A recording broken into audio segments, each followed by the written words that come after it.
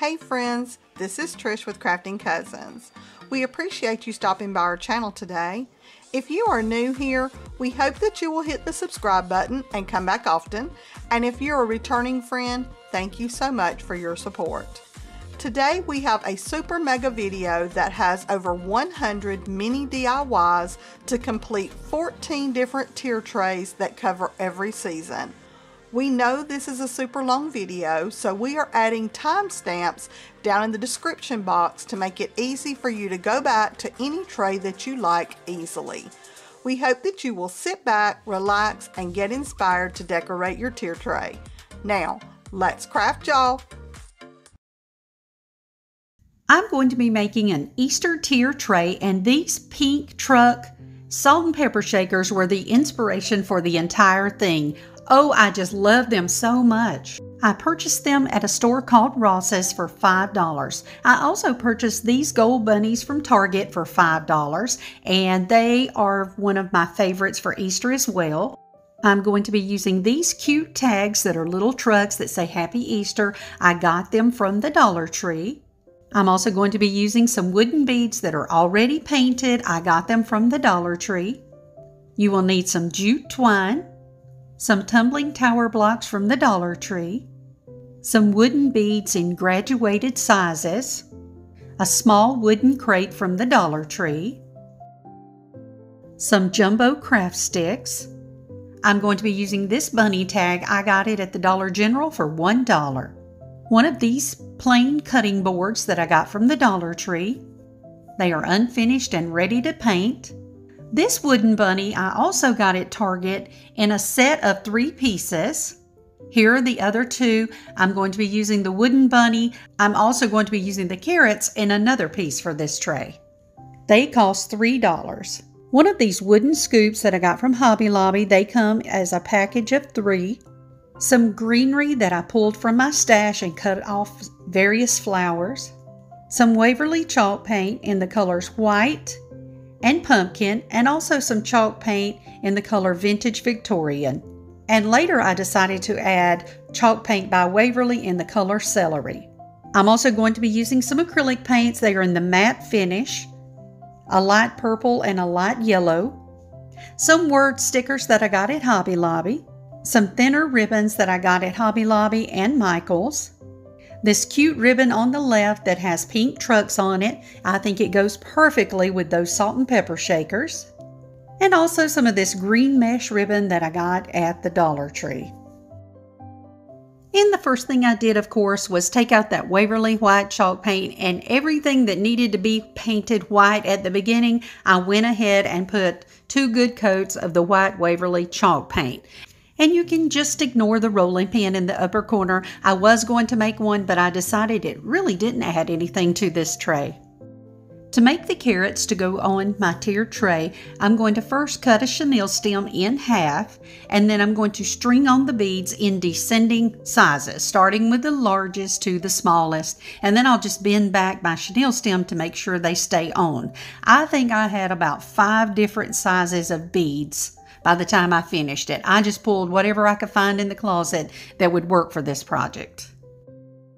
And the first thing I did was give both of my carrots a coat of the Waverly chalk paint in the color pumpkin. I didn't paint them too heavily because I am going to change it up just a little bit in a moment. And I didn't have too much difficulty keeping them on the chenille stem, but if you do, you can always glue them down before you start actually painting them. My idea was first to string it on some jute twine, but then I decided I really like the looks of it on the chenille stem and they don't slide as much, so I kept it that way. Once the orange paint had completely dried, I came back in with some really watered down Waverly chalk paint in the color white, and I just gave it kind of an antiquing look or just to soften the color a bit so it wasn't so bright. And, and I used a paper towel to wipe off any excess that I didn't like. I'm just using a fan brush. And once that coat had dried, I'm coming in with my hot glue and I'm pushing down the smaller bead once I place some glue on the chenille stem, let that set. Then I come back and push everything down, take off the big bead, put on some glue on the chenille stem, then slide the largest bead down and just make sure everything's glued to my piece. And then I'm going to cut off any excess chenille stem that I need to with my wire cutters. I kept my project pretty simple. I'm just going to take my greenery and stick it down into the hole that's already on the top of the bead. You could also add some jute twine to dress it up a bit more, make a bow, but I kept mine simple.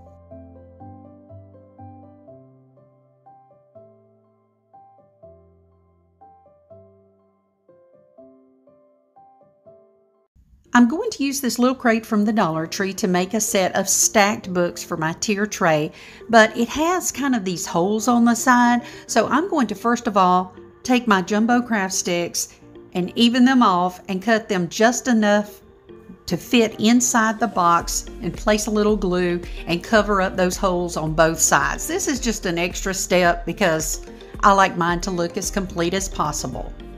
And then I come in with some more craft sticks and I measure off the ends of the boxes and I'm going to place three on each end just to give again that illusion of the books as much as possible. I'm just using my Tim Holtz scissors to cut them. You can also use those special cutters that you get on Amazon, but I find this works just as well. And when I get it like I want it, I just go in and glue them down with some hot glue. You could also use some wood glue. And the next thing we're going to do is give my piece a really good coat of the white Waverly chalk paint. I did about a coat and a half. I painted the entire outside, the top, and then I turned it over and painted that edge on the inside as well.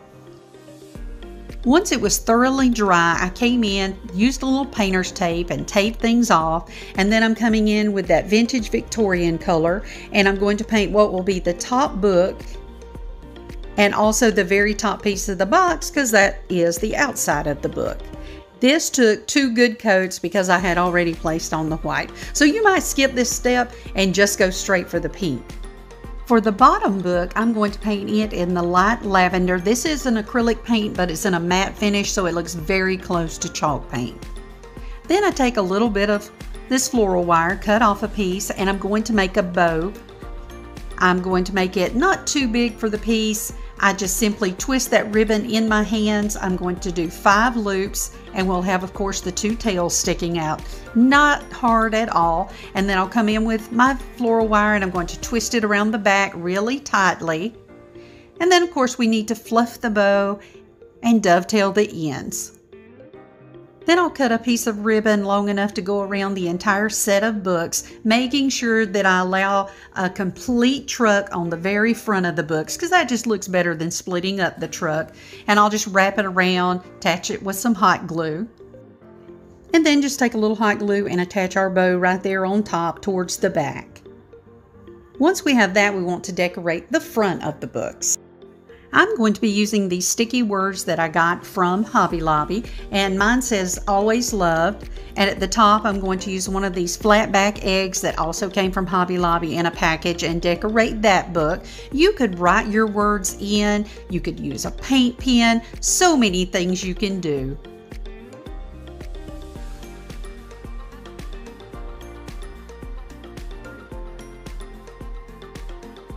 So the first thing I'm going to do is make the tassel for this beaded tassel. I'm taking just a really strong piece of cardboard and I'm going to wrap the string around it, oh, about 30 times or so. And I decided I would make mine out of this pink and white twine that I got at Hobby Lobby. I just thought it went better with the piece. Once you get it like you want it, you want to tie that knot tight at the top and then you want to come back in with another piece of string and tie a piece that's about a half an inch to three quarters down. And we'll secure that with some hot glue. And then we'll give our piece a haircut cut off the end even everything up.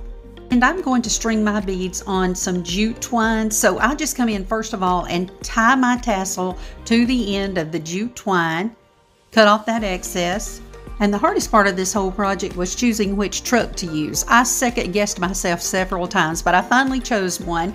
And then I'm just starting to lace on my beads. I didn't have a lot of beads in the pink color, so that kind of dictated how long my strand is going to be. So I used the off-white color they had in there, the pink and the blue. And once you get those strung on, you just want to tie your truck on the end. I just used the string that came with it. And that's pretty much it. You have a beaded tassel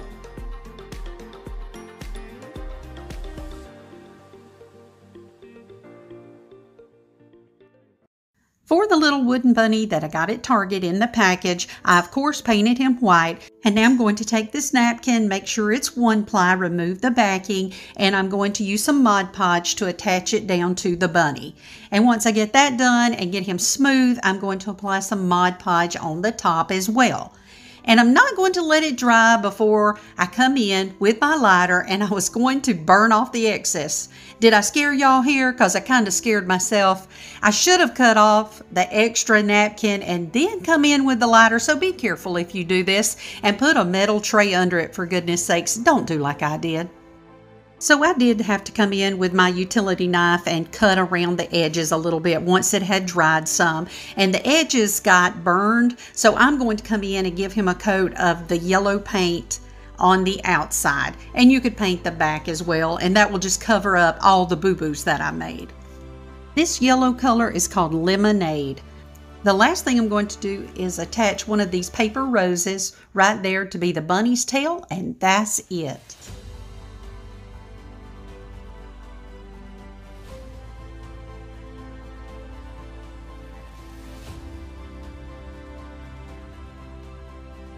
After the white paint had completely dried, I'm going to come in with this celery paint by Waverly and I'm just going to paint the outer edge. You could probably paint the back as well.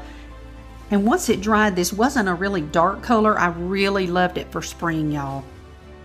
And I'm just going to use my hot glue and my precision tip and I'm going to apply glue to the back of those carrots that I got from Target and put them down right in the middle towards the bottom of the piece. I love how they're that soft orange. For this piece, I'm also going to have a messy bow. I'm going to use that mesh ribbon that I got from the Dollar Tree, also this carrot colored ribbon that came from Hobby Lobby, and also the one that's thin with carrots on it also came from Hobby Lobby. We'll cross them on an X, cinch them in the middle, and I'll take some jute twine, wrap it around several times, and tie a knot. And then I'll just come in and clean up my edges, make them look a lot better, cut them on an angle, and so forth. And the last thing to do is just attach it to our piece. Very simple, but so soft and beautiful.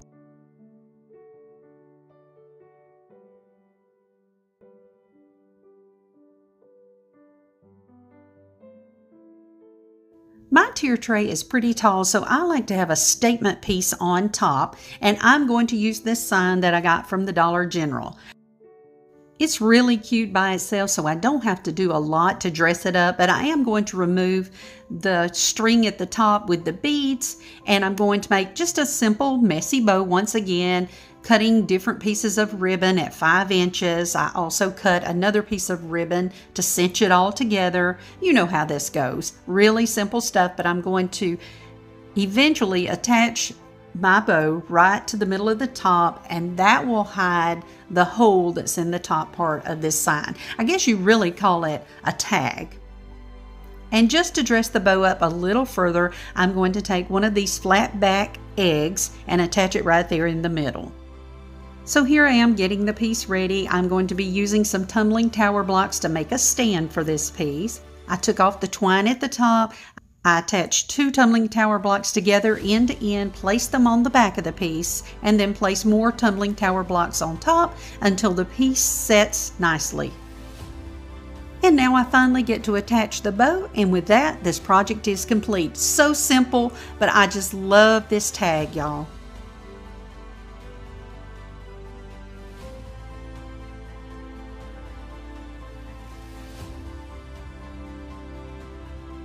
So this is one of those easy craft projects that didn't take hardly any time at all, but I didn't like just the white paint, so I decided to use that celery chalk paint by Waverly and come in and paint the entire back. This took two coats because I had already painted it white. So you can skip that step and go straight to the celery. And now I'm going to take some of those flat back eggs that I got from Hobby Lobby in a packet and I'm going to glue three of them to the handle of the scoop.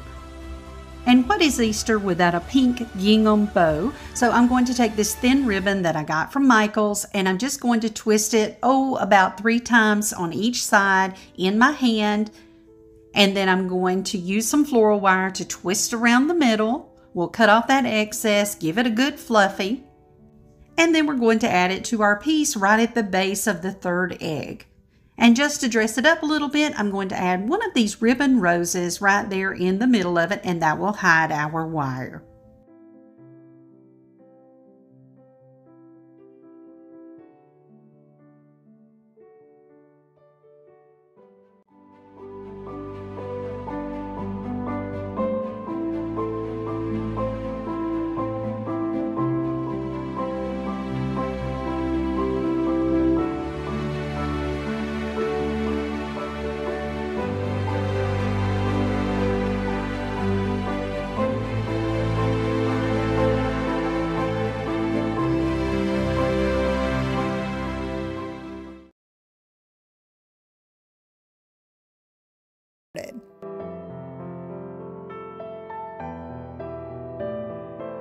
For our first project, we're going to use one of these mini grapevine wreaths that I got from Hobby Lobby, some Spanish moss, I got mine from the Dollar Tree.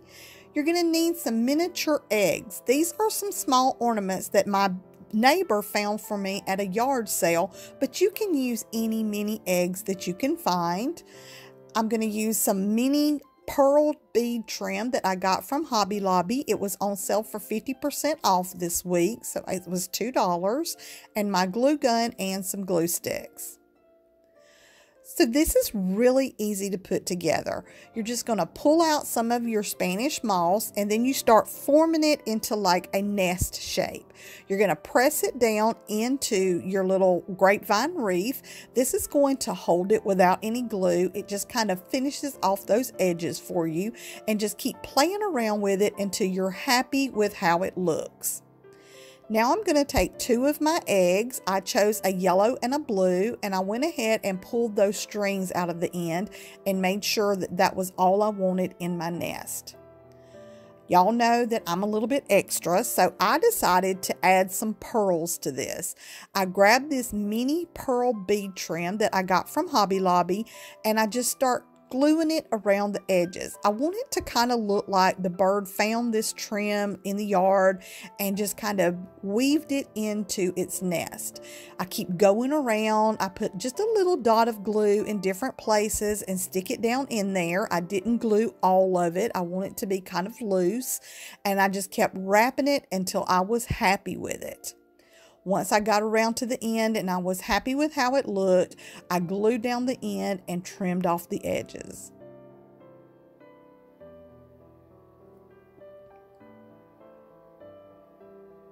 Now we're just going to glue our little eggs back into our nest so they don't fall out. And once we do that, this project is finished.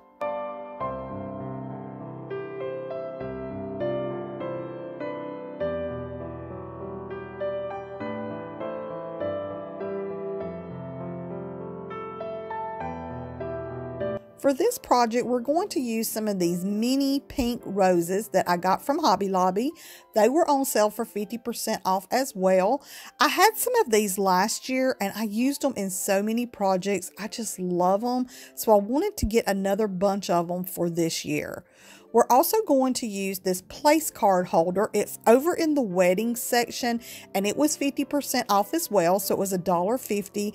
I love that it stands up and it is so decorative. We're going to use our glue gun and some glue sticks. And at the last minute, I decided to use some of this moss that I got from Walmart, but you really don't need it. The first thing I did was remove the paper and the plastic from the frame and then I just put down some hot glue and I'm going to glue a little bit of that moss down into it. Now this step really was not necessary. I wasn't sure if my flowers were going to cover it all and you wouldn't be able to see the cardboard and that was why I put it down but once I started putting my flowers in there it completely covered this so you really don't have to do this step. Now I'm just going to take my individual flowers and I cut off the back of them to make them flat so that they will stick down in there. And then we're going to add hot glue and then glue them down. You're just going to keep doing this until you get your frame full. Now I'm using all the same flowers, but I got this idea off of Pinterest and the one that I saw, they use several different kinds of flowers. And I think that would be pretty too. But y'all know that Kay and I love some pink roses. So I wanted to do mine with these little pretty roses. Once you get your frame full, this project is finished.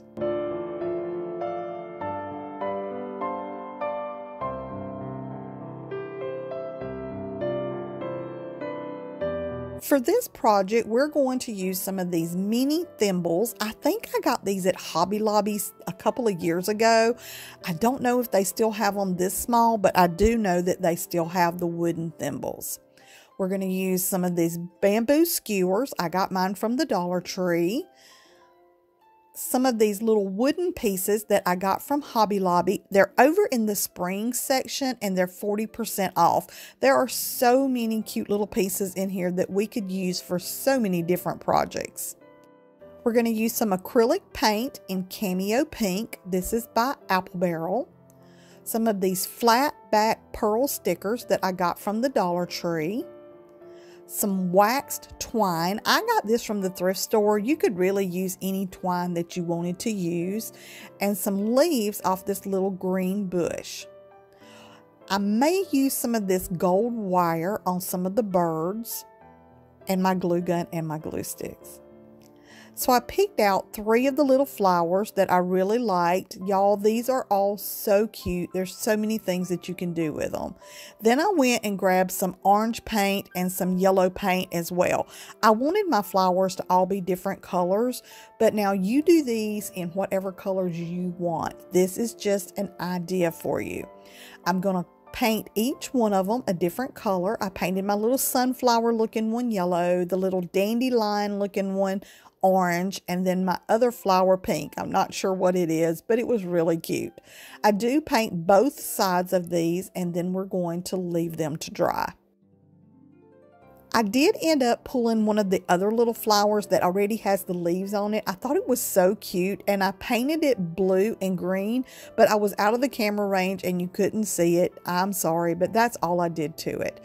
Then I took one of those little white balls off of that greenery and I glued it into the center of my yellow flower. And I'm going to use my flat back pearls and glue one into the center of each of my other flowers. For that little blue one, I'm going to put another one of those little foam balls inside of it too. And I thought that turned out so cute. Now I'm going to take those little thimbles and some of my wax twine and I'm just going to wrap it around so that it looks like there's thread on my thimble. I just put a little bit of hot glue on one end. I put my twine into it and I wrap it around and then I glue down the other end and then I trim it off. That's all there is to this. I did this for all four of my little thimbles. I want to put a bow on there and these are small. So the best way to make a small bow is using a fork. I'm going to hold my thread on one end and wrap it around the top of my fork. Then I'm going to come in between the first and second tine, go around the back and come up between the third and fourth tine. Then you're going to stick it in between the middle at the bottom and then come up around the back and pull it through the middle at the top and tie it into a knot. This is going to make a small bow. Now I will put a link to the video where I show this with some ribbon and it's slowed down and you can tell more about what I'm doing but these are so easy to make and they make the cutest little bow. We're just going to slip it off and then we're going to trim off those ends and there's our bow. I'll use a little bit of hot glue and attach it to the front of my thimble and then I'm going to go ahead and do this for the other three thimbles as well. Now I'm just going to take that little blue flower and just kind of shove it down into my thimble. It held perfectly and how cute is that? For the other three, I'm going to use a skewer. I stick it down in there and then I use my wire cutters to cut off the skewer. I did all three of these at different lengths because I want my flowers to stand staggered. So you're just sticking them in there, measuring how long you want it to be, and then cut off the end of it. Once I got them cut off, I used just a little bit of hot glue on the end and glue them down into my thimbles. Now I'm just going to put a little bit of hot glue on the back of my flower and glue it onto my little skewer. And I have my flower on its stand. I took that little bush that I had and I cut off some of those little leaves and I put a little bit of hot glue on the end and then I glued two on the yellow one. I think I only do one, no I do two on the orange one, but I didn't put any on the pink. With that, this project is finished.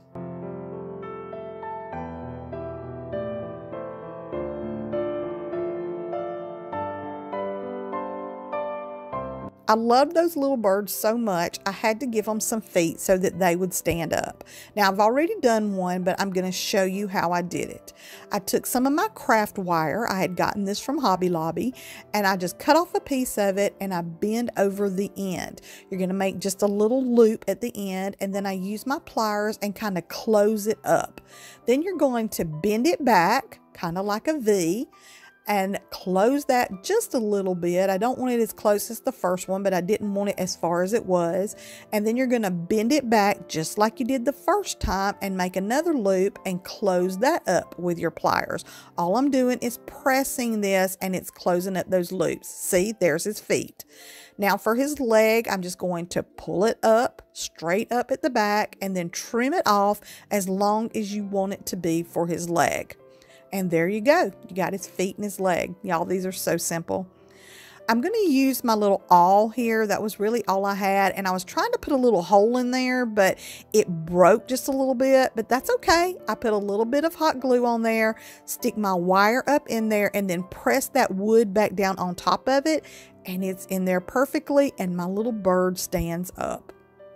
Now I'm going to use some pale blue acrylic paint. You use whatever color you want. And I'm going to paint my little bird's body.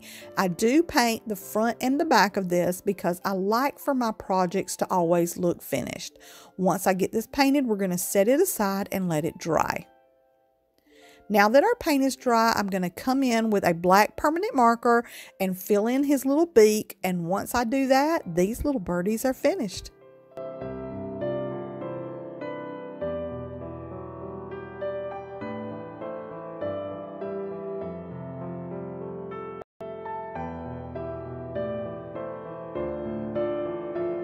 For this project, we're going to use one of these little bird houses that I got from the Dollar Tree. Now, if your Dollar Tree don't have these, they also carry these at Walmart. Some Waverly chalk paint in white and some of these rub-on transfers from the Dollar Tree.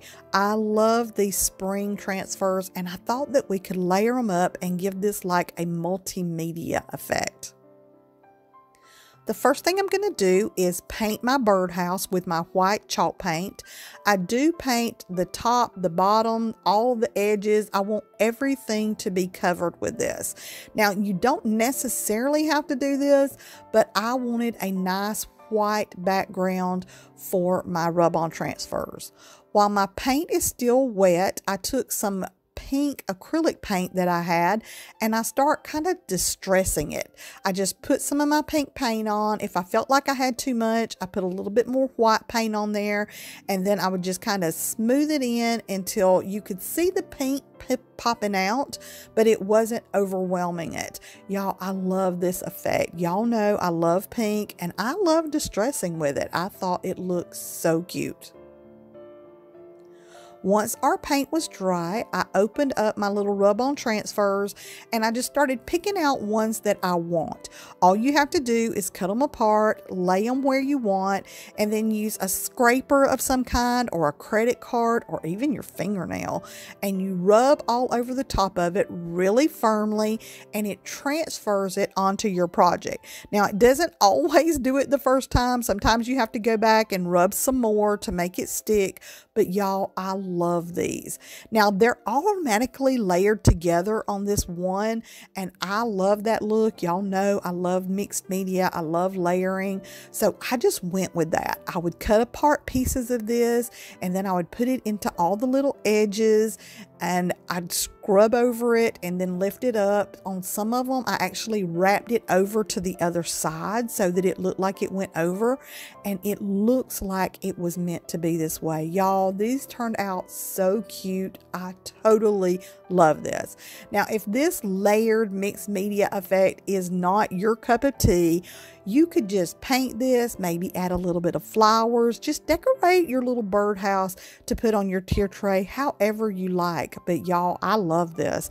I could not get enough. I ended up using that whole pack of those layered stickers and then I used several off the other pack as well. Once I got all my stickers on there and I was happy with how it looked, this project was finished.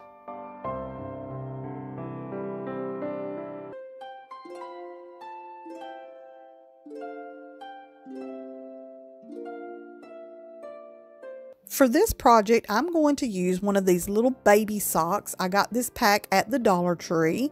Some faux fur that I had left over from some other projects. I think I got this at Hobby Lobby. Some fabric off of this shirt. I got it at the thrift store and I just love how soft it is. I'll probably use the hemmed edge. I'm going to use a wooden bead a couple of these little elastic bands and some filling out of this pillow that I also got from the thrift store. Now to make our body, I'm just going to take some of my filling and I'm going to stuff it into one of my little socks. Now I don't want this to be too big because my tier tray isn't huge and I want to make sure that it will sit in there. So I just kind of stuff it in, then I trim off the top. We're going to use a couple of our elastic bands and wrap around the top of this just to close it off. And then you're going to kind of form it. I wanted to push it so that it would sit down and I trimmed off the top. Now I'm going to use that pink fabric to make a hat and I was really too lazy to make a pattern so I just cut off a rectangle and we'll work with that. Then I took my faux fur and kind of measured how far around this I want it to go. And once I did that, I cut it off and then I cut off the bottom as long as I want it. And then you're just going to kind of trim it up, you know, just kind of make sure that it's in that V pattern. I put some hot glue on it and I glue it right on to the front of the little body, making sure that I wrap it around, adding more glue where needed. Now that I have his beard on, we're going to take that pink fabric and make his hat. Y'all, this truly is the lazy way of doing it. There are so many patterns on the internet for gnome hats. You can Google it and print it out and you don't have to do this. You could just cut it out. But I was pretty happy with how it turned out. I cut it into a rectangle, then I glued those sides together. Then I just kept working my way up the seam of this, trimming where I needed and gluing until it was all glued together. This fabric is soft and fuzzy and very forgiving, so I was able to go back up and go down that seam and glue everything down, and it turned out looking really nice. Now that I have his hat, I'm going to put it on the way I want it, and then I'll put a little bit of glue at the back just to hold it down there. I'm going to use my little wooden ball bead and I'm going to glue it down right at the top of my beard, under my hat, and then glue my hat down around the nose. How cute is he? Now I want this to be more spring, so I flipped this little end of his, that over. Y'all know I love that look and I glue down the end of it. Then I take some of these little white miniature roses. I got these from Hobby Lobby and I cut off a couple of them. I'm going to trim the back off so that it's flat and use a little bit of hot glue and glue it to the end of his little hat there. Then I'm going to put that little leaf on the back of it. I wanted one more just to fill it out, so I'm going to trim up one more and glue it in right at the top of that one, and with that, the project will be finished.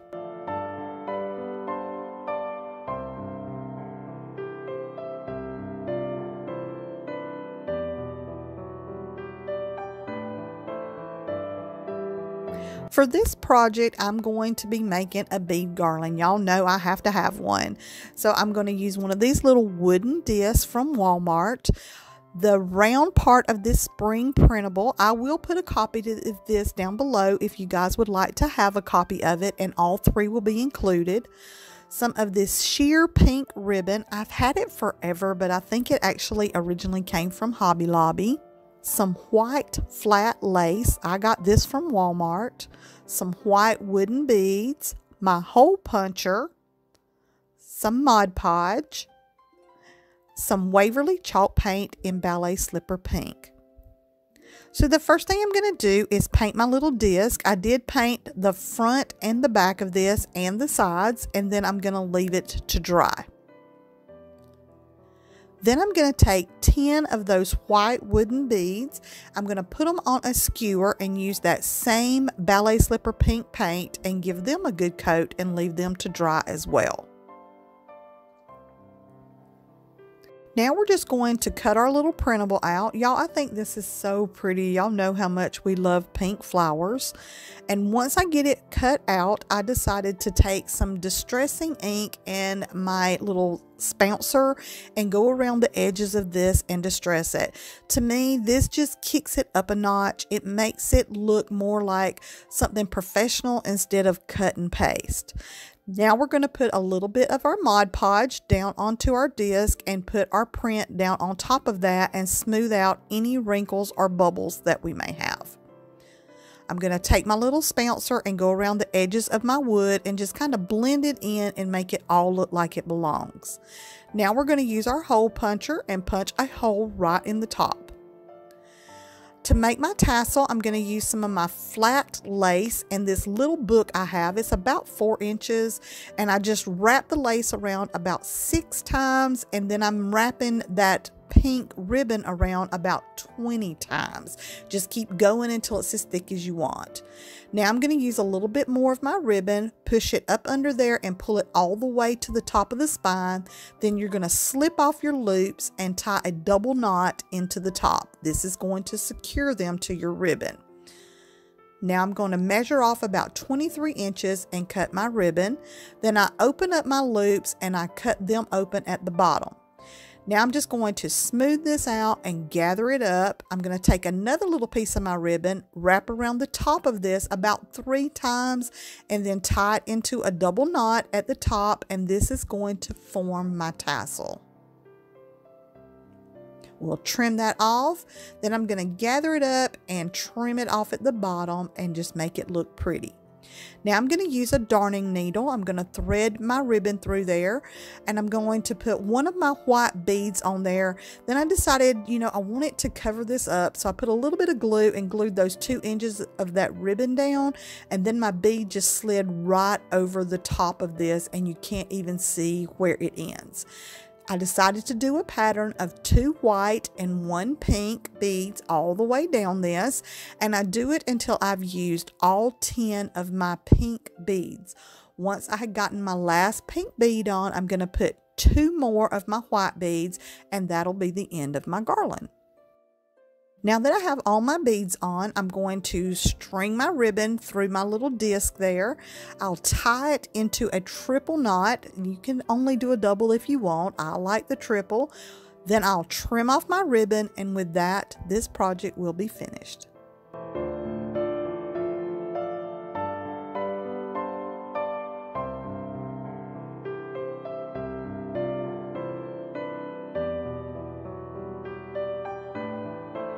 For this project, we're going to use one of these little signs that I got from Dollar General. I get them at the end of the season. They mark them down 90% off, so I only have to pay 10 cents for these. And they seem to have one or two after every season. Now, this does have a hole in the top, but I'm not real worried about it. We'll just flip it upside down and you'll never know it. Some Waverly chalk paint in Ballet Slipper Pink. Another one of our little spring printables. Don't forget, I'll have a link below some Mod Podge, and my distressing ink and a dauber.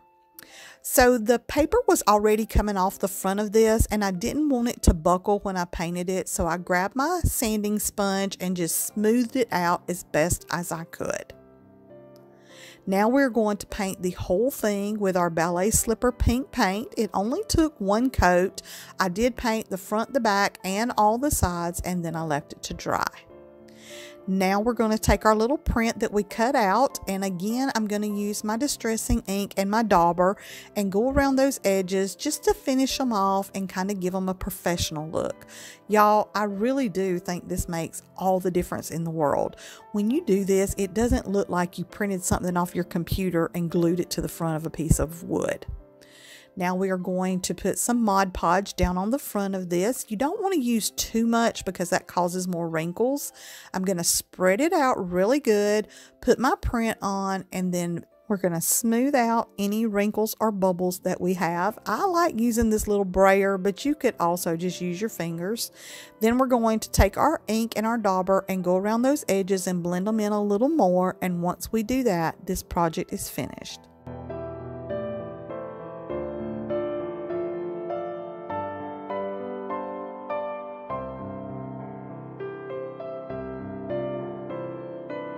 For this project, I'm going to use a little piece of one of those wood plaques that come from the Dollar Tree. This had been cut down for another project and this one was left over, so we're going to use it. We're going to use a tumbling tower block from the Dollar Tree, a furniture repair marker from the Dollar Tree, some Mod Podge, our last little printable from our spring prints, and my distressing ink and a dauber. So the first thing I wanted to do was cut down my little printable so that it would fit my piece of wood. I held it up, I could see it through it and got it centered. Then I just trace around it on the back of this and cut it out. Now I know it's going to fit. I'm going to use one of my furniture repair markers that I get from the Dollar Tree and I'm going to stain the edges and the back of this. Now you don't have to do this if you don't want to. I really like having my projects look finished, but a lot of people like the unfinished wood. Now I do not stain the front of this because it will smear when it gets wet. I'm also going to stain my tumbling tower block. Now we're going to take our Mod Podge and we're going to put it on the side that is not stained. Again, if you stain this and then put Mod Podge, it could seep through your paper. We're going to apply our paper to this, making sure that it's smooth and we get out all of our wrinkles and bubbles. Then once we do that, I'm going to use a sanding block and you just kind of sand down on these edges and it takes off any overhang that you may have. Y'all, this is so much better than cutting. It looks so much nicer. Then we're going to use our distressing ink and our dauber and go around those edges and blend it in. I love how nice this makes it look. The last thing we're going to do is take our tumbling tower block and glue it to the back in the middle at the bottom. And when you do that, this project's finished.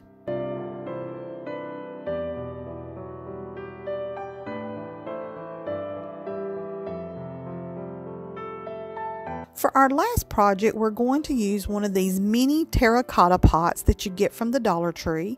This one has some chips in the top of it, but I think it just gives it character. Some Waverly chalk paint in white, some florals that I had left over from last year, a pencil, this word bloom that I printed off on the computer, and a black permanent marker.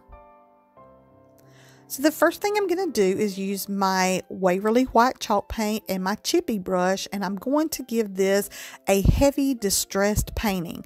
I did not want it to be solid. I want it to look like old pottery. So we're just going to go over it really well and leave it to dry. Once it's dry, I'm going to take my word, flip it over, and scribble on the back of it with a pencil.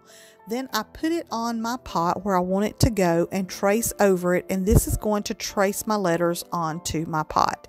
Now, you can do this freehand. This is a simple font, but I just wanted to make sure that I had the right dimensions and that was why I did it this way.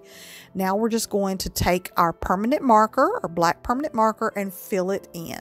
Y'all, I think this turns out so cute. You can use any permanent marker. This one is one of the ones from Hobby Lobby, but you can use the jot markers from the Dollar Tree as well.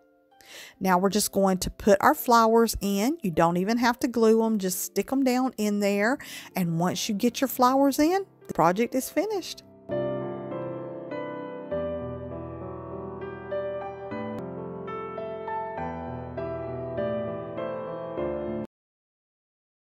Hey y'all, it's Kay. For this project, I'm going to be doing a bee theme tier tray. I'm going to list all of the items I'm using up front. First of all, I'm going to use three of these wooden scraps. They are about three and a half inches by five and a half inches and under an inch thick. I'm going to use one of these styrofoam cones that I got at the Dollar Tree some jute rope, I got mine at Hobby Lobby. These beads that I got at Hobby Lobby when they were marked 75% off. One wooden tag, I got mine at Walmart. Some of this nylon cording. Some jute twine. A wooden birdhouse from the Dollar Tree. This scrapbook paper that I got from Hobby Lobby. This wooden frame that I got from the Dollar General when it was marked down to 50 cents. This market calendar that I got from the Dollar Tree. This watering can, it came from Hobby Lobby when it was 90% off last year. Two of these corn skewers, I got them from Walmart. This 7 8 inch round wooden dowel, you could also use the handle from a plunger from the Dollar Tree.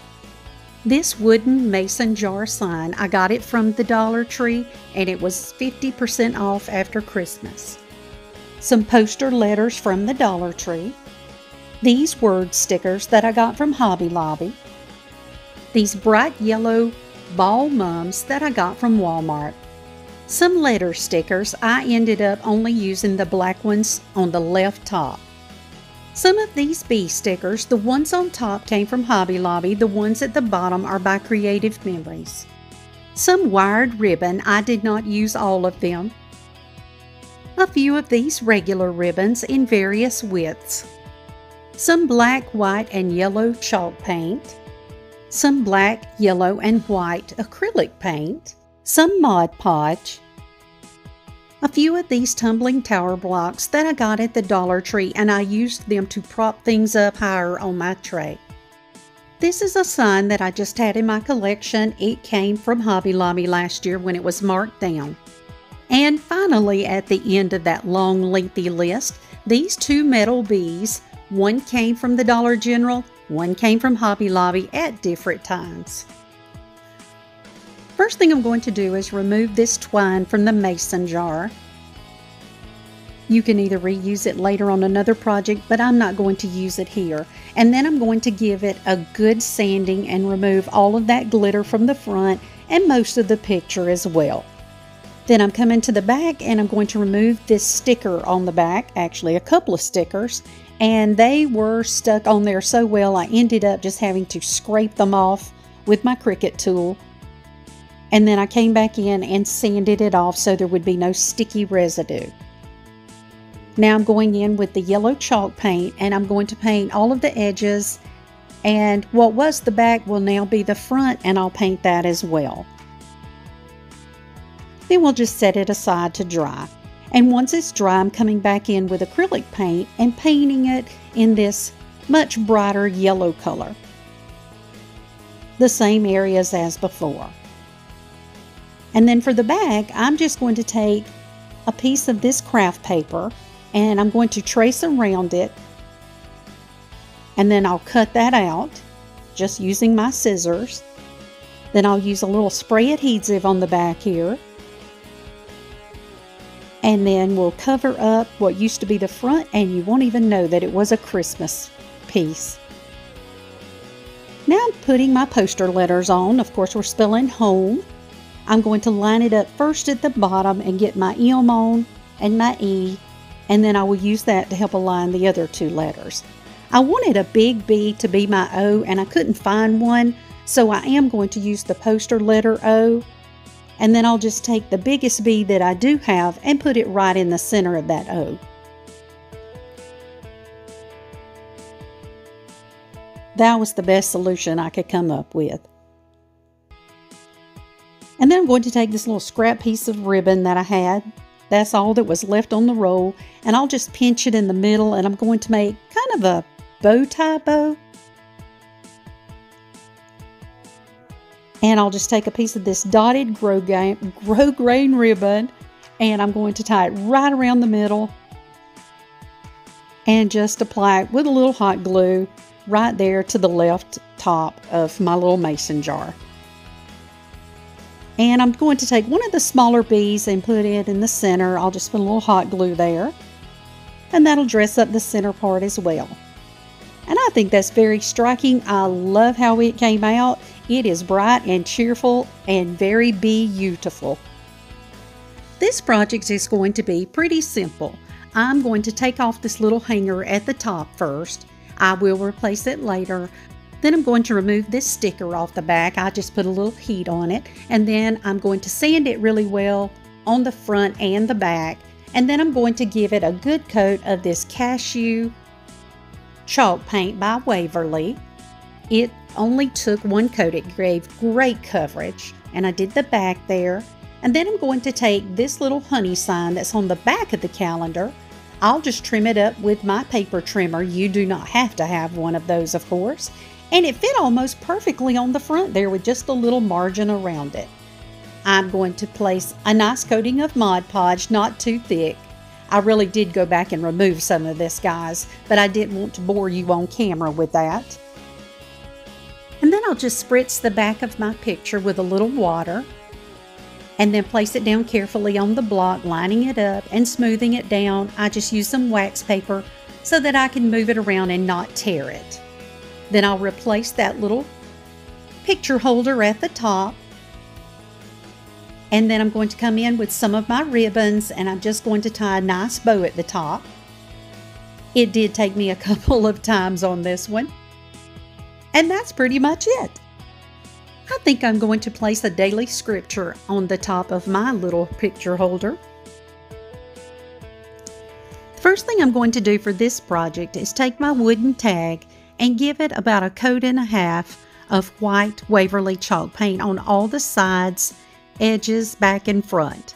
And as a bonus project, I'm going to take one of these wooden beads that has little grooves around it and one of these dowels, the smaller one that was in a pack at Walmart.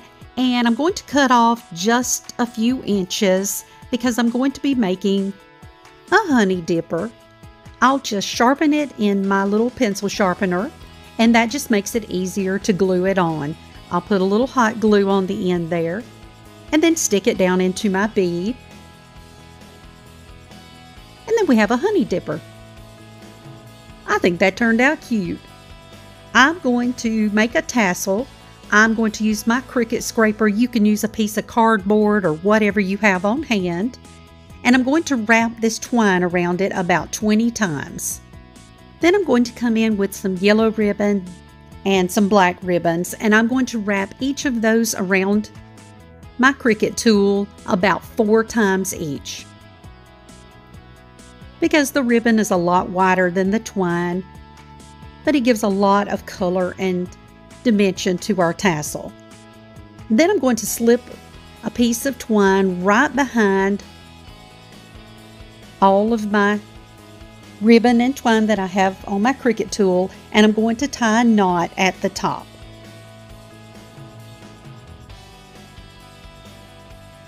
And then I'll just slide all of my ribbons off and line it up and evenly as I can. Come in with another piece of twine about, oh, half inch from the top and wrap it around several times and tie a really good knot and then we'll just cut off the excess. And that's kind of how you make a tassel. And then you come in and you clip the ends of all the twine and all the ribbon and open it up. Sometimes you have to trim a bit off, make sure it's even. And you play with it and fluff it, and you get a really cute tassel.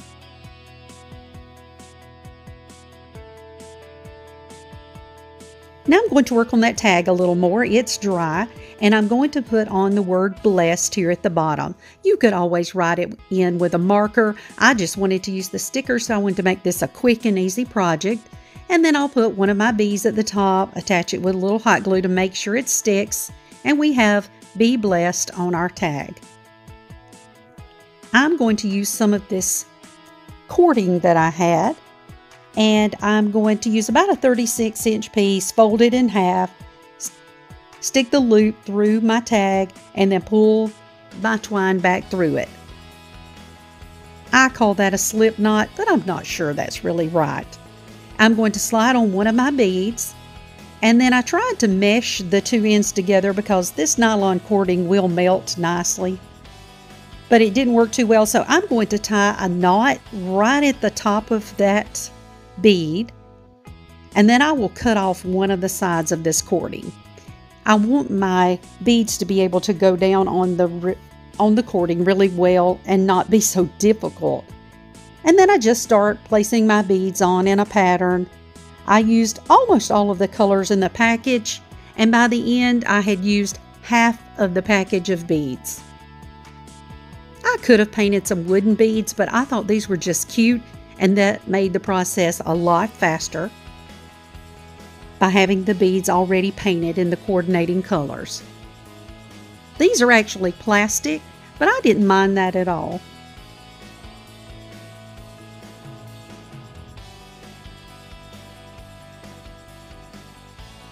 Then when I get to the end, I'm just going to tie that off and at first I'm just leaving a loop here. And you could stop there and this whole thing would be complete.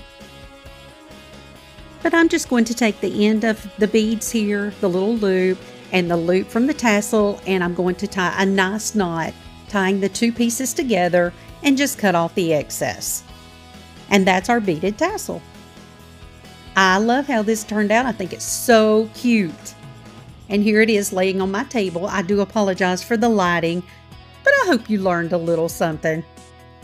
For this project, I'm going to be making a faux set of stacked books. I'm going to use these one by fours that I bought, which are really about three and a half inches wide. And I will paint one of them with white chalk paint, one of them with yellow chalk paint, and one of them with black chalk paint. And I will paint all of the edges, the both flat sides, front and back, you could call it, and give them a really good coverage. And then I'm going to glue them together. I'm going to have the black one on the bottom. I just picked the best sides to be my outside. And then I'll place that yellow one right down there on top. So we have a yellow, white, and black stack. And then I just picked out some more of the words that I liked from these stickers. The first one says grateful, and I'm going to put that towards the end, but with a little margin on the end. And then I'm going to put loved and smooth that one down. And you could always put Mod Podge on top of your stickers to make sure they stay on. And the last one says beautiful. And then I'm coming in with this beautiful ribbon that looks a lot like a honeycomb pattern. And I'm just going to cut off a piece and glue it right around my stack of books.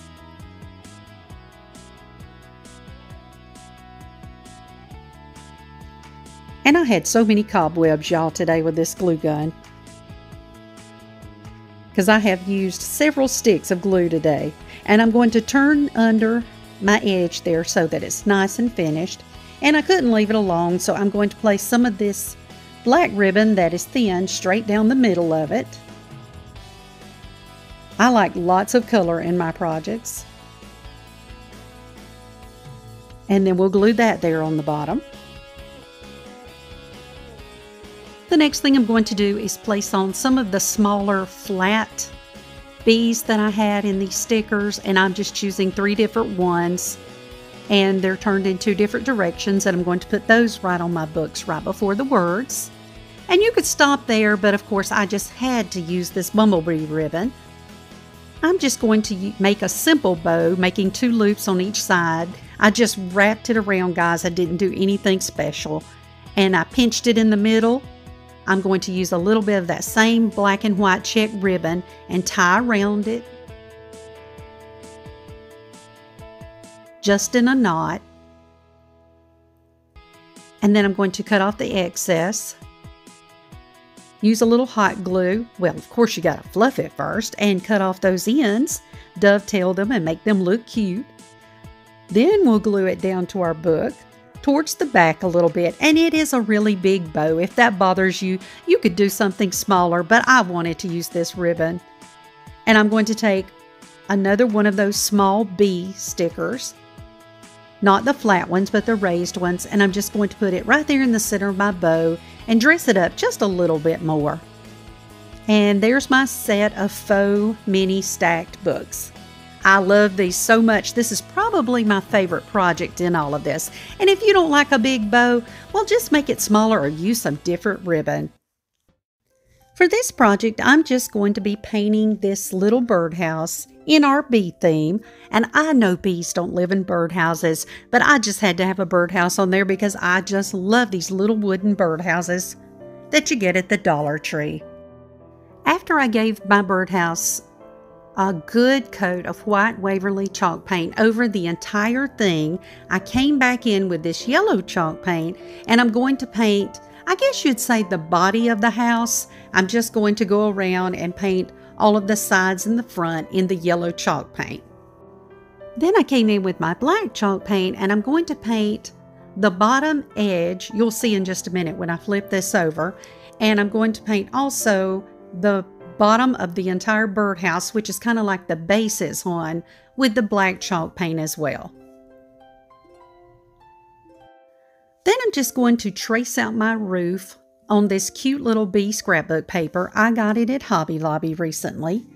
And I'm just going to cut out these little rectangles, trace out the second one, do the same thing. Use a little Mod Podge not too much because the paper is kind of thin.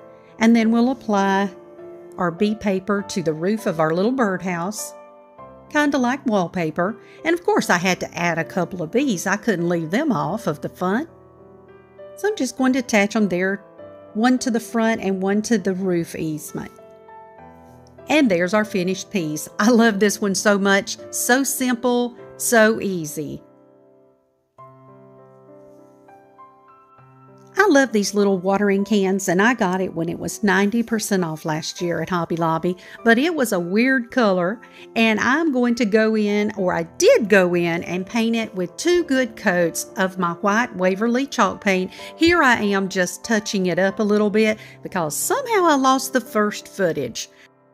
Now I'm just going to make a very simple bow by wrapping it around my hand about four times. And I dropped one of the ribbons, so I had to go back and rearrange it. But that's basically what I did. And then I'm just going to use a black chenille stem, half of one actually, and I'm going to twist it right around the very middle of my little bow here. And we'll just give it a good twist and we'll use the excess of that to attach it to the handle of our can. And of course, every bow needs a lot of fluffing. Pull out each of those loops and make it look good. Trim off the ends, cut them at a diagonal. And the more you work with it, well, the better it looks. Now I'm just going to twist it right around my can here.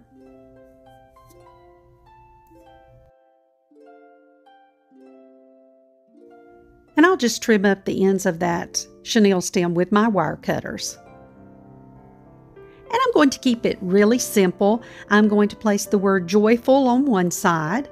Again, using those stickers, you could write the word kind or whatever you would like on your project with a marker if you like, and I'm putting thankful on the second side. And of course, I'm going to add some bees. That is our theme today. Going to use some different ones than I used on my other projects. And that's pretty much it. That pretty much wraps up this project. You could do a lot more. You could paint it multicolored. But there it is sitting on my little pedestal. Looks a little funny for the ribbon from this angle, but it actually is quite charming. For this project, I'm going to be making one of the mini rolling pins. I couldn't find any at my local store, so I bought this dowel at Walmart. It is 7 eighths inch around, and I'm just going to go in and paint it first of all with two coats of white Waverly chalk paint. I cut this dowel to about six and a half inches at first. I cut it on my four inch table saw that I got at Harbor Freight by just turning it when the blade started bogging down a little bit. Now I'm going to take my corn skewers. They happen to be the perfect color, so I'm not going to paint them. Also, they're kind of a rubbery finish. And I'm going to remove the pins from them. They would not stick down into my dowel, it was just too thick. And I'm just going to use hot glue to attach them to my dowel. And right as I was attaching the second one, I discovered that I had cut my dowel way too long. Six and a half inches is just too much. So I went back and I cut it again. I took out about an inch and a half. And so here is where it has been cut again. Honestly, you could probably do it at four inches and it would be just fine. And I'm going to put on the second side again with some hot glue.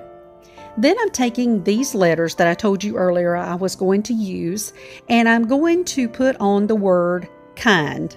I'm going to start at the end so it lines up perfectly with the D and then work my way across.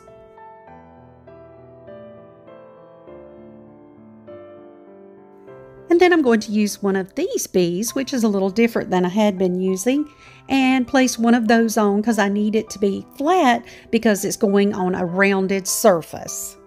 And of course, you can always come back in with a little Mod Podge on top of your stickers to make sure they stay perfectly flush. Then I'm just taking a couple of my ribbons and I'm going to tie a simple shoestring bow here right on the end. And just cut off my ribbon. And with that, this project is pretty much complete. I love it so much, y'all. I think it's just cute as can be. And there it is on display. And no bee themed tiered tray would be complete without a bee skep. So I'm going to take my knife and cut off the top part of this cone and then Simply start wrapping this twine around the cone. At first, you go kind of slow and get it nice and attached and don't melt too much of the cone. And you want to watch your way around. But after the second row, it actually goes pretty fast. I don't glue every bit of the string around. After I get past a certain point, I just glue it when I feel like it's necessary and then just kind of work my way around and keep it as tight as possible. I don't want any of that white showing through. And you know what? You could paint it before you did this and it probably would be even easier. And then I'll just twist it right up onto the top and keep going until I get it kind of rounded, make a little loop at the top. And that's pretty much all there is to it. Now I'm going to take a length of my twine and I'm going to glue it end to end and make a circle and then I'll glue it right down onto my bee skep.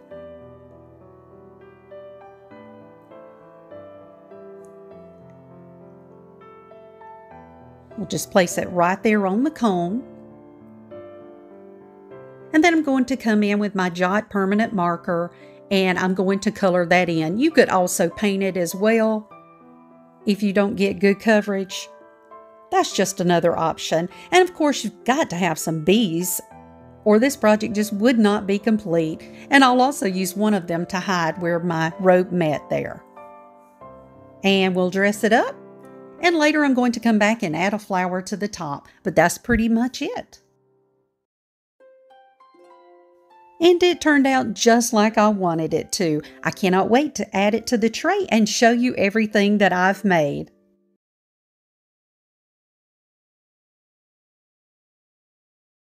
Thank you for stopping by our channel today. If you are new here, we hope that you will subscribe by clicking on the little button below. Make sure you ring the bell so you will be notified every time we upload new content. We upload new videos each week offering a variety of DIYs, trash to treasure projects, and tips, tricks, and hacks. We just know you'll find something you like with Crafting Cousins. For this project, we're going to use three clothespins. I got mine from Dollar Tree, some chalk paint in white and crimson, and some acrylic paint in cobalt blue, an Arteza white gel pen, some wood glue, and my glue gun and some glue sticks.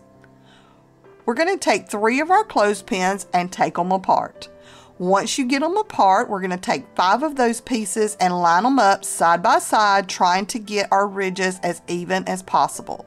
Now we'll use some wood glue and some hot glue and glue these together. Make sure you get the excess out with your fingers because it doesn't want to paint well. And then once it's together, we're going to paint it. I'm going to start with my cobalt blue paint and I'm going to paint three of my clothespins from the second ridge over to the side. This is going to be the blue area of my flag. Now I'm going to use my Waverly white chalk paint and I'm going to paint two of my clothespins and this will be my stripes and then once I get those done we'll use our crimson chalk paint and we'll paint the other three. Now I did not bother to take mine off I just kind of took my time and tried to make sure it didn't bleed over. I did make sure I got down in those little ridges really well and I did go over onto the sides and the top. I like these ridges because it kind of makes it look like the flag is like like blowing in the wind or something. I love this effect. Once our paint is dry, I took my Arteza white gel pen and I made some little stars on there. I just used the method we learned in kindergarten where you draw the triangles, but you could use stickers for this. You could use your Cricut. And if you don't have one of these white gel pens, you could use a paint pen or a small paintbrush. Now we're going to take a tumbling tower block, use a little bit of hot glue, glue it to the bottom in the middle to make a stand, and with that, this project is finished.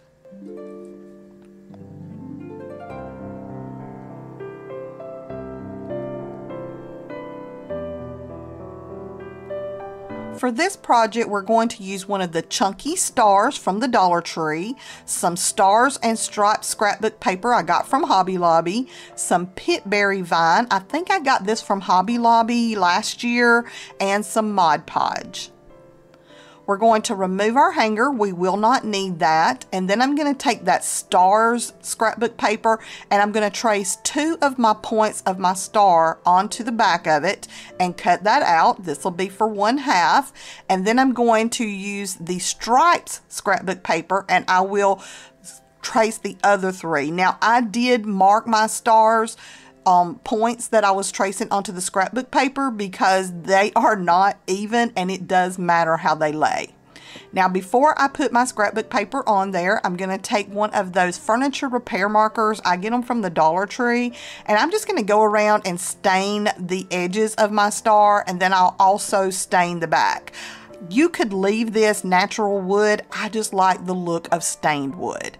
Once I got it stained, I took my Mod Podge and I put it all over the top of my star. And then I mist my paper. This just helps soften it up so that it will stick. And I stick it down. Now you see that I overlapped this and I wanted it to look that way. I really like that look.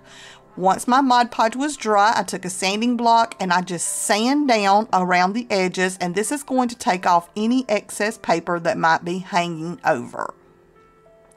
Now I'm going to use a finger dauber and that um, and that stain stick that I had and we're just going to go around the edges of this and distress it. This just kind of helps blends it in and makes it where it doesn't look so cut and paste. Now I'm going to take that pitberry vine and I'm going to cut three pieces. I want to put it from side to side, kind of at an angle, just like I did my seam. And I do want it to stack up so that it's red, white, and blue in each area. Now it did take some creative cutting to make this happen, but if you just look at it, you can figure it out. Once I got all of my pieces cut, it does kind of wrap around because it has some wire in it, but I also used some hot glue to glue it in place so that it would stay and not come off. Just be really careful not to burn yourself. Once you get this glued down, this project will be finished.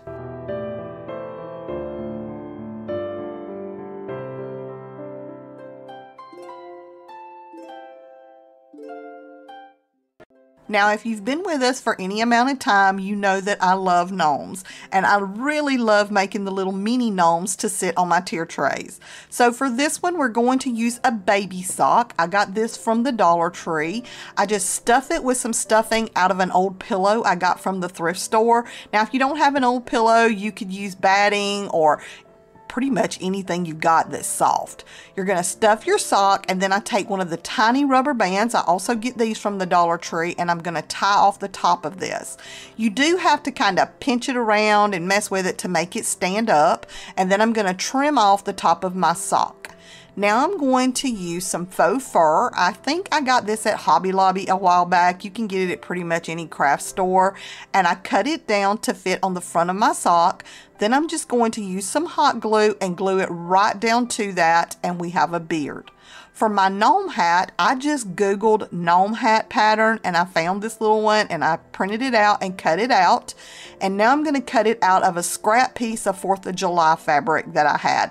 I've had this for several years in my stash, but you can get 4th of July fabric at Hobby Lobby, Joann's, even at Walmart. Once we get our hat cut out, I'm going to use a little bit of hot glue on one side and then I will fold those together and press them down and voila, we have a little hat. I'll stick it down on top of my little gnome, pulling it down as tight as I can get it. I'll lift up the back and put some hot glue down and then press it down in there and that's going to hold this in place. To make the nose for my gnome, I love to use these little footy stockings that I get from the Dollar Tree. I cut a piece off and I use some of my filler and stuff in there and then just kind of twist it up, take another little rubber band and wrap around it and that's going to hold this in place. Now I'm going to cut off the excess and I have a nose. We'll use some hot glue and then glue it right there, right under the lip of our hat. And I do use a little more hot glue just to kind of glue my hat down and make sure that it's going to stay in place. Now I like for my hats to flop over. You don't have to do this. So I use a little bit of hot glue and glue it down. And then I'm also going to glue one of these star stickers onto it. And with that, this project is finished.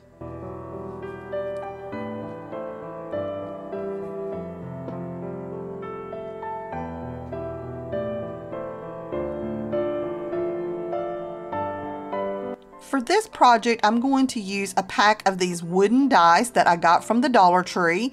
I'll use some chalk paint in white and crimson and some acrylic paint in cobalt blue. And I'm also going to use some of these rub-on transfers that you get from the Dollar Tree. I like these black letters and the gold ones. So first we are going to paint our blocks. I paint one of them with my white Waverly chalk paint. The other one I'm going to paint with my crimson Waverly chalk paint. And for the last one, I'm going to use my acrylic cobalt blue paint. We'll give them all one coat and set them aside to dry. Now I'm going to take those rub-on transfers and I'm going to cut out the U, the S, and the A. You do have to be kind of careful because they're really close together. To apply these, all you do is take the backing off, lay it down, and then rub across it with something flat. It doesn't matter what you use. Now on this one, pay attention. I put it down, it wasn't where I wanted it, and I tried to move it, and part of it had already stuck. I was afraid this was going to be an issue, but I fixed it the best way I knew how. I just kind of put it back down and scraped it off. Then I used a pencil and one of my ink pens and kind of filled it in and I think it looks okay. It's a little off center but we'll work on that in just a bit. Now I'm going to put my U down the same way, put it where you want it, then scrape it with something flat, lift it up and there it is. Now I'm going to take some of those gold rub-on transfers. I cut out this little fireworks starburst and I also cut out some of the little stars. I'm going to take that fireworks starburst and put it down there kind of in the corner and rub it in. And I think that kind of helps that it's not where it's supposed to be. It kind of pulls the eye away. Then I took some of the little stars and I'm going to decorate onto my blocks. You put as much or as little as you would like, but once you get these on, this project will be finished.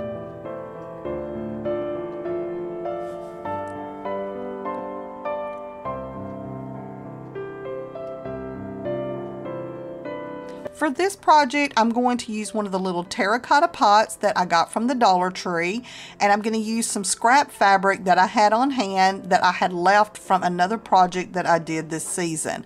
For the striped fabric, I think I got it at Joann's.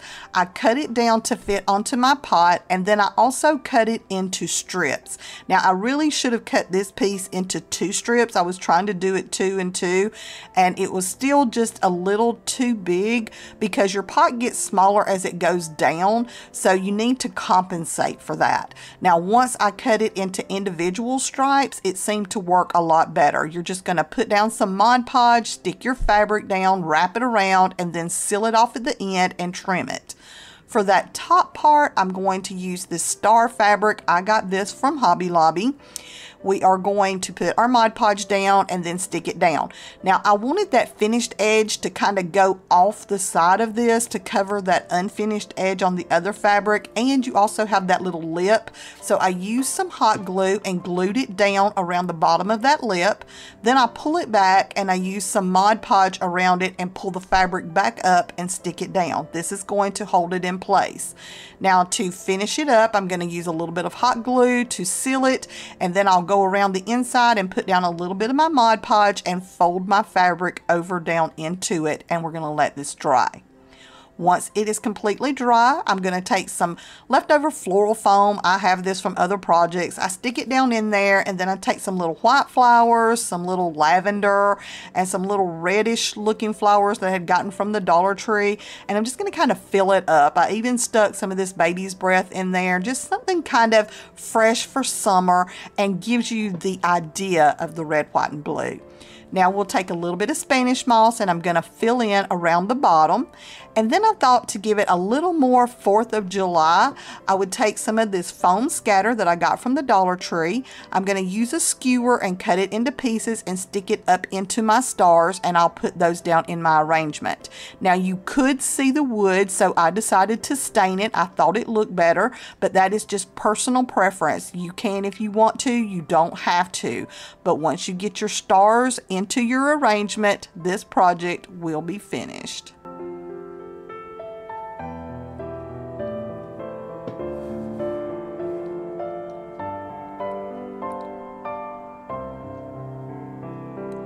For this project, I'm going to use this 7 8 inch wooden dowel. I got it from Hobby Lobby. It was $2.99, but every other week they have them for 40% off. I'm also going to use my 4 inch Mighty Mite table saw that I got from Harbor Freight.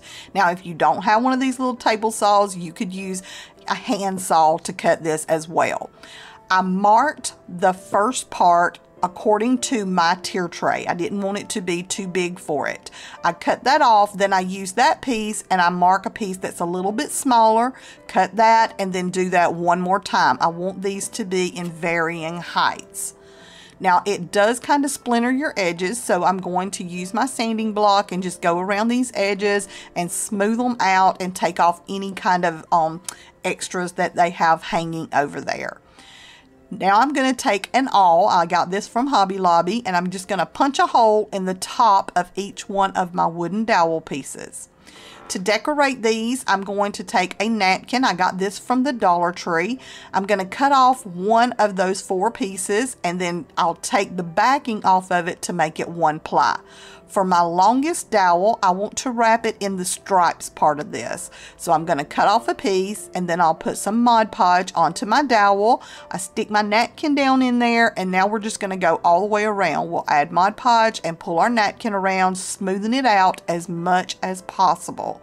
Once you get to the other side, you can trim this off, and then I'll just use a little more Mod Podge to seal that seam. Now I'm going to take my lighter and I'm going to burn off the excess napkin. I like how it leaves it looking burned because to me it really looks like a firecracker. Now I'll use my lighter and I'm going to torch the top of my firecracker and give it that burned look. I love how this looks y'all. For the next to the tallest one, I'm going to use the stars part of this and I'm going to do the same thing. We'll just put some Mod Podge down, we'll wrap our napkin around, and then we'll finish it up. Make sure that you're careful with this because it's really thin. I'm going to trim it off and then I will use my lighter and I'll singe off the excess napkin and then I'm also going to cinch the top. For my smallest one, I'm going to use a piece of this patriotic fabric that I had left over and I just kind of cut it down because you can't burn this like you do the napkin. But I do use Mod Podge and I put a little bit down, stick my fabric in, and then just go around just like we did with the napkin. We're going to trim it off and then seal it up with a little more Mod Podge. Now I am going to take my lighter and I'm going to torch the top of this just like I did the other one so they all look alike. I'm going to use one of these chenille stems I got from the Dollar Tree. I wrap it around a pencil a couple of times and then cut it off and this is going to be my fuse. I'll use a little bit of hot glue and stick it right down into that hole that we punched with our awl. Now I'm going to take my three little firecrackers and I'll use a little bit of hot glue and glue them together so that they will be a set. I took some twine, I got this from the Dollar Tree as well. I'm going to put a little bit of hot glue in the center and then wrap it around a couple times and trim it off. And I'll use one of these little wooden stars that came from the Dollar Tree in the middle. Now I'm going to paint it with some white Waverly chalk paint and with that this project will be finished.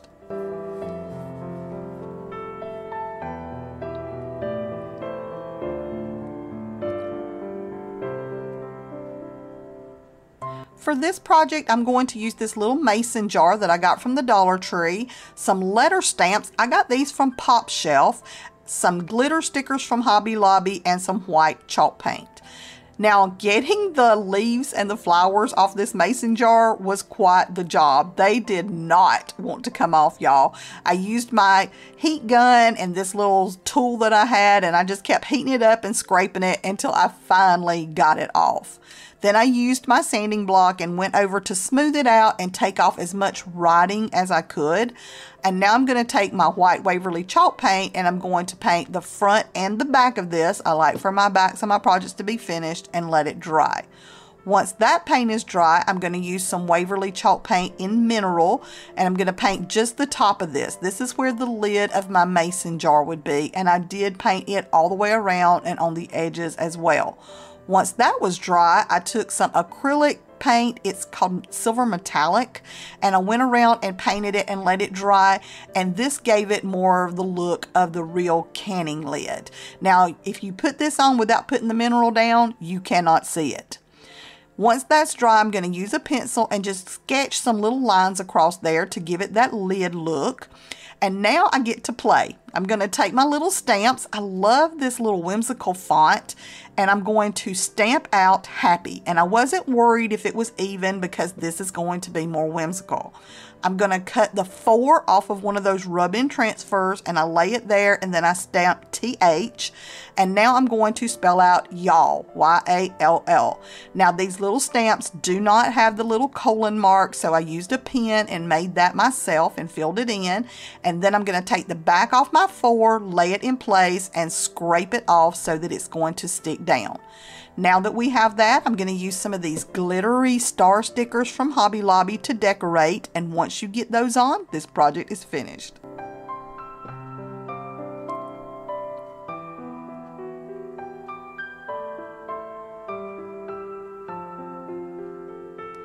Now y'all know this would not be a Crafting Cousins tier tray without a bead garland. I'm going to use some red and white beads. I got these in a pack from Walmart at Christmas.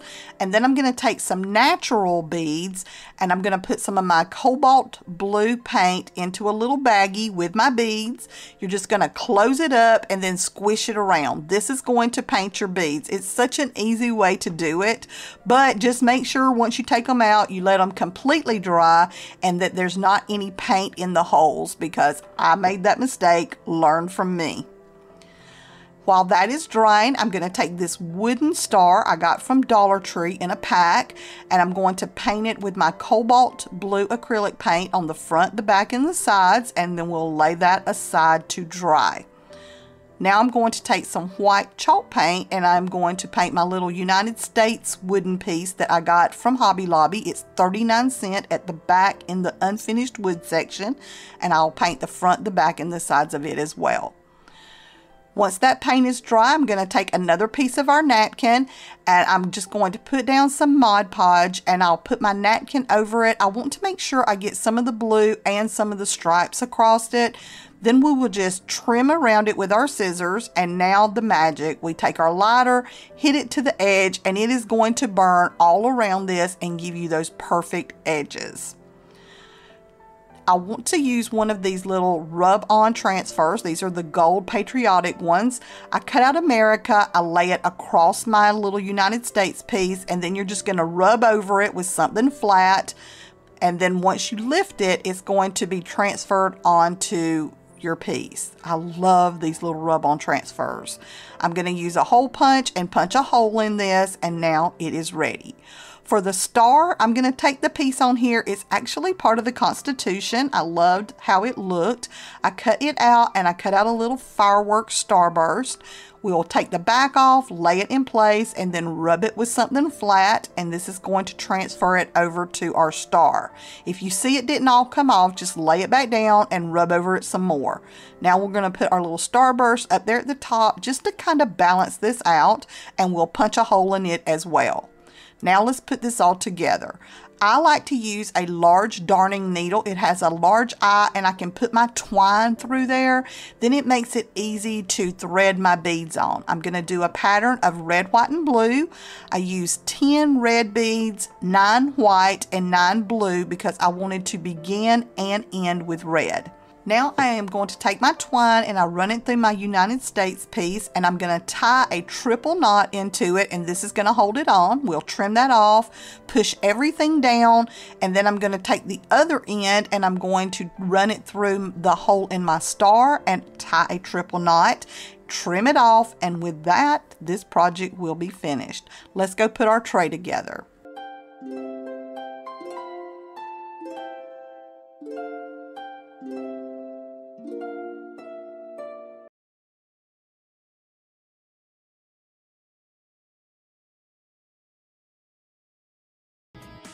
Hey y'all, it's Kay. For today's project, I'm going to be working on my watermelon themed tier tray. I'm going to be doing five projects today and three at a later time. I'm going to be using, first of all, one of these mini rolling pins that I got at TJ Maxx in a pack of four for $7.99. One of these wood rounds that I got at Walmart for 97 cents. It is 7 inches diameter three scrap pieces of wood that are one by three. I just took them from my husband's stash. A wooden birdhouse from the Dollar Tree. Some wood beads and a wooden tag. Some white Waverly chalk paint and also some Mod Podge. Some white acrylic paint. Some pink acrylic paint in carmine, fuchsia, and also this pale pink. Three colors of acrylic paint one in a darker green and two in brighter green. I'm going to be using some of this paper from Echo Park and I will also be using some of the stickers that are in this package. Some of this scrapbook paper that I got at Hobby Lobby. These three watermelon buttons that I got at Hobby Lobby. Various ribbons in shades of green. And also in shades of pink, and these two ribbons as well. And the first thing I did was paint everything that was raw wood with a nice base coat of my white Waverly chalk paint. I'm just using this color for a primer for all of my pieces. Even the beads got a coat of paint. The first thing I'm going to do is draw a line using my ruler right down the center of my wood piece and then I'll take one of the halves and divide it in half again. Then I'm just going to use my little 4 inch table saw that I got at Harbor Freight and I'm going to carefully cut my circle in half and then I'll cut one of the pieces that in half again. And now I'm going to give it a good sanding on the rough edges. And finally I'll come back and touch it up with my white Waverly chalk paint all the raw edges. I took a pencil and I drew a line, oh, about half inch to three quarters in. I didn't really measure it, I just eyeballed what I thought looked best. And I'm coming in with the bright green and I'm going to paint the edge of my pieces and then I will paint that small edge as well that I drew in with my bright green paint. And then I come back with the pink paint and I'm going to paint the actual part of the watermelon slice. I thought it would be fun to make our own watermelon pieces to go on the tray. And then I do paint the edging here with the pink. Start on my smaller slice now and give it a good coat. I did have to come back and touch this up by the way. It took about a coat and a half to get really good color.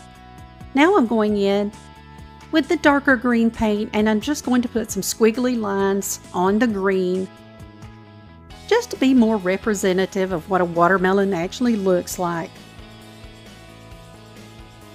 I don't know about you, but watermelon is my favorite summer fruit, and I just don't think it's summer unless I've had at least a couple of pieces. So my idea to put in the white was to use a paint pen and put dots a good size all the way around the edging between the pink and the green so that you get it looking more like a watermelon, right?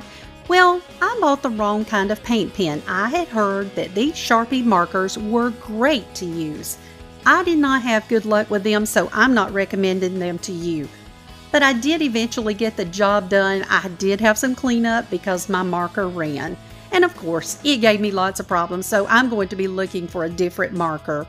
Then I used my Master's Touch marker in the brush stroke to paint in my seeds.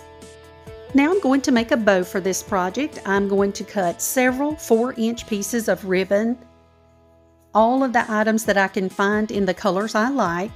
And I do go back, by the way, in a moment and add another piece of black because it looked better with an X on the back for the black ribbon because the black ribbon is the wider ribbon and it's my anchor piece. So now I'm tying it together with another piece of pink in the middle. Then I'm just going to fluff it out, give it a good haircut, making sure the ends are tapered and they're all about the same length. And then I'm just going to take a little hot glue and attach it right there to the corner of my melon.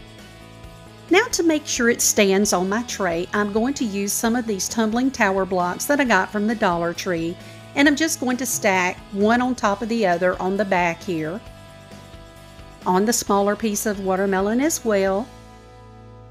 And with the two pieces, it will serve as a stand and my watermelon will stand up nicely on my tray. I'm really happy with this project. It turned out exactly how I envisioned it. I was really excited when I found these small rolling pins at TJ Maxx at such a good price. So I thought, you know what? I don't have to use a dowel this time. I will just use these pre-made rolling pins because they're such a good bargain.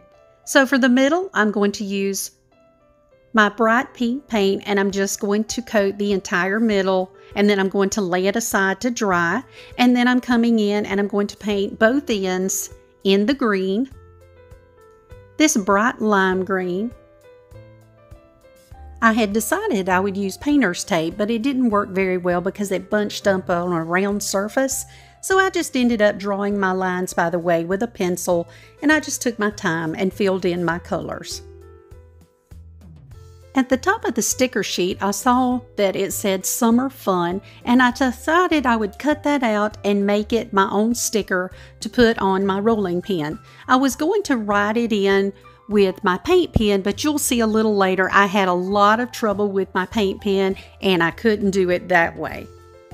Then I took my Jot permanent marker and I just started drawing some watermelon seeds all around my rolling pin. They aren't all the same size, they aren't all perfect, but I think it gives a nice effect.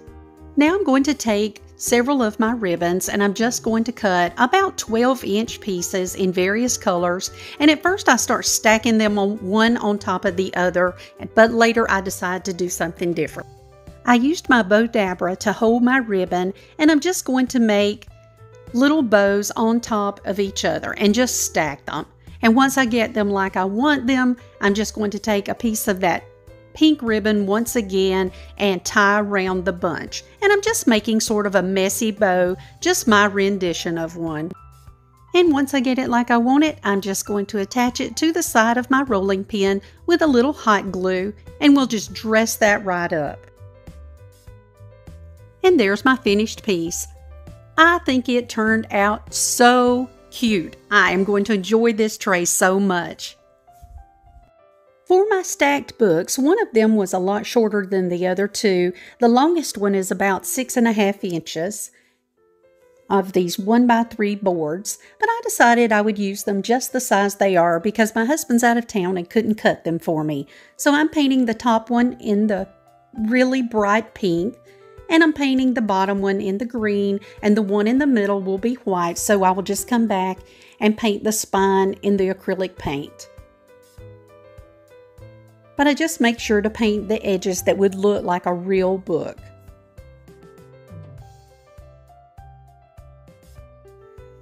Now I'm going to start putting my stacked books together. I'm of course going to put the nicest sides out because this is raw wood under this paint. And I'm going to put the pink on top and I'll just glue that down with some hot glue, making sure it's nice and centered. And then I'm going to take the two books and then glue them down to the green one. I found this sticker here in this package that says every summer has a story, and I thought that was real appropriate. You could also write it on your books if you don't have a sticker. And I had some markers, but I just really like the looks of it. So I'm going to put every summer on the white book and has a story on the green one.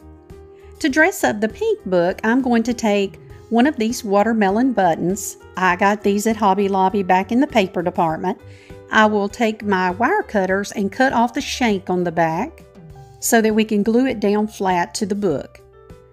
But I noticed the color kind of clashed, so I got out my pink paint and I just give it a nice coat there. And that made everything match nicely. And I'll just use a hot glue and attach it right there to the top on the right end of the pink book. Now I'm going to dress it up with some ribbon. I really love this pink and white and green that I found at Hobby Lobby. It's about an inch wide. And I'm just gluing it down on the bottom there. And I'm going to fashion a little bow to put right on top. I'm just doing a very simple four loop bow, two on each side, pinching it in the middle. And I'm just going to cut it off at the length I think I need it to be. And then I'm going to take some of this pink thinner ribbon and I'm going to tie it right around the middle. I'll just pull it nice and snug and then we'll just cut off the excess. Then I decided I would cut my ribbon at an angle, just trimming up those ends, just to make it look nice. And you could also burn the ends if it starts to fray. And then I'll just put a little hot glue right on top of the books and glue down our bow. And there's our finished piece. I just love this one so much. I love having mini stack books for all of my tier trays. I wanted to paint these blue beads that I had in a green color to go on my beaded tassel, but once I got them painted, they really didn't look much different from the green ones I already had, so I went in and repainted them in the darker green paint. And then I'm taking my tag, the little wooden tag, I'm going to trace it around on this small piece of scrapbook paper because the wood had like these little tiny holes in it, so it needed to be covered after all. So I just grabbed some of my scraps, drew around it, and then I'm taking Mod Podge, I'm going to spread it out evenly, and then I'll place down my scrapbook paper onto the tag. I left the back just painted white. I spritzed it with a little water so that it would be a little more pliable because it is really thick paper, and then I'm just going to smooth it down onto my tag. I will come back later and punch out the hole at the top using my We Are Memory Keepers hole punch. And once it's dry, I'm going to put a coat of Mod Podge on the outside as well, just to seal it nicely. Then I'm going to take one of my little watermelon buttons and I'm going to cut the shank off the back of it.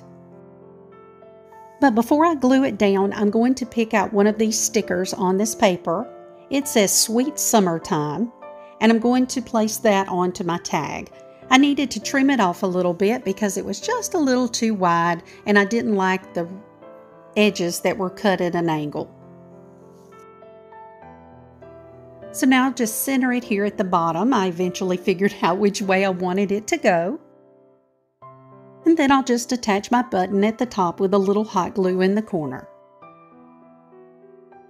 And of course, I needed to paint some of my beads in the brighter pink colors. I actually used both shades of pink, but by the time you got them on the tassel, you couldn't even tell that there was a difference in the color. But I did paint two full skewers, which is about six beads in the pink. Now I'm going to make a tassel to go on our beaded tassel. I'm going to use my little Cricut scraper and I just cut about 12 inches of twine first of all and lay it across my scraper and that's how I'm going to tie the top of my tassel here in a few moments but I'm going to run it around my card about 20 times. Once I have about 20 rounds of twine on my scraper here, I'll just cut off the end and then I'm going to go in and add some ribbon. I'm just adding one round of each ribbon that I chose to use on here. And just cut each color as I go.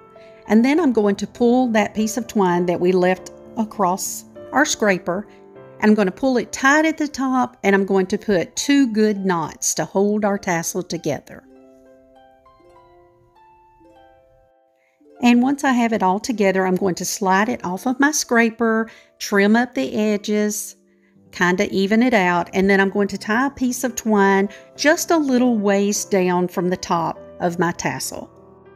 And before I finish tying it tight, I'm going to tie in one of those button pieces of watermelon just to make a nice accent.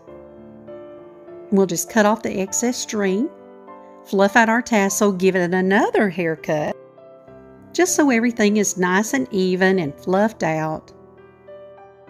And then I just couldn't leave it alone. You knew I had to come in with some pink paint and paint that button so that it matches all of my ribbon. And now it's time to string on all of the beads. I just do a simple pattern. I'm using a hot pink and a white, and then the darker green, then the light pink, and then the lighter green, and then back to the pink. I have the buttons separated, as you might notice, some on the outside, because there really are two different dark pinks. And then we'll just tie on our tassel here at the end. Get it nice and snug and cut off the excess. Slide down the beads. So everything's nice and tight. And now we just need to cut off our end and tie on our tag.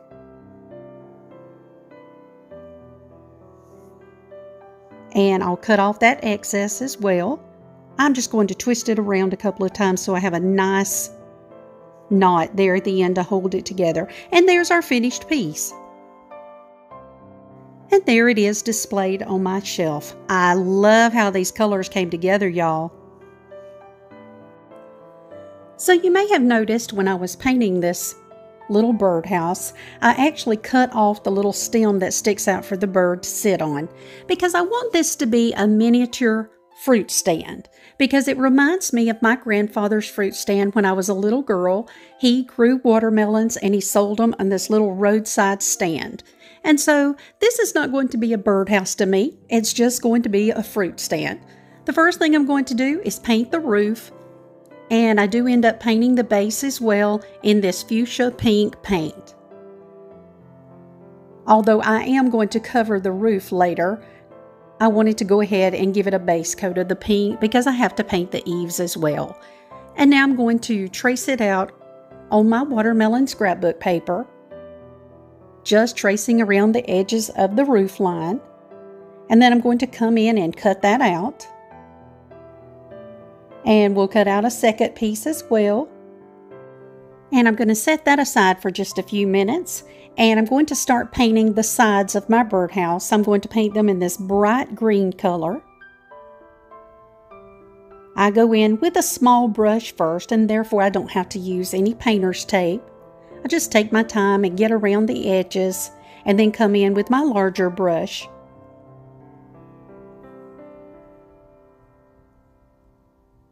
And eventually I get all four sides of the birdhouse painted. This is just acrylic paint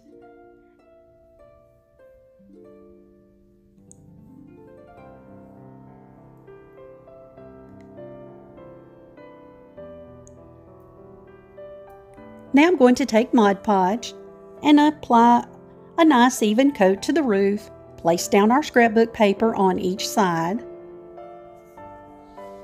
And I think that just dresses it up a little bit and once it's dry we'll put a top coat on as well. Now I'm going to take this sticker I found on this Echo Park sheet that I showed you earlier. It says Sweet Summertime, and I'm going to put it on the side of the birdhouse there. And I had an afterthought, and I'll have to come back later and do this, but I'm going to write on the side of the house watermelon 5 cents to make it look more like a fruit stand. And there it is, and there it is on my small tiered tray. On Monday, I started a watermelon themed tiered tray. Today, I'm continuing the last three projects to go with my tier tray. If you missed Monday, you might want to go back and check it out. The first item I'm using today is this small watering can. I got it at Hobby Lobby at the end of the season last year and it was 90% off. I'm also going to be using one of these picture holders that I got at the Dollar General, and I think it was 50% off when I got mine. If they don't have one, you can always buy those hooks at Hobby Lobby in the wedding section and make your own with a block of wood.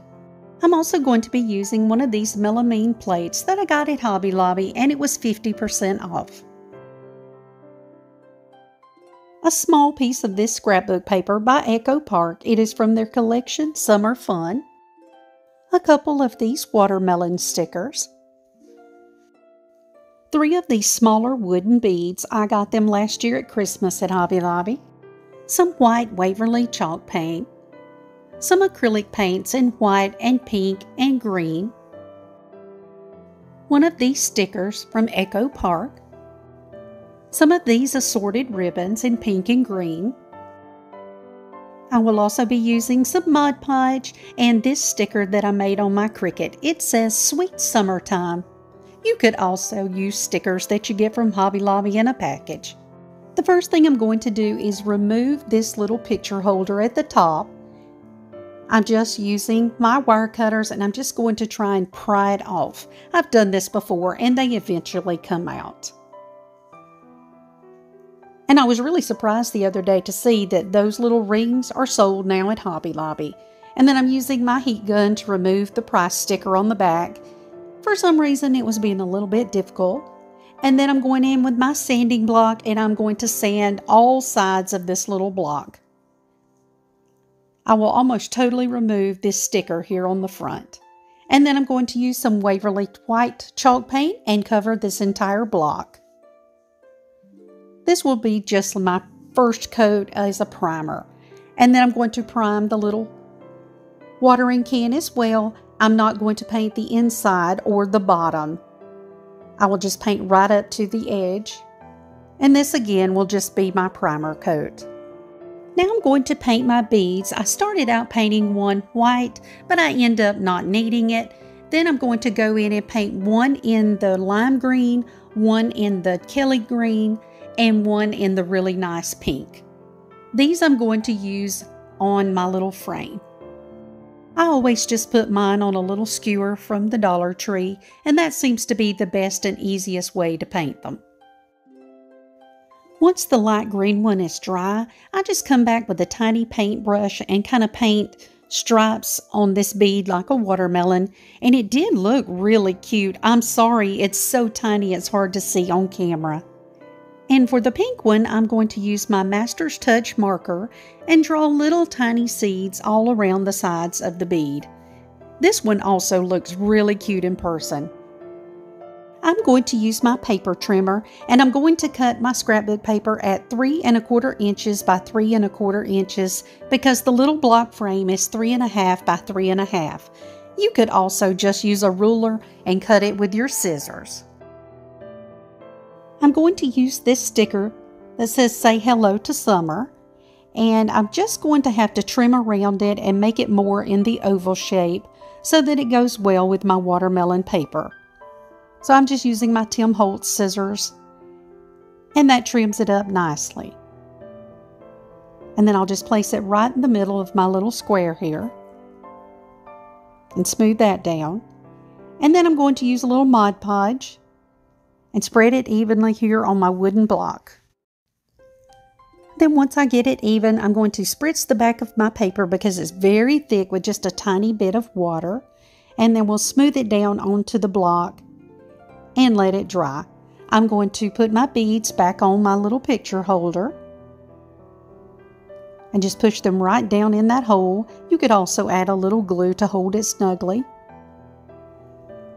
And now I'm going to put some Mod Podge on top to seal this well.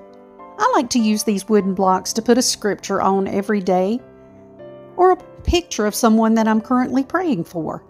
I take a couple of pieces of this rick rack and I cut it about 14 inches long and then I'm just going to tie it around at the base of my picture holder. Now I'm just going to go in and paint the little spout part of my watering can in the beautiful pink paint that I've been using on all of these projects and I will also come in and paint the handle as well. I'm not doing a whole lot to this watering can.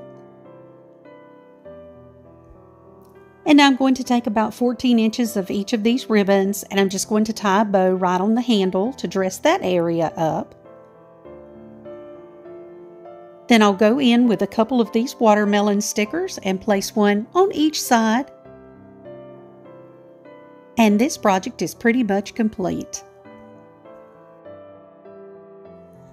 I'm just going to remove the backing from this sticker I made. In retrospect, white probably would have been a better color, but at the time I wanted to use the green, so that's what I'm going with. And then once I get that removed, I just center it right there in the center of my plate and just smooth it down, use my scraper on it a little bit, and then I'll just remove this clear covering. I'm going to make a little bow to go at the top. I'm cutting 5 inch pieces of ribbon and just crisscrossing them. You've seen me do this a lot, I'm sure. But I'm just doing a little messy bow at the top. Using several of my ribbons and then I'll take this piece of pink and tie it right around the center. And we'll just cinch that up and start fluffing our bow. I'm pulling the pieces out to the side and then I'm going to come back and trim it up as well. Cutting everything at an angle and making sure they're about the same distance across.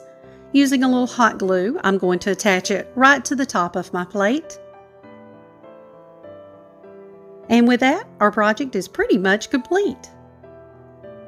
This was just a little simple plate, but a lot cheaper because I only had about 75 cents in the plate and maybe a quarter's worth of ribbon that I purchased at the grocery store.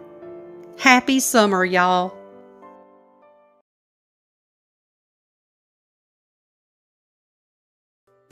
I'm going to try and go through these items really quickly. I had these beads and this little garland from the Dollar Tree and this wooden nautical anchor. This little wooden birdhouse also from the Dollar Tree some wood pieces that I rescued from my neighbor's trash. This cute sign that I got from the Dollar Tree is really thick and a nice quality wood. This house shape that I got from the Dollar Tree. One Oui yogurt jar that I also rescued from the trash. This little jar of shells that I got from the Dollar Tree. This small block of wood that I brought all the way to New Mexico from Alabama. This picture holder that I got at the Dollar General when it was marked 50% off. This cute metal sign from the Dollar Tree. Some ribbon from my stash. A small piece of burlap fabric.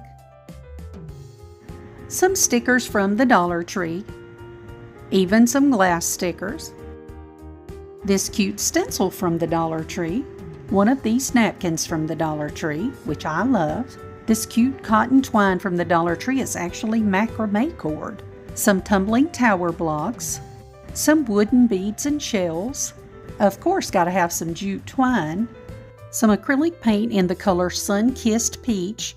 Some chalk paint in the colors white, glacier, and nautical blue some antiquing wax. I'm going to use this wallpaper from the Dollar Tree. It is self-sticking and of course y'all know I'm going to use lots of hot glue and Mod Podge.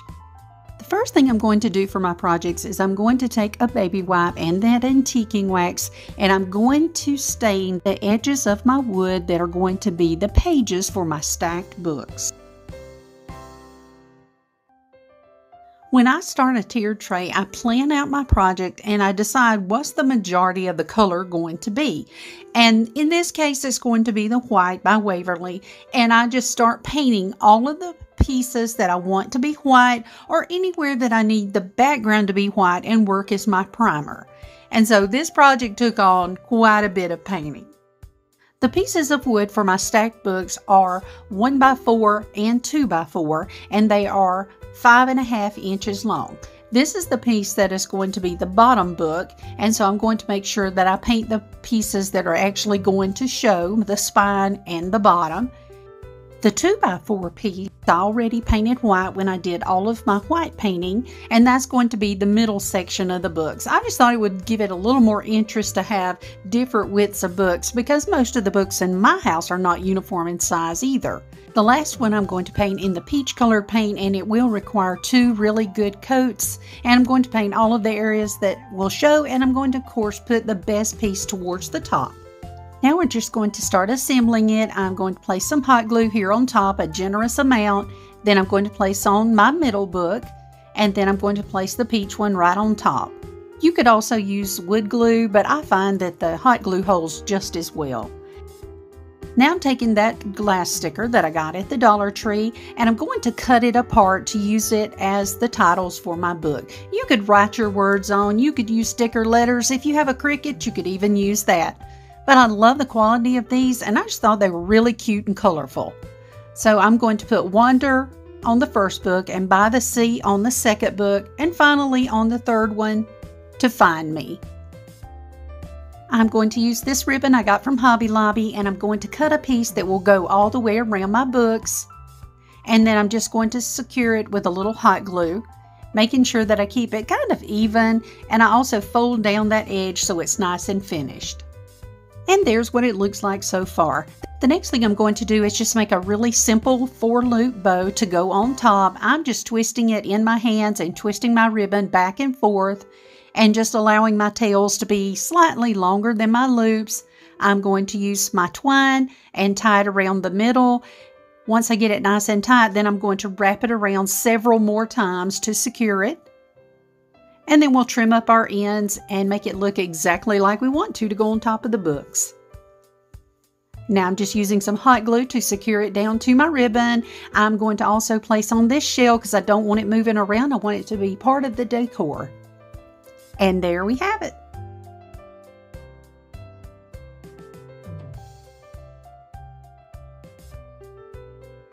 For this glass yogurt jar, I'm going to make sure it's nice and clean, remove all the labels and also the sticky residue on the outside. And once it's dry, I'm going to measure for a piece of burlap to go around the outside of the jar. I just remove one of the strings and that gives me an easy way to cut it nice and straight across. And I also removed several strings along the edges on all four sides, if you will, just to give it that raveled effect. Then the next thing I'm going to do is take out my Mod Podge and pour some into a container and then I'm going to take my chalk paint in the color Glacier and I'm going to give a nice little amount because I want it to be still a blue color. And then I just stir it really well and then I'm going to start painting it onto my jar until I have the entire thing covered. When it dries, it will be lighter than it shows here on camera. Wanted it to have a sea glass effect. At least that's the look I was going for. And once it's dry, we're going to place on our burlap. I'm just going to ravel out a few more strands and then I'll just attach it right around the middle with some hot glue, folding in the edges so that it's nice and finished. And now I'm taking some twine and I'm going to twist it several times around the center and then tie it in a nice knot. Then we'll just attach this shell right in the center to cover our knot, again using some hot glue. And then once I get that like I want it, I'm going to tie some knots in the ends of my twine here, and then I'll just trim it off so it's not hanging down too far. And then we'll place in our candle, and that's pretty much it for this project. Sweet and simple.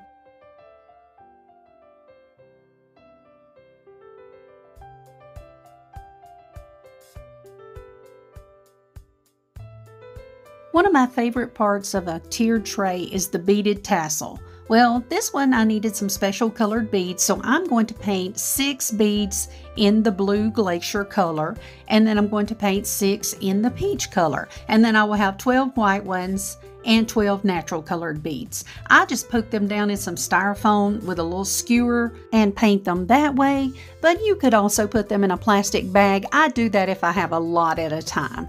Now let's make that tassel. I'm going to take some jute twine and run it around this Cricut tool, oh, about 15 times, 20 times, it doesn't really matter. And then once you get it where you want it there, just cut that off. Then I'm going to come in with my macrame cording and I'm going to run it around, oh, about eight times and then we'll cut that off. And then I'll need to slip it off of this tool and I had it a little tight, but it's okay. It came off. And now I'm going to tie a piece of jute at the top, give it several hard knots. And then once I pull that out, I'm going to place another piece right below the knot. So that gives us our little bump at the top. I wrapped it around several times and tied several good knots.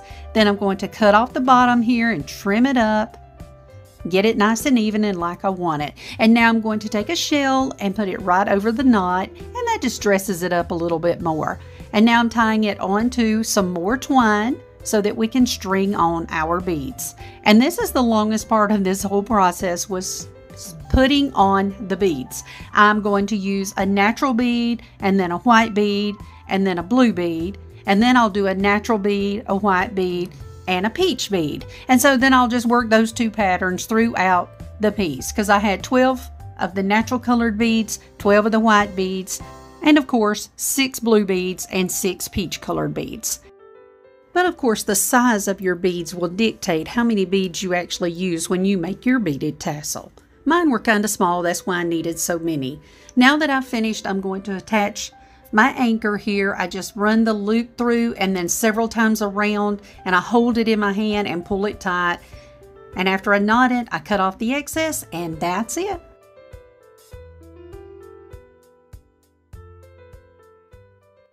This is the sign I showed you earlier that I got at the Dollar Tree. And I'm going in and I'm going to use my painter's tape and tape around right under the whale at least I think that's a whale. And I'm going to use my blue chalk paint in the color Glacier and I'm going to give it probably about a coat and a half to get really good coverage and not show the stuff that was underneath the whale. And I also give the second layer there another coat of the white Waverly chalk paint because I'm trying to cover up those letters. And then I put on some tape and I'm going to paint with the white to make sure none of my peach will bleed through. Once I get that done, I'm going to cover this bottom in the peach colored paint and it will take two heavy coats to get really good coverage. Now I'm going to use that stencil I showed you earlier and I'm going to tape off first of all the places that I don't want to use right now because it won't fit on my piece the way it is. So I have to recenter it, but it's okay. I'm just using painter's tape and I'm coming in with this little brush that I got from the Dollar Tree for stenciling and I'm just bouncing on the paint. I just hold down the stencil to make sure that it doesn't bleed under where I don't want it to. And there you can see I'm removing the first one. And yes, chalk paint isn't necessarily ideal for stenciling, but it worked y'all, so I, I'm happy with it. And then I'll take off Meet Me. I centered it at the top. So I have the top and the bottom where I want them to go. And that makes it real easy now to come in with by the and put it in the center of the two. So you just make it work. You do have to wash the stencil in between and use some more tape, but it's okay. It was a really cheap, inexpensive way to do this and I didn't need my Cricut machine to make it work. So we'll peel that off. Now I'm using some more of that sticker that I used earlier on the stacked books. And I'm just trimming out this mermaid and we'll place her down close to my S. I thought it was funny that the bottom of her tail looks just like that S. Then I have these stickers that I showed you and I'm just going to use one of the little shells and place it here at the bottom. And with that, pretty much this project's complete.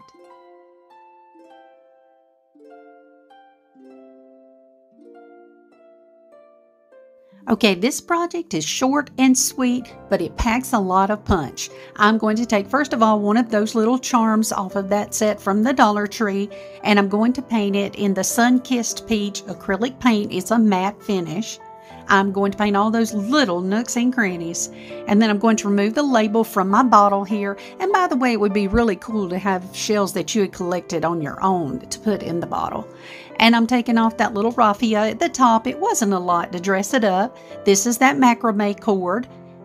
I got it at the Dollar Tree. I'm going to use it and cut off a section long enough to go around my bottle several times.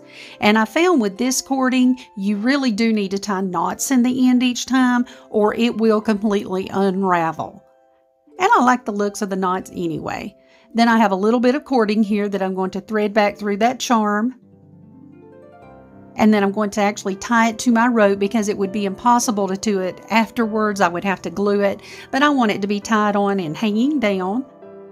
And so we'll trim that off, wrap it around several times, tie a couple of knots, ravel the ends there below the knots, trim them off, and that's pretty much it for this project. Like I said, short, sweet, and easy.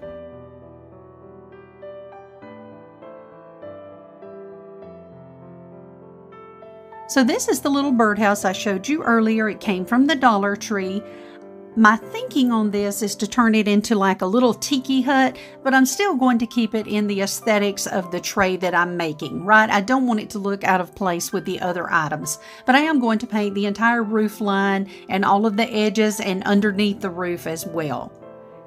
Then I'm going to come in with the peach paint and I'm going to paint the platform it sits on, including the bottom of this piece going to be using that sticky back wallpaper that I showed you earlier from the Dollar Tree to cover my birdhouse around the sides. So I made a small pattern out of an index card and then I just kept working with it to make sure it fit and then I'm going to place it down onto the wallpaper and I'll just trace it out and then I'll cut that out as well so that we can place it onto the house.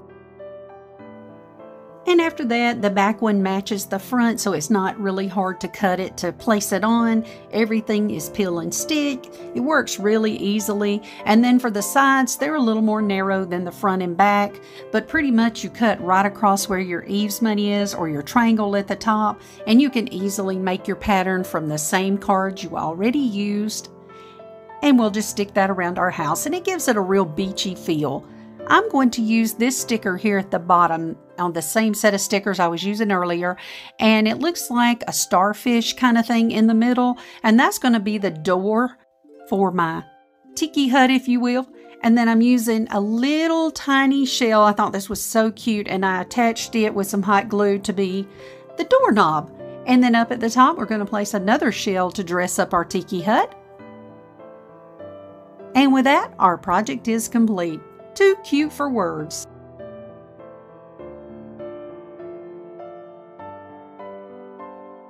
This is that cute house shape that I showed you earlier. Very simple piece of wood that I got at the Dollar Tree. It got painted first white and now I'm going in and just going to paint the front of it in the Glacier Blue chalk paint.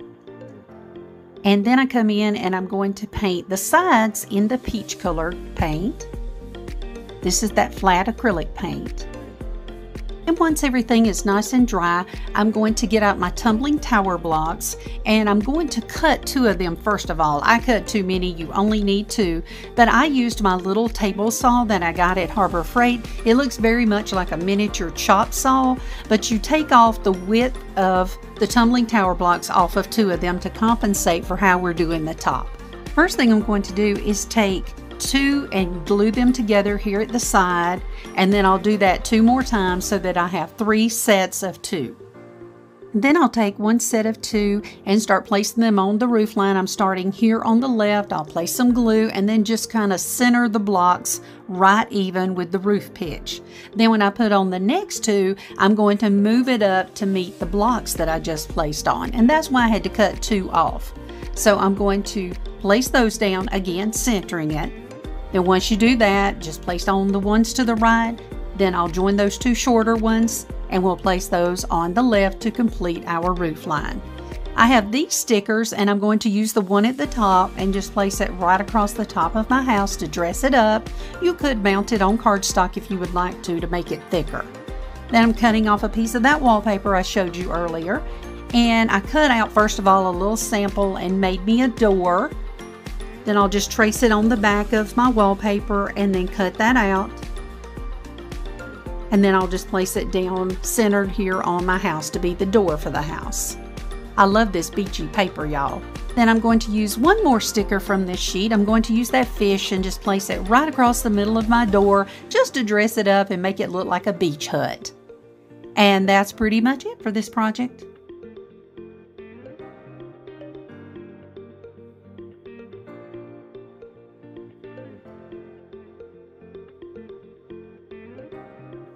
This is that picture holder that I showed you earlier that I got at the Dollar General when it was on sale. It got painted white in that marathon painting I did. And now I'm going in with the peach and I'm going to paint all of the edges all the way around in the peach color.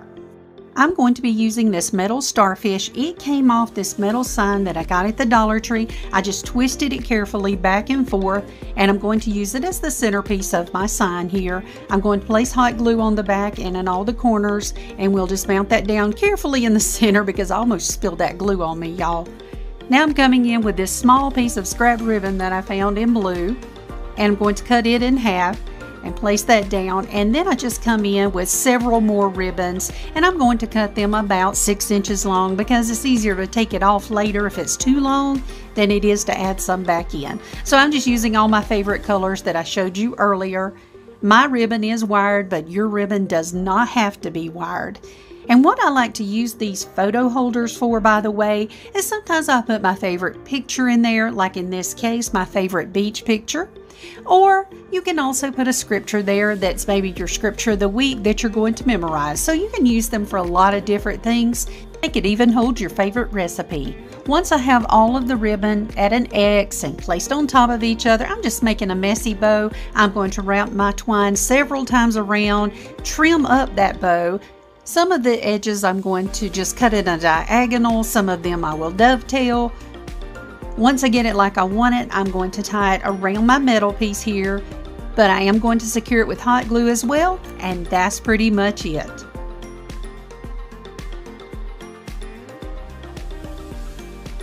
This is that 1x4 I showed you earlier. If you know anything about lumber, it's not a true 4 inches wide, it's more like three and a half. It's also cut at about three and three quarters inches, and of course it got painted white when I was painting everything white that needed to be painted. And now I went in and I painted all of the edges with glacier blue. I'm going to cut off one fourth of this napkin here. These came from the Dollar Tree. I'll separate it out, making sure that it is down to one ply, otherwise it won't work very well on the project. And then I'm going to check my placement very carefully because I want as much of the words on there as possible and that shell at the top. And I'll just soft bend it around. I'm going to come in with my Mod Podge and give it a nice even coat. You don't need too much because this is a napkin, right? So it's very thin. And I'll just pat that down and let it dry. And once it's dry, I went in with my scissors and I'm going to cut the edge you could also use your sanding block and just take off those edges and it would be very simple, but of course I couldn't find mine, so I just improvised. Then I'm taking some tumbling tower blocks and I'm going to place two here on the back, glue one on top of the other, and then once I checked it, I decided I would put one across the top as well. And that makes our stand and it'll stand nicely. Put a coat of Mod Podge on the top, and that's it for this project. Very simple.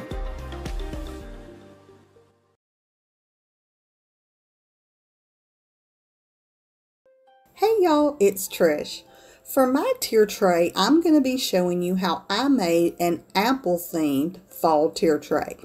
For my part of the video, it's going to be set up a little bit differently than I normally do it. Instead of setting up each individual project, we're going to go from one right into the other. Since they all relate to one thing, I thought this would be a cool way of doing it.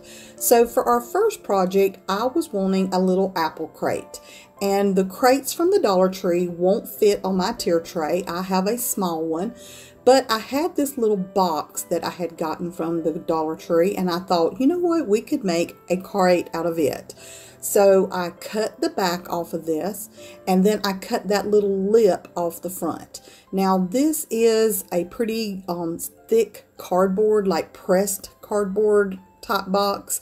But with my box cutter and my little ruler there, I was able to cut these pieces off pretty easily. and then I peeled off as much of the paper as I could get.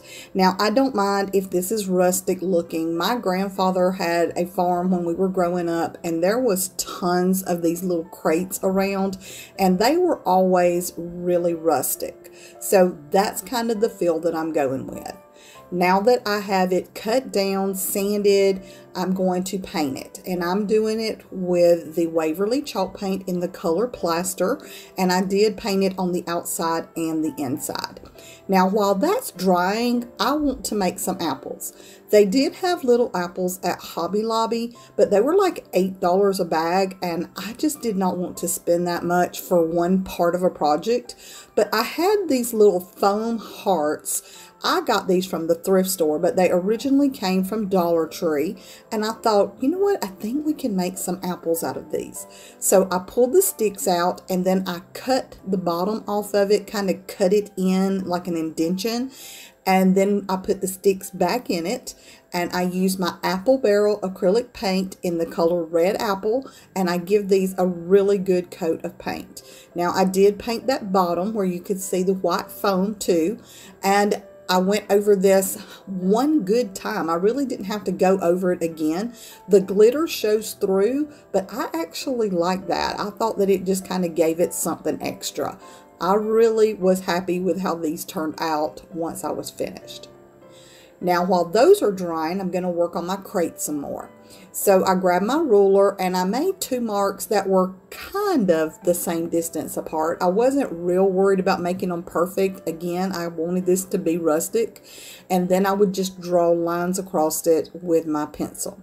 Once I got all my lines drawn, I'll take that pencil and kind of sketch over it and then rub it with my finger. And this gives it kind of like shiplap lines and it makes it look more like a crate. And again, I had that rustic look that I was looking for, just like the ones on Grandpa's farm. Now, I had this little sign left over from a project that I did last year. I just popped it off, but all it is is one of those little chalkboards from the Dollar Tree. I wrote 5 cent on it with a chalk pen, and then I'm going to glue it on the front of my crate. I took a small piece of burlap that I had left over from another project, and I cut it down to fit in my crate. Then I stuffed some of my raffia in there. Now we're going to work on our apples some more. My paint's dry, so I just went outside and I grabbed a little twig off the ground and I started breaking off tiny pieces of it and using just a dab of hot glue and gluing it right there into the middle of my apple. And y'all, don't these look like apples? I was so excited about these. I think they are so stinking cute. Now once we get all of our twigs in there, we're just going to put them in our crate and with that, this project is complete.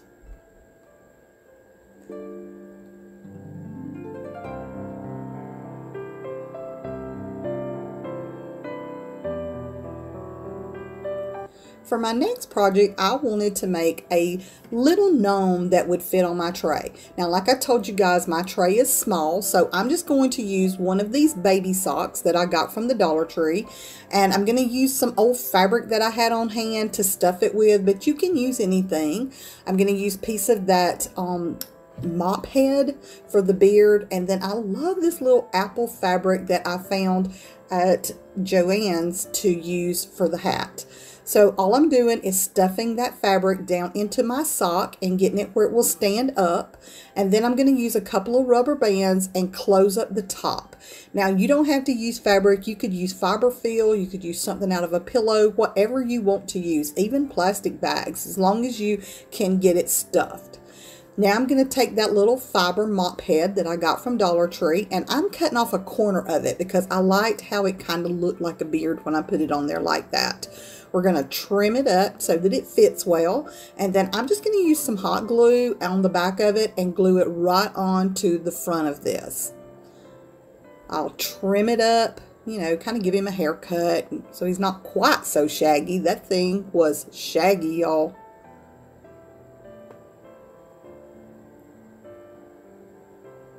Now, once I got it trimmed up, I started working on the hat. I just took this little square of fabric that I had. I put glue down one side and then I just turn it so that the points up at the top and glue those edges together. And this gives me a little cone. Now I'm just going to trim around on the bottom until it looks like a little hat. And then I fit it on there, make sure it's going to fit and trimmed it up a little more. I didn't use a pattern for this. I just kind of, you know, freehanded it. Then I'm going to use some hot glue and glue it right down to my little gnome. We'll put a little bit there on the front and glue it down close to the beard. Now, I was going to use one of those little button things for his nose, but I thought it was too small, so I just grabbed a wooden bead, and then I'm going to use a little bit of glue and glue it right there at the base of the hat. Now, it did have two little holes on the side, so I just put a little dot of glue there and kind of pushed the beard up into it. I like for my hat to flop over, so I just kind of flopped it over, used one little drop of glue and glue it down. And then I thought, let's do something a little bit extra to that tip. So I had these apple beads that I got from Hobby Lobby. And I grabbed one of those and cut the back off, the shank, with my wire cutters. And then we're just going to glue it right there to the bottom of the tip of his hat. Now, when I got to looking at this, I thought his nose just really blended in too much for my liking. So I took some of my Beachcomber beige and my melted chocolate paint and mixed it up and I painted his nose as carefully as I could. I did get a little drop on the beard, but I can trim that out with my scissors. I wasn't real worried about it when I finally saw it. Now, once this dries, this project is complete.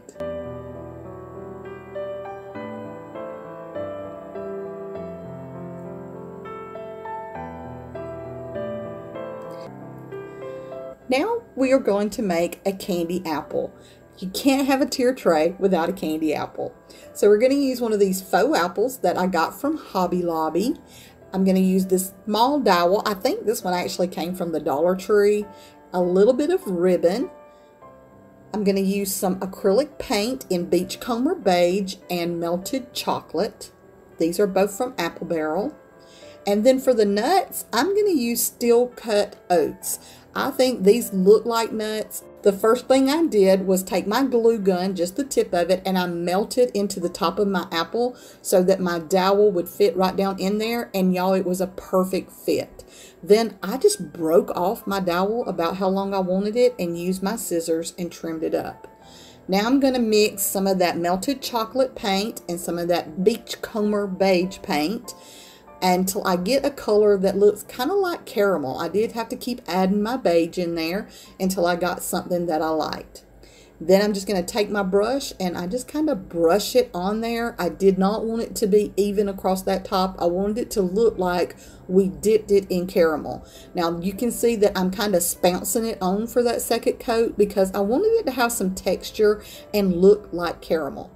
Now I'm going to put some of my steel cut oats down onto my um, paper there and then I just kind of roll it around in it. It wasn't getting all over it so I figured out that if I just pick it up and sprinkle it on it sticks and it looks like nuts. Now I'm going to take a little piece of my ribbon there and just tie a shoestring bow around my stick and with that this project is complete.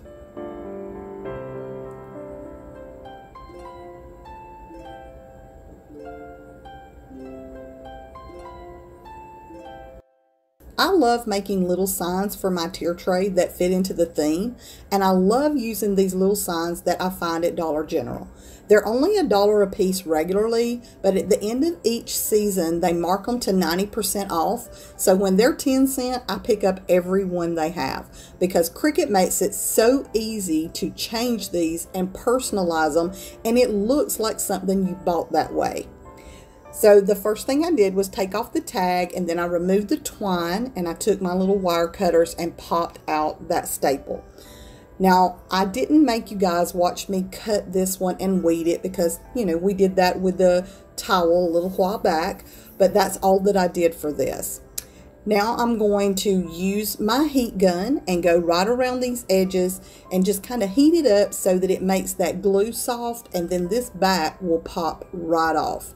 I just keep going around until I get it off. And then when it came off, most of the paper came off and then I took off as much of the rest as I could. Now I'm just going to paint this back with my Waverly chalk paint and I'm using the color plaster. You can use whatever fits your decor and I'll leave it to dry. Now we're going to take our wording that we cut out with our Cricut and I'm just going to use some transfer tape on it. I use my little spatula there and rub over it to, so that it sticks and then you just pull the backing away from the wording. This is so much easier than trying to lift it up.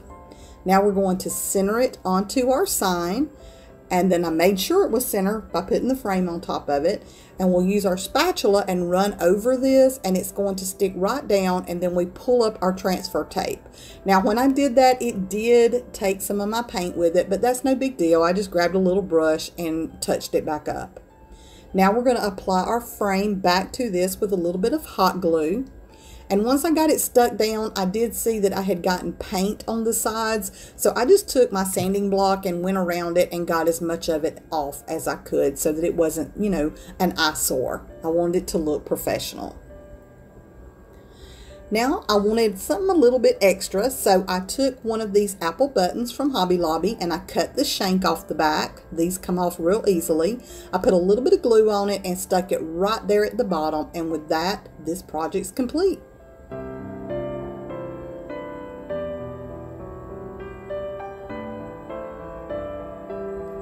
Now this one is so simple, I'm not sure you could even call it a project, but I love it. I grabbed some cinnamon sticks. I had these left over from last year. I got them at Hobby Lobby, but you can use any cinnamon sticks. I took three of them and glued them together in a little stack. Then I took some twine and wrapped around it and tied it into a double knot. Now we're going to trim it up. Then I'm going to take my twine and I wrap it around three of my fingers about six times and cut it off. Then we'll use another little piece right there around the middle and tie that into a double knot. And this is going to give you a little bow. But I didn't want to leave it a little bow. So I took my scissors and I cut open those loops and this gave me like a little shaggy bow. We're going to use a little bit of hot glue and glue it right there to the top of our cinnamon sticks.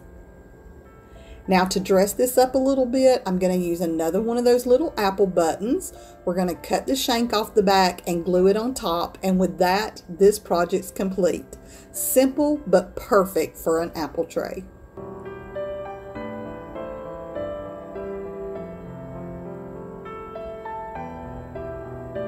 Our next project is another really simple one. I'm going to use this 3 inch square of wood. I think I got this from Hobby Lobby one of my tumbling tower blocks, and this crisp apple design from the back of the farmhouse calendar from last year. I'm also going to use some distressing ink and one of those furniture repair markers from the Dollar Tree. I love to use these to stain these small projects. It dries so fast, almost instantly. It has no smell and it doesn't make a big mess. So these are perfect for these little projects. I stained my piece of wood on the front, the back, and the sides, and then I also stained my tumbling tower block. Now I'm going to cut out that little crisp apple design off the back of this calendar. As I said, this is from the calendar last year that Dollar Tree put out. Then I'm going to use my distressing ink and just kind of go around those edges just to make it blend in so that it doesn't look like a cut piece of paper. I'm going to use just a plain old glue stick on the back of this and then stick it right down into the center. I love this. I take my little tumbling tower block there, put a little bit of hot glue and glue it into the back at the center and this is going to make it stand up.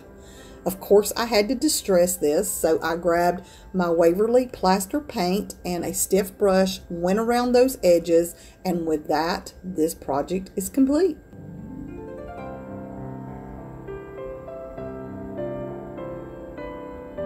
I love beaded garlands and I wanted one to go with my apple themed tray. Since I had a lot of that caramel paint I had mixed up left over from my candy apple, I thought that this would be perfect to use on a beaded garland. So I grabbed 14 of these textured beads that I had and I put them on a skewer and then I just painted them with my leftover paint. Now I kind of dab it around, get in between them as best as I can and just make sure that I get them covered really well and then I'll lay it down to dry. While that's drying, I took one of these apple wood shapes that I got from the Dollar Tree and I'm going to use some of my apple barrel red apple paint and paint this on the front and the back. Once I got my apple painted red, I took some of my truffle Waverly chalk paint and painted the stem. And then I used some of my grass green, um, I think it's just craft paint, and painted the leaves. Now while that's drying, I'm going to make a tassel. So I grabbed a little three inch piece of wood and I used some of my twine and I wrapped it around about 20 times and cut it off. Then I took some red ribbon I had on hand, wrapped it around a couple of times, and I took some of this red and white ribbon that I had used on my candy apple and wrapped it around a couple of times. Now I'm going to take my twine and I run it up under there, pull it up to the top and tie it into a double knot as tight as I can get it. And then I slide this off of that wood. Now I'm just going to pull off a long piece that I thought was long enough for my garland and cut it. And then I take another piece cut that off and wrap it around the top of my tassel there about six times and tie it into a double knot. We'll cut off the ends of that and then we're going to cut open the loops that we made with our twine and our ribbon and there's our little tassel. I just kind of fluff it up and make it look good. Now we're going to take our beads. They are dry and I also had 22 of these red beads that I had left over from Christmas and I just start stringing them onto my twine. I did a pattern that was one red, one caramel, two red, one caramel, one red, one caramel, and so on and so forth until I had used all of my beads up. Then I tie a double knot into the end that holds my beads in place. I run my twine through that hole that's on my apple and I tie another double knot on that other side of that and trim it off. I went to my Cricut and I cut out apples 5 cent out of permanent vinyl. Then I weeded it out and I'm using my transfer tape and my little spatula there and making sure that it's stuck to my transfer tape. I flip it over and peel off the back. Then I center it up on my apple and I use my spatula to burnish it down. Now, if you don't have a Cricut or a cutting machine, you can totally do this by hand. We have lots of videos showing you how you can do lettering without a cutting machine. I'll even put a link to one up above.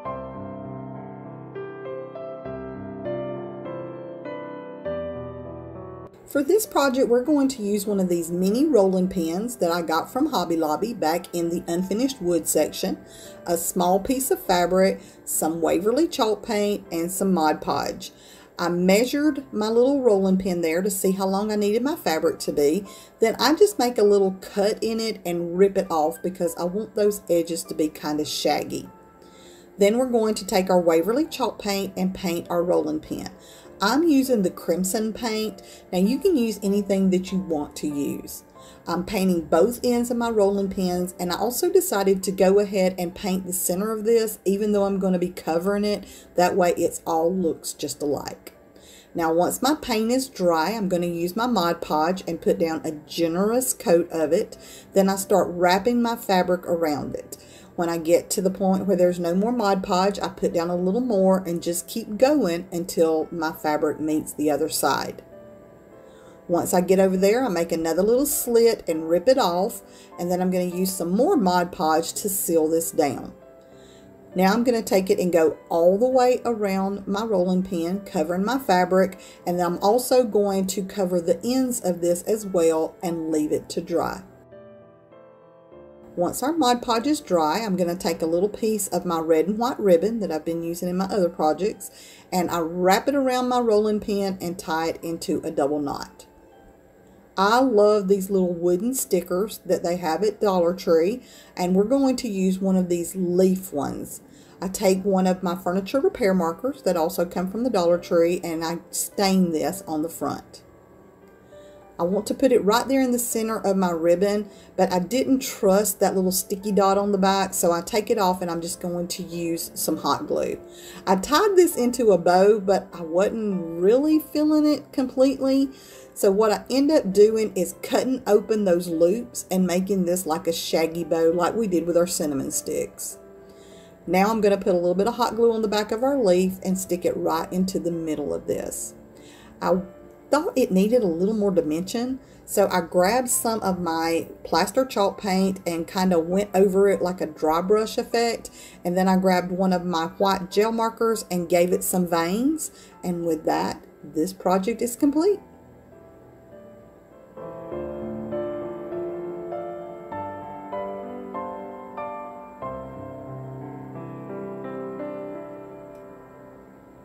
For our last project, I'm going to use one of these wood slices. I got these from Arteza, but you can get them from Hobby Lobby. I've bought them from there, so I know they have them. And I love making all kinds of things with these. So for this one, I'm going to use some more of that Apple Barrel Red Apple paint. And we're just going to paint the inside of it. I left my bark natural, but I got as much of the inside painted as I could without getting it onto my bark. I wasn't worried if there was just a little sliver showing around. Now once our paint is dry, I'm going to roll this around until I see the side that stands the best. And then I'm going to use one of those little tumbling tower blocks from Dollar Tree and glue it on the back and this makes it stand up. I took a brown chenille stem that I had. I, I, think this actually came from Dollar Tree as well. And I cut it down and then I kind of turn up the end of it just a little bit. Use a little bit of hot glue on that end and stick it right down into a little opening on my bark. I trimmed off the end of this and that gives my apple a stem. Now I'm going to use one of these leaves that I had left over from another project. I just clip one of them off we're going to put a little bit of hot glue on it and glue it right down to the base of our stem. I wanted to write fall on this and you can see that I used one of those white pens that come from the Dollar Tree but it really didn't take well so I ended up grabbing one of my um, Arteza gel pens and filled this in and I was really happy with how that looked. Now you could use a cutting machine for this, you could use paint and a paintbrush anything you want to fill this in.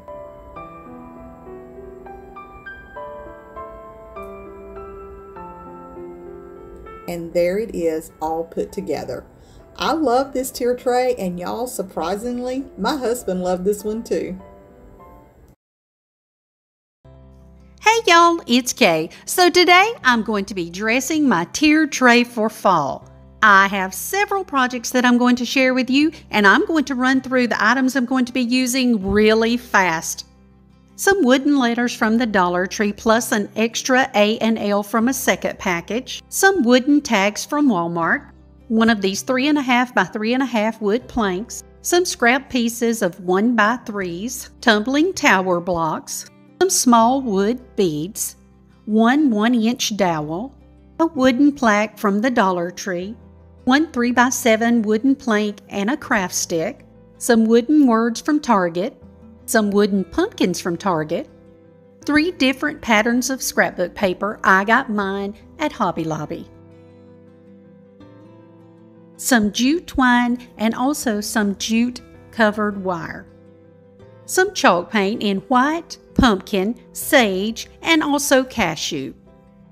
Two corn skewers, a pattern I drew out for a miniature cutting board, some sunflower stickers, buttons from Hobby Lobby that look like pumpkins and sunflowers, gold paint pen, some florals, some two and a half inch wired ribbon, some smaller width ribbons. Two of these came from the Dollar Tree. This truck Christmas ornament that I got from Dollar General, some natural raffia, and finally some small alphabet stickers. For this project, I'm going to be making a set of stacked books. I'm going to paint the first book in the sage green chalk paint. I'm painting the two flat sides and one edge. And then for the bottom book, I'm going to paint it in the pumpkin orange. And I do the same thing. I paint two flat sides and one edge. And then I come in with my third book and I'm going to paint it in the white chalk paint and I paint it pretty much all over. I just leave the middle part because it won't show with being glued between the other two books. And then I'm going to paint what would be the pages of my book. So I paint the two end pieces and one side edge. And I do this for the orange book and also the sage green book. Then I'm just going to use hot glue right in the middle and attach my two bottom books together and then I'll come in and attach the top book. And I traced in with a pencil the words, It's Fall, y'all, on the three books. And then I'm going to use this gold paint pen and trace over the letters. Then I'm going to take a piece of this burlap ribbon and I'm going to place it around the side. I just cut off a length that I know is going to go around and then I decide it's way too wide for these books so I'm going to fold it first in half and then I'm going to fold the middle part, the folded edge, in about a third of the way. Then I'll just use hot glue to attach that down. I'm not going to glue all the way across, I'll just glue in several spots. And once I've done that, I'm just going to attach it around this end of my books and I'll glue it here on the bottom. And then to cover up my glue seam, I'm going to come in with this plaid orange and natural ribbon and I'm going to wrap it right around the middle and that gives our ribbon a finished edge and it looks really elegant and pretty and professional. And then I'm going to take this piece of pumpkin ribbon. I had about 20 inches left, I think, and I just fold it in half and I'm going to turn it into a very simple bow by making two loops on each side. And then I'm going to use a piece of twine and twist it around my bow several times and tie it in a couple of knots. And then I'm going to fluff out my bow and get ready to attach it right there to the top with a little hot glue. And trim up those ends. And then I'm going to place two of those little orange mums, the miniature mums, diagonally across from each other right under the edge of the bow. And then I'll come in also with some of our greenery, just a couple of pieces of lamb's ear that I cut off, and I'm going to place those right between the two loops of the bow on each side. And with that, our project is complete.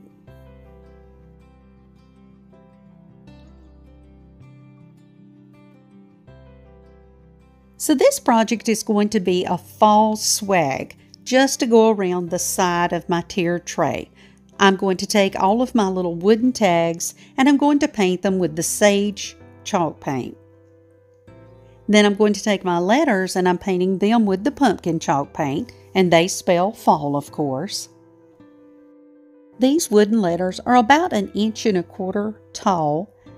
Of course they came from the Dollar Tree then I take my tags and I trace them out onto the back of my scrapbook paper and I'm going to come in and cut out four of them. Just so you know, I got this paper just recently at Hobby Lobby.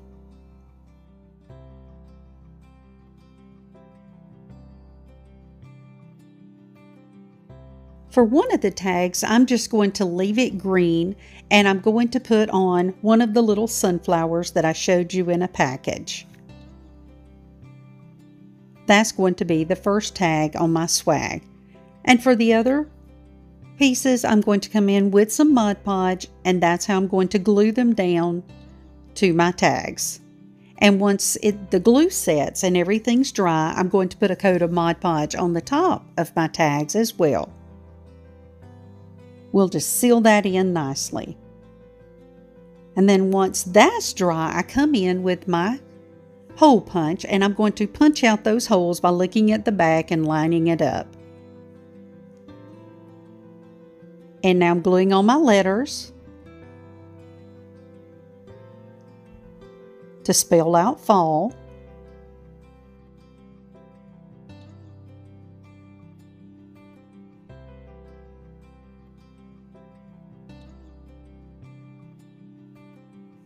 And once everything is nice and dry, I'm going to cut out some of my twine and make little loops at the top of each of the tags.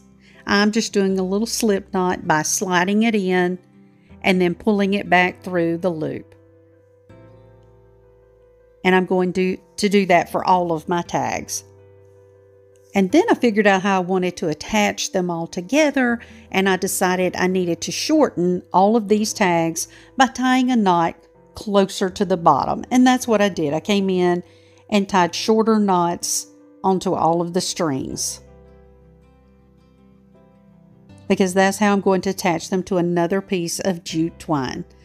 I strung on a bead and then I string on one of the tags through the loop that we made and then I put on another bead and then I'm going to take hot glue and put it in between the two beads and that will secure everything to my piece of twine. That was the best way I could come up with to have the beads around the tag and also keep everything from sliding. I wanted them to stay put on the twine.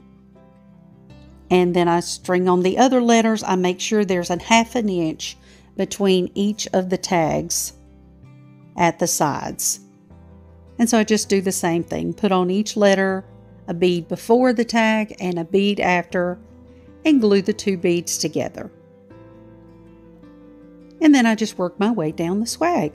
One thing I did wrong was I should have left a longer piece at the front of the swag. Found that out when I was attaching it to my tray, but that's okay. I came in later and I just tied another piece of twine there and made sure it was nice and long on each end so that I had some room to tie it into the grooves of my tray.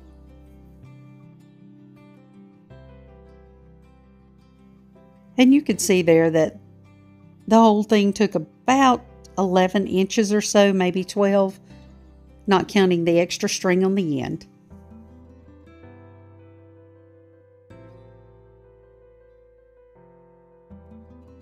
This is going to be a quick and easy, simple sign that I'm going to make using some scrapbook paper that I got at Hobby Lobby.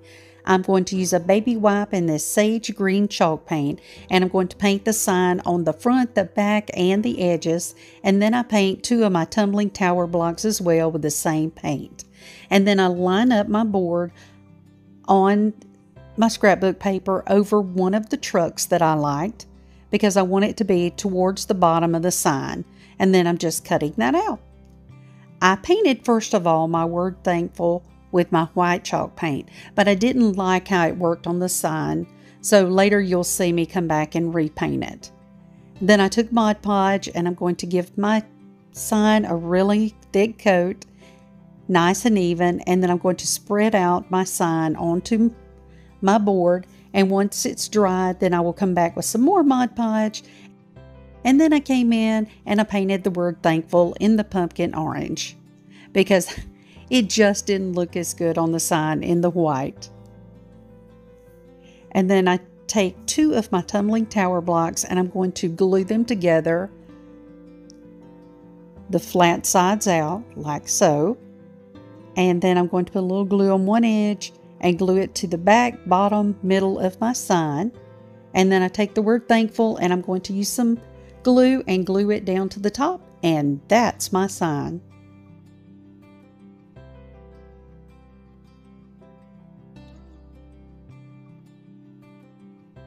So the first thing I'm going to do is take my miter shears and I'm going to square up these ends of my craft stick and get it at the length that I want to be the top of my scarecrow's hat. And then I give all of my pieces a really good coat of my cashew colored chalk paint.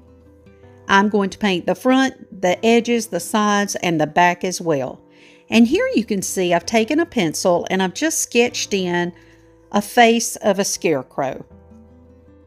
And I'm taking this burlap, this is called laminated burlap, and I'm going to glue that on the top for my scarecrow's hat. And then I'm taking some raffia and I'm just going to twist it around my hand and make little sections and glue it down to the edge of the hat. Just using a little hot glue, we'll place that right down. And once I get everything covered well, I'm going to come in with my scissors and cut the hair.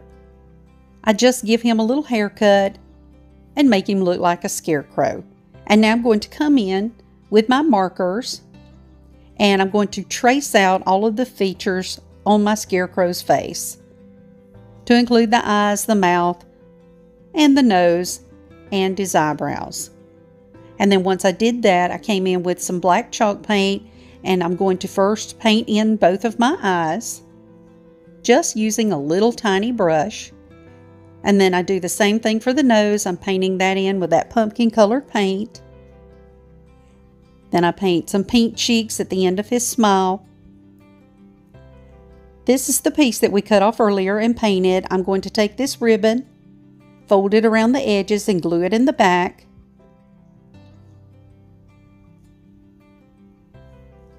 for the brim of our scarecrow's hat. And I'm going to hot glue that there right to the edge, back at the angle that we drew out at the very beginning. I'm going to go back in and put some lines on my scarecrow's nose so he looks a little more homemade and hand stitched. Now I'm going to paint the white of his eyes. And that's pretty much it. Just add a little flower onto his hat. I think he turned out cute.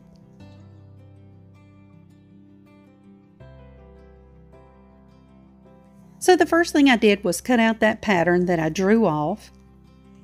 And then I'm going to lay it out on this wooden plaque that I got at the Dollar Tree. I didn't have a square one, but I did have this oval and it fits. So I traced around it and then I'm going to come and cut that out. And once I have it cut out, I'm going to Paint it with my pumpkin chalk paint. I'm going to give it a good coat on the front, the sides, and the back. And then I'm taking this little wooden pumpkin and I'm giving it a green stem and paint my word grateful in the same green. This is called sage. Then I trace my cutting board onto the back of my scrapbook paper and then I'm going to cut that out as well.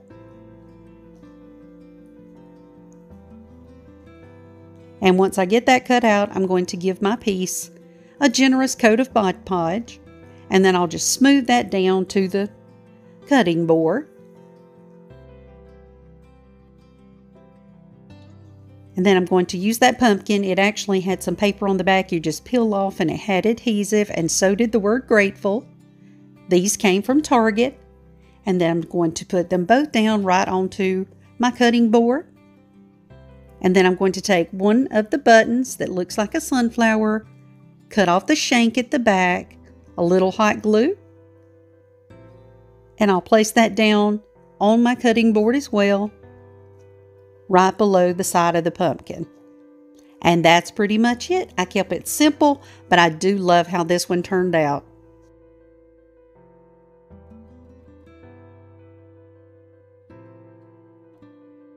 This project is going to be a miniature rolling pin and I'm just going to take these corn skewers and remove the pins at the end by using my wire cutters. They come right out. And then I'm cutting a 5 inch piece of this dowel using my little table saw. I just kind of turn it around until all of the sides are cut. And then I'm coming in with my pumpkin orange chalk paint and I'm going to paint my dowel. And then once it's dry, I come in with my skewers and glue one to each end. Just like so.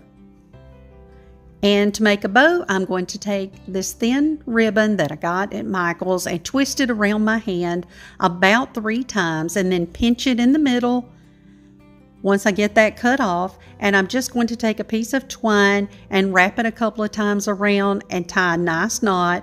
And then I'll just cut off the excess. And of course, that bow needed a little fluffing. And then once I got it like I wanted it, I glued it right there to the end of my rolling pin and trimmed up the ends. And I'm going to take one of these buttons and cut the shank off the back using my wire cutters and just glue it down to the center of the bow. And I'm taking these letters and I'm going to spell out pie. And I started with the E first and worked my way across. And then I'm going to glue the button after the shank has been cut off right to the side of the word pie. So, pumpkin pie. And the final step is just to take a little Mod Podge and place right on top of the letters to make sure they stay on.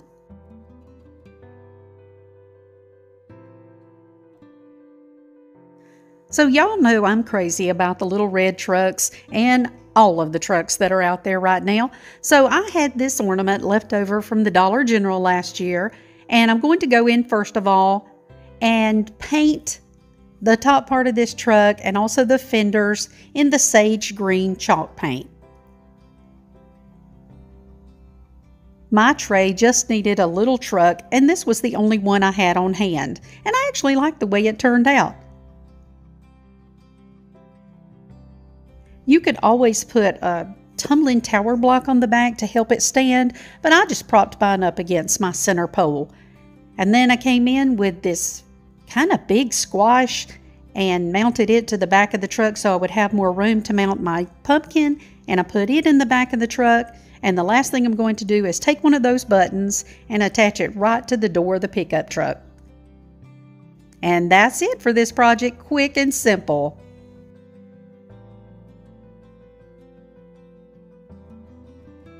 Well, this is a quick and easy project. I'm just going to take three of these tumbling tower blocks first of all and glue them together side by side. And then I will take two and stagger them right there in the middle. So I'm doing like a little pyramid, three, two, and one. And then of course I'm going to turn it over on the back and do the same thing. Add the two and then the one. We're just making a little pumpkin I've done these with the big blocks of wood before, but I'd never done them with the small, so I decided I would do it. And I'm just taking a baby wipe and some of this pumpkin chalk paint, and I'm going to paint my pumpkin more like a stain, really, because I did leave a lot of areas without paint. And then I'm just going to cut some of this wired jute and twist it around. And I twisted it around again till I finally got it in size for the pumpkin, and I just glued it right there to the top. Then I just took a couple of eucalyptus leaves and I just cut them off the sides of the little sprig and then I'm just going to go in and glue them down either side of my pumpkin. And that's it for this project, y'all. Quick and simple, but I really love it on this tiered tray. The colors just work so well together.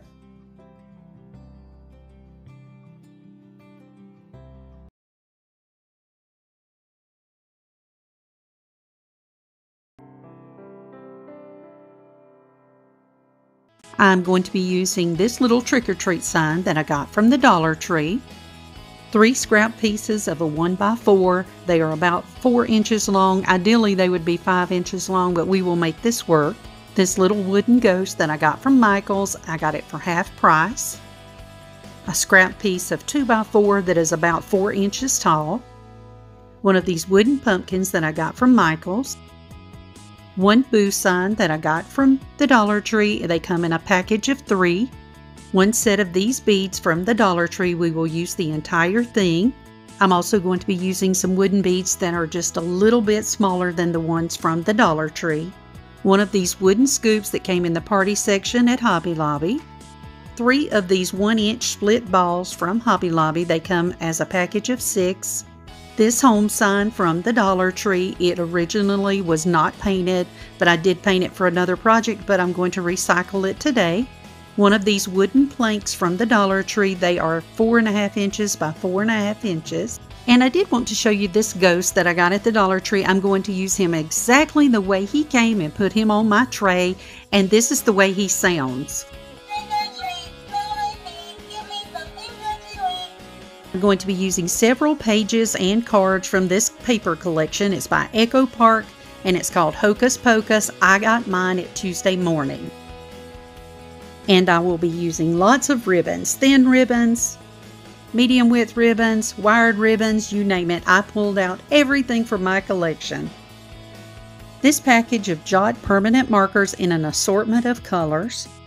These cute puffy stickers that I got at Joann's, I just love them y'all and I got this package for half price so it was $2.50. These black glittered spiders that I got at the Dollar Tree, I love it because they have a clip on the back. These cute jeweled spider rings, I also got these at the Dollar Tree just like the other spiders.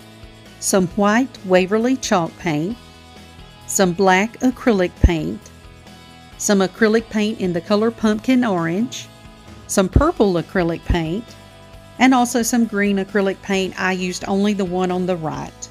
I'm using one of these picture holders that I got in the wedding section at Hobby Lobby, some jute twine, a chenille stem and a zip tie, some Mod Podge, my hot glue gun, and I also used my art glitter glue.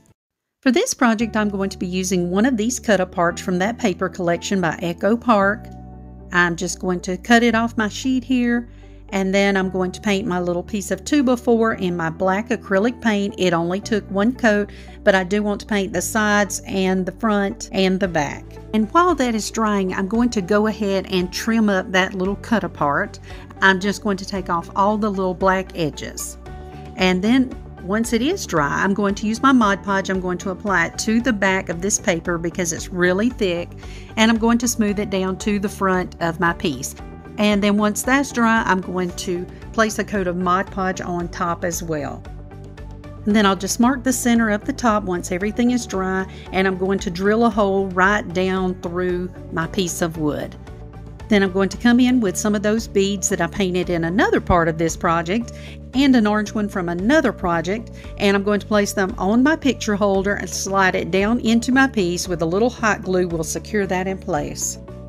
Then to make a bow for the piece, I'm just going to cut 4 inch pieces of these three ribbons that will match.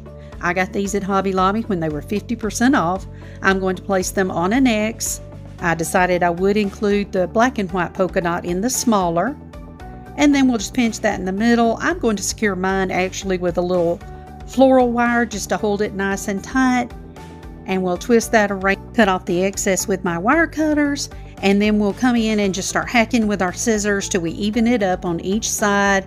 I like to make some of the ones in the middle shorter than the ones at the back. I just want to make sure everything can be seen. I'll tie a piece of the black ribbon around the middle to hide the floral wire.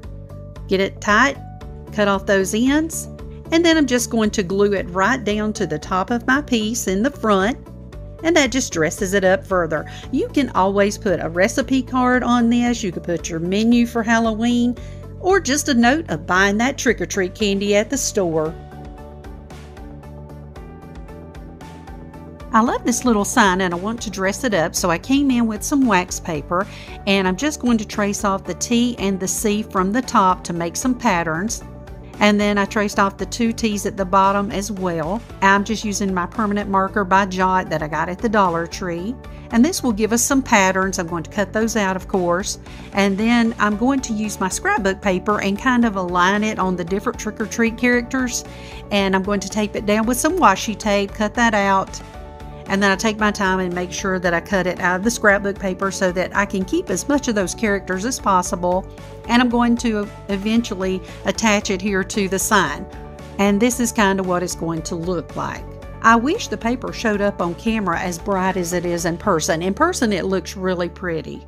Although the project came with some paint, I didn't trust myself to use it and I'm not sure of the quality of the paint. So I'm using my Jot permanent markers and I'm just going to use the colors that I'm using in this project, green, yellow, purple, and orange. And I'll just color in all of the things that are left besides the ones that are going to be covered with the scrapbook paper. And then I'm going in with my black Jot marker and I'm going to color in all the areas that are left in between on the front. I just think that was a lot easier than using paint and having to be really careful. For the stand and the sides of my piece and the back of my piece, I'm going to go in with black acrylic paint and just cover up all that raw wood, including the edges. Now I'm going to attach those letters that we cut out of scrapbook paper. I'm going to use my art glitter glue and a paintbrush to flatten it out and then we'll just smooth it down onto my letters. If you don't have art glitter glue, you can just as easily use Mod Podge. And the last thing I'm going to do is take my paint pen and fill in those places on the candy corn. And then I also put a few dots on my purple letters to make them stand out just a little bit more. And with that, this project is complete.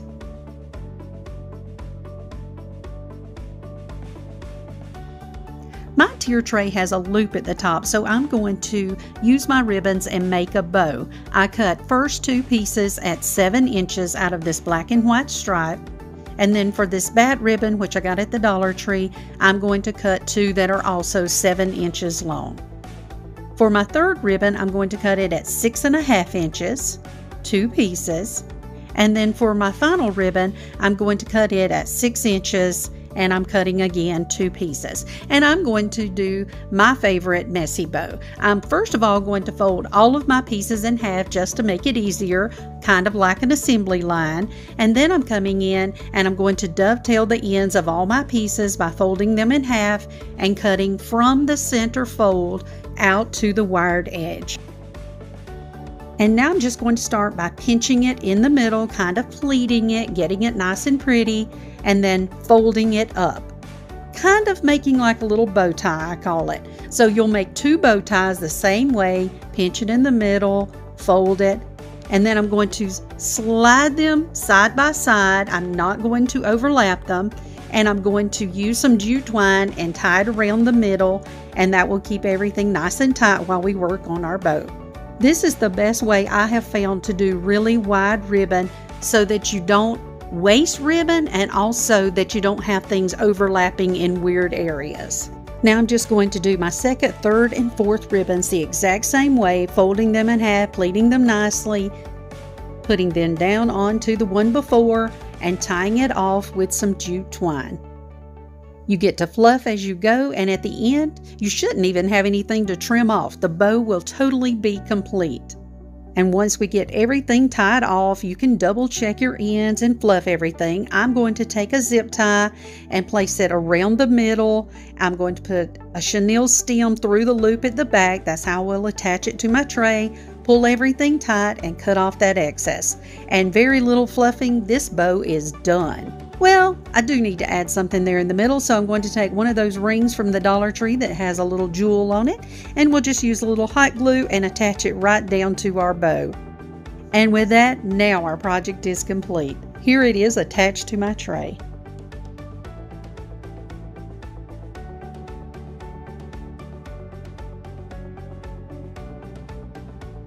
I'm going to be making a beaded tassel. I'm going to use these beads from the Dollar Tree. I'm going to totally remove them from the string, but I'm going to save the string to actually use in my project. Then I'm going to divide my beads equal amounts in four little sandwich bags and then I'm going to come in with some acrylic paint and I'm just going to use the bag to help as my paintbrush if you will and dye my beads in the four colors that I'm using in this project. I'm going to do the black, the orange, the green, and of course the purple, but I'm not actually going to use these black beads in this particular project. I use them in a later project in this video. It was easier to just go ahead and dye them now. I'm going to take this metal pan that I got at the Dollar Tree, line it with a little wax paper, then I'm going to empty my beads into each corner of the pan, and then I'll use a wooden stick and separate them so that they can lay out and dry. Because I'm using acrylic paint, it does seem to take a little longer to dry. Then let's go in with the small beads. I'm going to do the exact same thing. I'm going to dye them with the black acrylic paint in a baggie, and then I'm just going to pour them out on some wax paper and we'll let these dry also. I didn't have the exact color of ribbons that I needed, so I'm taking this ribbon from the Dollar Tree and I'm going to cut three 8 inch pieces and I'm going to paint one in the orange, one in the purple, and one in the green I didn't have the colors I needed in the thickness of the ribbon that I wanted to use, but that's okay, we can make our own. I'm going to reuse that string that the beads came on. I'm going to tape it right here to the top of my Cricut scraper. I'm going to take my jute twine and I'm going to run it around my Cricut scraper about 15 times. And once that is done, I'm going to come back in with my ribbons and I'll just wrap them around my Cricut scraper as well. You can use whatever width of ribbon you would like. The thinner is actually the better, and mine are a little wide in some places, but that's okay. We'll make it work. And then we'll remove our tape And then I'm going to tie a really tight knot at the top of our tassel. Next, I'm just going to cut the end of the jute twine and remove everything from the scraper. And then I'm going to pull it down tight in my hand. And I'm going to take a piece of that jute twine and tie it down, oh, about half an inch to three quarters from the top. And you want to do two really tight knots. And after I do that, I'm going to wrap another piece of twine around it just to make it look a little more finished and I'll tie that off with a nice knot as well. And just even up those ends, I'm going to cut diagonal lines on all of my ribbons and I'll fluff my tassel nicely. And now let's string on those beads. My pattern is going to be orange, green, purple, but I'm going to place one of the smaller black beads in between each bead as I go. I took a little clear tape and put it on the end of my string and kind of cut it at an angle, and that just helps string on the smaller beads, which gave me a little bit of trouble, not too much. But the easiest thing to do is just trim up those ends each time that it starts fraying too much. Once I finished, I'm going to come in with one of these spiders from the Dollar Tree that clips on, and I'm going to tie it to the end of my beaded tassel, just working it around that last bead, which is black. I did that on purpose. And then I come in with some acrylic paint and I'm going to paint my string and that clip as well.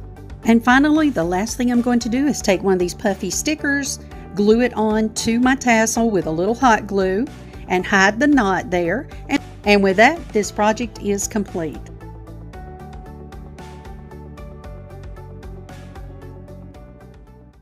These scrap pieces of wood are 1 by 4s and I only had enough to cut them at 4 inches long, so I went back to my miter saw and I cut off half an inch at the side so they are now 3 inches wide, because lumber isn't really 4 inches wide anyway. I'm going to use my sandpaper, some really rough sandpaper, y'all, and I'm going to sand one edge of all three books. This will be the edge that was not cut. I'm going to leave the cut edge to be the pages of my book, but I want to sand it good enough that I round it off and it looks more like a spine of a set of books. And once I do that, I'm going to clean it up and then I'm going to come in and paint all of the edges and the front and the back of all three pieces in the white Waverly chalk paint. This will just be a good base coat. Think of it as like the primer coat, but the sides will stay white because that will be my faux pages. Now I'm coming in with my orange and I'm going to paint the rounded spine and then the front and the back in the orange. That will take at least two coats. And then we'll come in with the next color and we'll paint it in the green and we'll do the same thing the front, the back, and the spine. And for my final book, I'm going to paint it in the purple that I've been using. And again, just painting the front, the back, and the spine. And yes, you could leave off some of the paint that's in the middle, but I just didn't want to take the time to sort it out. So I'm going to start gluing them together. The purple is going to be on the bottom, the green in the middle. I'm just using hot glue, y'all, and I'll have the orange on top. My ribbon is a bit wide for this book, but I'm going to cut a piece long enough to go around. Then I'll cut this ribbon in half. This is not ideal, but I love this ribbon, y'all. I just had to use it. So I'm going to wrap it around just a little from the end, secure it at the bottom, fold over that edge so we have a finished edge, and then glue the ribbon together. Then I'm going to take the piece that was left over and I'm going to fashion it into a really simple bow. I'll take a piece of floral wire and twist it around the middle to hold it together and that will give it a nice crisp middle part. And then I'm going to take my wire cutters, of course, and cut off that excess wire. And I'll use some glue to make sure everything's secure. I'm also going to dovetail the ends of my ribbon. And once my bow is fluffed, I'm just going to take a little hot glue and attach it right down to the ribbon on the top of my book stack. Then I'm going to take a little puffy sticker, a little pumpkin, and place it right there in the center to hide any wire that would have shown. I'm going to use these stickers from this Echo Park paper collection called Hocus Pocus, and that will be the title for my books. If you don't have this paper collection, you can always use your paint pen and just write on the edge of your books. You could write trick or treat if you wanted to. And then one more little sticker on the top to be the top part of my book there. And that's pretty much it for this project. I love stacked books. I always have one in every tier tray.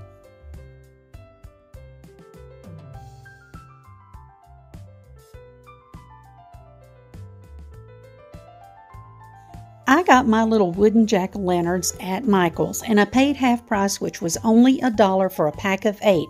This wood is a lot thicker than the ones at the Dollar Tree, y'all, so this was really the better buy. I'm going to paint the front, the back, and the edges in this pumpkin orange acrylic paint.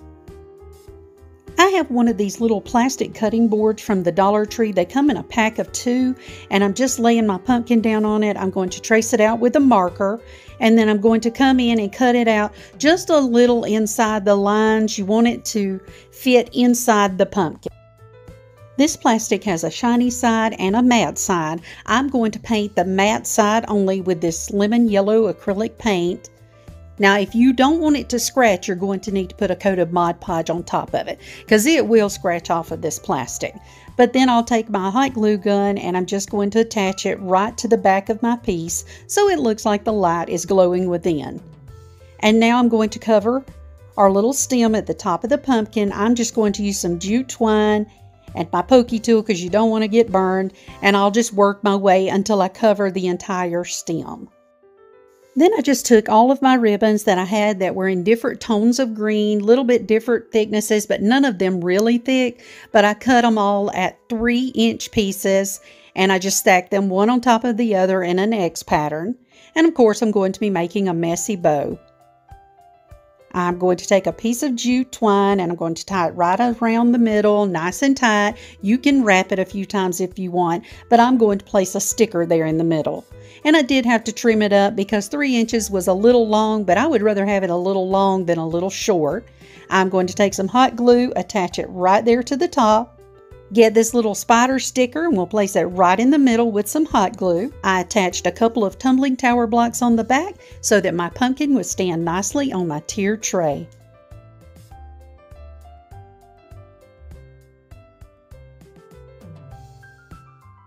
I picked up this home sign at the Dollar Tree. It comes unfinished wood. I had painted it for a different project, but today I'm going in and I'm going to paint it in the different colors I'm using today.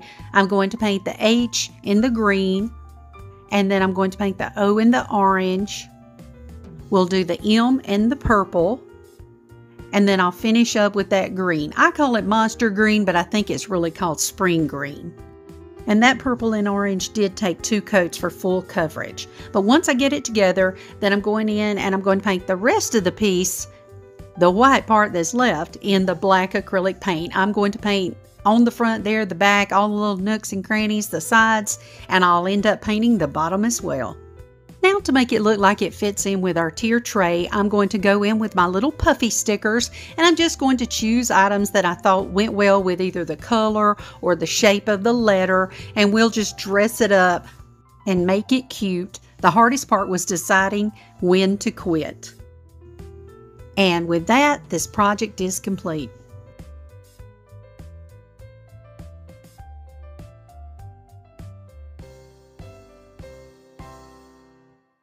I got this little wooden ghost at Michael's for half price and it's perfect because it will stand on its own but it's pretty much one color and I really need to emphasize those areas that are cut out. So I'm going to take some acrylic paint in black and a little tiny brush and I'm going to paint down into all those little crevices. And you really don't have to worry about it getting on the top piece too much because the Waverly White chalk paint is going to cover it up really well. And you want to paint the edges of the ghost in the black as well and also the back of the ghost. And you want to let this dry really well so that when you come in with the Waverly, it's not going to smear the black into it. But I've come in again with a tiny brush and I'm going to paint around the edges of all the black little crevices. And it does take two coats in some areas, sometimes three. It just depends on how much black you had to cover up. But it really turns out cute in the end. Now, before you say anything, I know ghosts don't have gender, that that's just silly, but I am going to dress my ghost up as if it was a girl ghost, mainly because I want more color than just the black and white. So I'm going to fashion a really simple bow from this thin ribbon that has green polka dots and purple polka dots. And I'm just going to take a piece of floral wire and twist it around the center, cut off that excess, and that just makes a really cute simple bow. And I'm going to attach one of my little puffy stickers right there in the center of the bow to hide the wire, although it doesn't really show y'all. And it looks like a piece of candy. It was in cute colors. And with that, my ghost is done.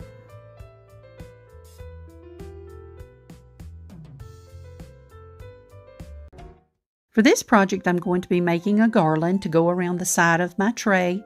I'm using these stickers that spell spooky they came with this paper collection that I got from Echo Park. I got mine at Tuesday morning real inexpensively. I just stuck mine down to this black scrapbook paper and then I'm going in and I'm going to cut them out leaving just a little bit of margin on each side, maybe eighth of an inch all the way around. I didn't really measure, I just did what looked good to my eye because this is supposed to be a quick project. Now I'm going to take my laminator and use this laminating film and I'm going to put in all my pieces and I'm going to cut off the top and we'll save that bottom for later. And then I'm going to run it through my laminator, oh, two or three times to make sure there are no air pockets and everything is sealed really well. Then I'm going in and I'm going to cut out all of the little pieces. But again, you do want to leave a little bit of margin on each side because you don't want it to come unstuck later and peel off. Although this is really good film and it probably wouldn't do that anyhow, but I'm going to leave that little air pocket at the side. Then I'm coming in with my We Are Memory Keepers hole punch and I'm using the 1 8 inch hole and I'm going to punch a hole into each corner of my pieces so that we can string it on some twine. You can see through the hole so that you can line your project up perfectly. I just have to clear the top occasionally because the paper's so thick. At the beginning and end of my swag, I'm going to have two of these rings that I got at the Dollar Tree. I just cut off the little ring part and I'm going to tie it onto my string and then I'm going to start stringing on all of the pieces for lack of a better term. And you want to go in from the front wrap around the back and then come in to the second hole. That way your string is mostly on the back part of your swag and not on the front. But start at the front corner each time and go from the front around the back and to the front again. I hope that makes sense, y'all. And I'm placing a bead. Those are the black beads that I did earlier. The ones I decided not to use in my beaded tassel. So we'll use those now. I used a little hot glue at the back of the S and the Y and both of the spiders on each end just to make sure everything stays in the place where I put it. And the last thing I'm going to do is take some of those stickers that I got at Joann's and I'm just going to decorate random places on my spooky sign. And with that, this project is complete.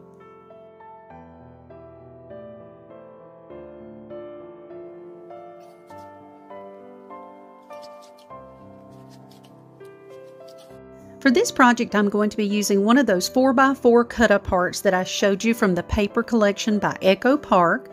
I'm going to use one of these wooden planks that I got from the Dollar Tree in a package. They are 4.5 by 4.5. I also have a couple of pieces of wood that was cut off the stacked books that I made, and I'm going to be gluing those together and to the back to make a stand for this project.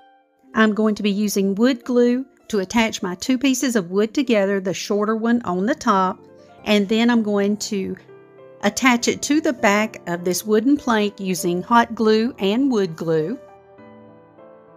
And now I'm going in with my black acrylic paint and I'm going to paint the stand, the back, the front, all of the edges, everything in the same color. This whole project is going to take less than two minutes for me to show it to you and tell you every step. I'm going to attach this little cut apart to the front of my piece. I'm just going to apply the Mod Podge to the back in a nice even coat. This is pretty thick paper, y'all. It's double-sided. And then we'll place that down in the center about an eighth of an inch in all the way around. Once we finish that, we'll put a coat of Mod Podge on the top. Let everything dry, and that's it. Very simple, y'all.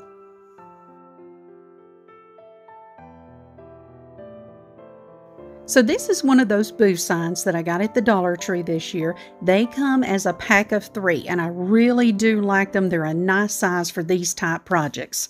But I traced mine backwards onto just a piece of printer paper, and then I'm going to make a pattern so that I can cut out my B and my exclamation mark from some scrapbook paper. Then I'm going to take my furniture repair marker from the Dollar Tree in the color black and I'm just going to try and stain all of those edges in between the two O's and the B so that I don't have to paint them with a really tiny paintbrush and this will dry immediately and I will not have to wait. And once that is done, I'm going to go in and paint just the front part of this letter O at the bottom with the pumpkin acrylic paint. And then I'm going to paint the top O in the same green paint that I've been using, which is also acrylic, and I'm only painting the front. I let the first two colors dry really well and now I'm starting in with the black and I'm going to paint the front of the B in black, the exclamation point in black, and also the back part of this piece entirely in black paint. This is just black acrylic flat paint. Going to be tracing my letters onto the back of my scrapbook paper. The one that has the candy all over it. it is really my favorite and it's kind of the theme of the whole tray. But the thin paper kept folding up. So I took a little washi tape and I just taped everything down and then I'll draw around it with a pencil and then come back and cut out all of the pieces. To attach my pieces to my word boo, I'm going to use my art glitter glue and I'm just spreading it out with a paintbrush. You can use Mod Podge and do the exact same thing. And if you're using Mod Podge, you can come back and put a coat on the top as well, and that'll make it a little more shiny. You could even do the whole word, but I really love how this looks in person. I already had this 5 gallon paint stirrer stick, and it is about four and a half inches long. I thought this would be the perfect stand for our piece so that it will stand up on the tier tray. And what I did was draw a line down the middle and then I indicated with my pencil where it was going to touch on the piece. And then I went in and sort of whittled out those edges and that took a long time, y'all. I'm not going to show all of it to you, but you can see it here. I cut out some areas so the glue could sink down in there and it would hold up well. And then of course I'm going in with my black acrylic paint and I'm going to paint the edges in the top and the bottom so that everything blends. We'll place some hot glue on top here in those cut places and then place on the boo sign. And with that, this project is done.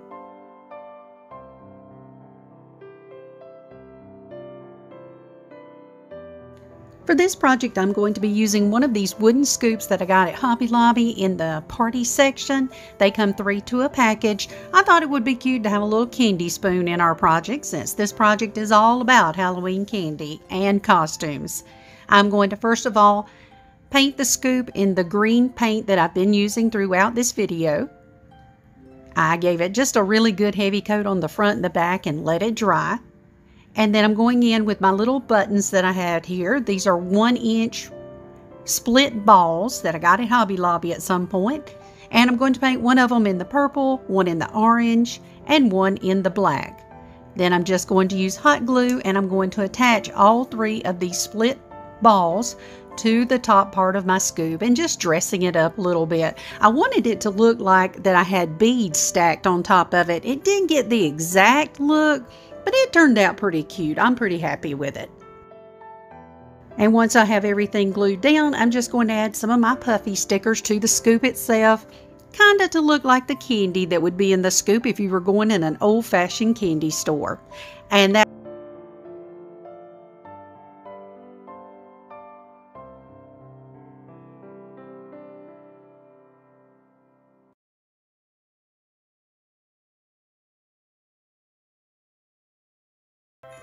For our first project, we're going to make a Grinch gnome. Y'all know that I'm basically obsessed with gnomes. To make it, we're going to use this scallion chalk paint from Waverly, a piece of this faux fur from Joann Fabrics. Y'all, it's so soft one of these mini cone trees from Hobby Lobby.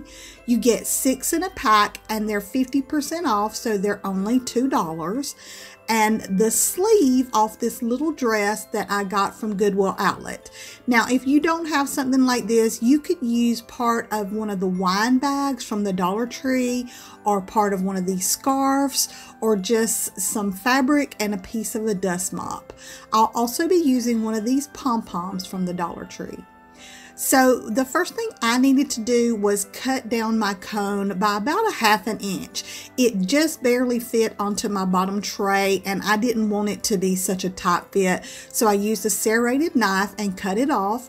And then I'm going to use my scallion chalk paint and give it a good coat of paint. Now we're going to take our fur and we are going to just kind of measure around to see how much we're going to need.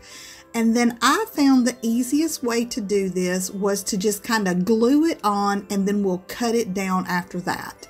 I used some hot glue and put it on one side and then I just kind of wrapped it around, used some more hot glue and glued it down. Once you get it to that point, you can trim it off. And with the fur being so shaggy, you can't even see the seam. I love how this turned out. For the hat, I'm going to use the sleeve off this little dress that I got from Goodwill Outlet. Now, I was being too lazy to cut this down and make a pattern, so I figured that I would just cut it and use some glue and keep playing with it until I got a hat. Now, if you don't have this, you can use fabric and use um, one of the dust mops from the Dollar Tree for the fur and make a little hat as well.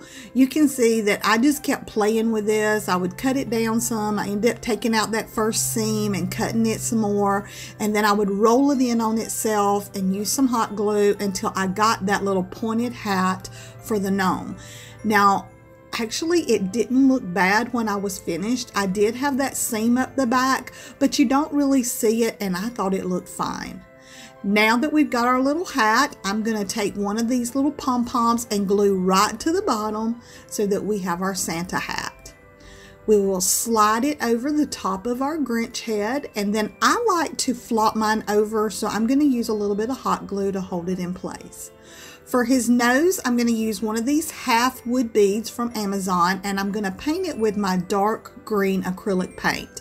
I thought this would be good for his nose. We'll use a little bit of hot glue and secure it in place right under his hat. And with that, this project's finished. For our next one, I wanted to do Grinch's heart. You know, it grew three sizes that day according to the folks in Whoville. So I'm going to use this block heart that I got from the Dollar Tree. I like how it's shaped. And we're going to use some more of that faux fur and a little bit of paint. I took the hanger off and I filled it in with some caulk from the Dollar Tree and let it dry. And then I sanded it down. Now we're going to use some crimson chalk paint from Waverly and I'm going to give the front and the back a really good coat of paint and leave it to dry. I didn't worry about the sides because we're going to be covering those. Once our paint is dry, I'm going to put some hot glue on the sides and then I'm going to start wrapping my fur around it. I wanted it to cover all the sides and I thought this was going to be an easier way of doing it than trying to measure it and cut it out. And I was really pleased with how it turned out. Once I got it glued down, I just used my scissors and trimmed around and then I cut it down to fit on the back and this turned out perfectly. Now we're just going to take our scissors and give it a good haircut and on one side I'm going to cut it pretty close so that it will stand up. To make a little more whimsy or to give it some more detail, I'm going to use this white gel pen from Arteza and just do some doodles right around the edges just to kind of make it stand out and to give it a little something extra. Once you finish this, this project's finished.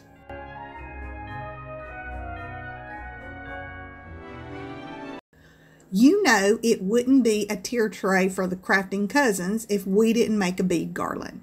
So we're going to use some of these beads and some more items to make a cute little garland for our tier tray.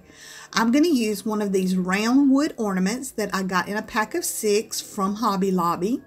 I'll be using some of these red and white beads that came off of a garland from Walmart and then some unfinished beads that I had in my stash.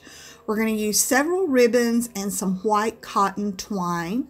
We're going to use this wording that I printed out on my computer. I will put a link below if you'd like to have a copy. And then we're going to use some chalk paint in scallion and crimson red. I'll also use a little bit of silver linings. So the first thing I did was lay out my beads so I knew how many I needed for my garland. I wanted it to be about 18 inches, so this is how it laid out. We're going to end up using seven of those unfinished beads and I wanted to paint them with my scallion color. So I add a little paint and just a tad water to a baggie and then I drop in my unfinished beads and just kind of smush them around until they're completely covered with the paint. Then we're going to pour them out onto some parchment paper and leave them to dry. While those are drying, I'm going to work on my little ornament. I cut off that ribbon and I did save it because we'll use it a little bit later. And then I'm going to use my crimson chalk paint and I'm going to paint the body of the ornament. I am going to paint the front and the back and then I will let that dry. Once that's dry, I'm going to use my Silver Linings chalk paint and I'm going to paint the cap of the ornament. And I also get those sides so that it doesn't look like raw wood. Now we're going to put our wording on our ornament. I'm just going to use a piece of carbon paper. Y'all know I love this method. If you don't have carbon paper, you could scribble on the back of it with a pencil and then trace over it and it'll also do the same thing.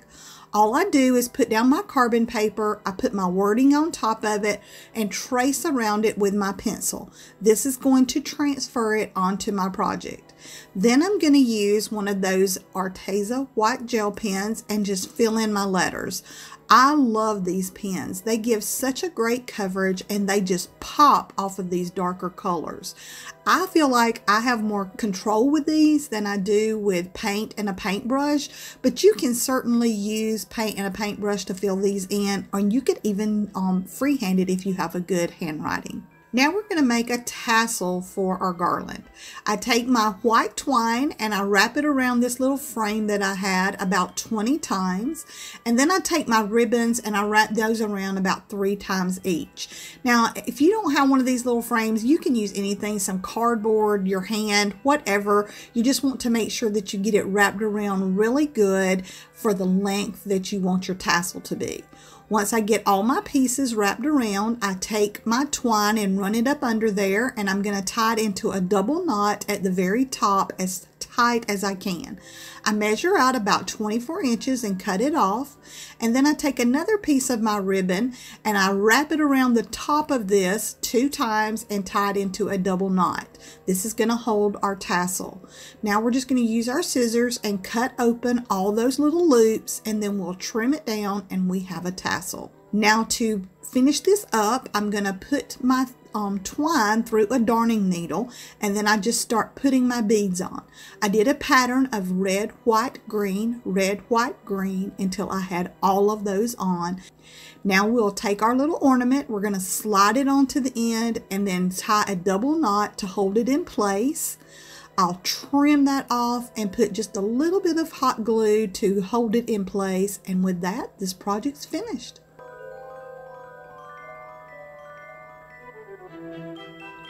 For our next one, this is probably our most simple one. You know we can't do a Grinch tray without a Grinch tree. I got this cute little tree at the Dollar Tree and all we're going to do is take some thin red ribbon. I use a little bit of hot glue to secure it to the top and then we're just going to start wrapping it around our tree. I'm going to do it at an angle just like you would if you were putting ribbon around your Christmas tree. We just want this to be a little bit of decoration.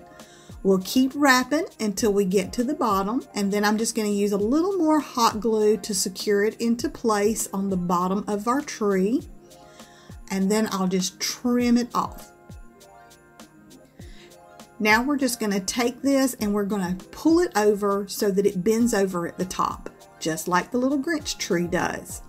To finish this off, I'm going to use one of these red mini ornaments from the Dollar Tree and I'm going to use my scissors and cut off that little loop at the top and that leaves an opening. We're going to put some hot glue in there and push it onto the end of our tree and this one is finished.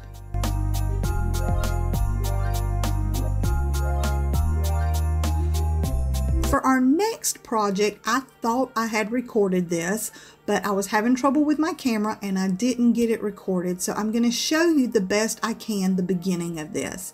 We are going to use three of these large erasers from the Dollar Tree and we're going to use some white chalk paint from Waverly. We'll use these jot markers in red and green. I got these from the Dollar Tree. I'm going to use some leftover greenery and this red glittered ball that I had and some red ribbon.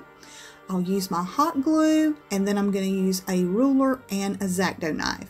So the first thing I had to do with my three erasers was cut them down. You can see that they are at an angle at the end and I wanted them to be straight. So I just line it up on my mat there and then I put my ruler on top of it and use my X-Acto knife and it takes about three passes and it cuts through this. I did have to trim it up some and it's not always completely straight but I was okay with that because it gets that wavy look like pages. I trimmed it up and then I used my Waverly white chalk paint and I painted all sides of all three erasers and left them to dry. Once they were dry, I just used some hot glue and I glued them on top of each other in a stack, just like you would with your regular book stacks. Now that everything is dry, I'm going to use some of my Waverly chalk paint in silver linings and I'm just going to brush it onto the ends of my book stack and on one side. And this is just going to represent those pages. I love how it was kind of wavy looking and it really did end up looking like some little books. This um, Silver Linings chalk paint is just enough contrast to give it that book look. Now that that's dry, I'm going to use my pencil and I'm going to write on each one. On one, I'm going to put stink, the middle one stank, and the last one stunk. You know, like the Grinch says. I like to do it in pencil first so that if I mess up, I can erase it. And then I'm going to take my red permanent marker and I'm going to go over the stink and the stunk. And I'll use my green permanent marker and write in the stank. To make a bow for this and decorate it, I'm going to use a little piece of my red ribbon there. I wrap it around and I tie it into a shoestring bow. I like to make a knot first so it'll stay in place and then we're just going to trim off those ends. Now I'm going to use a little bit of greenery that I had left over from other projects and I just kind of cut it down, figure out where I want it to be placed, and then I'll use a little bit of hot glue on it and glue it right up under my bow. Once we get that in place, we're going to take that little ball and glue it down and this project will be finished.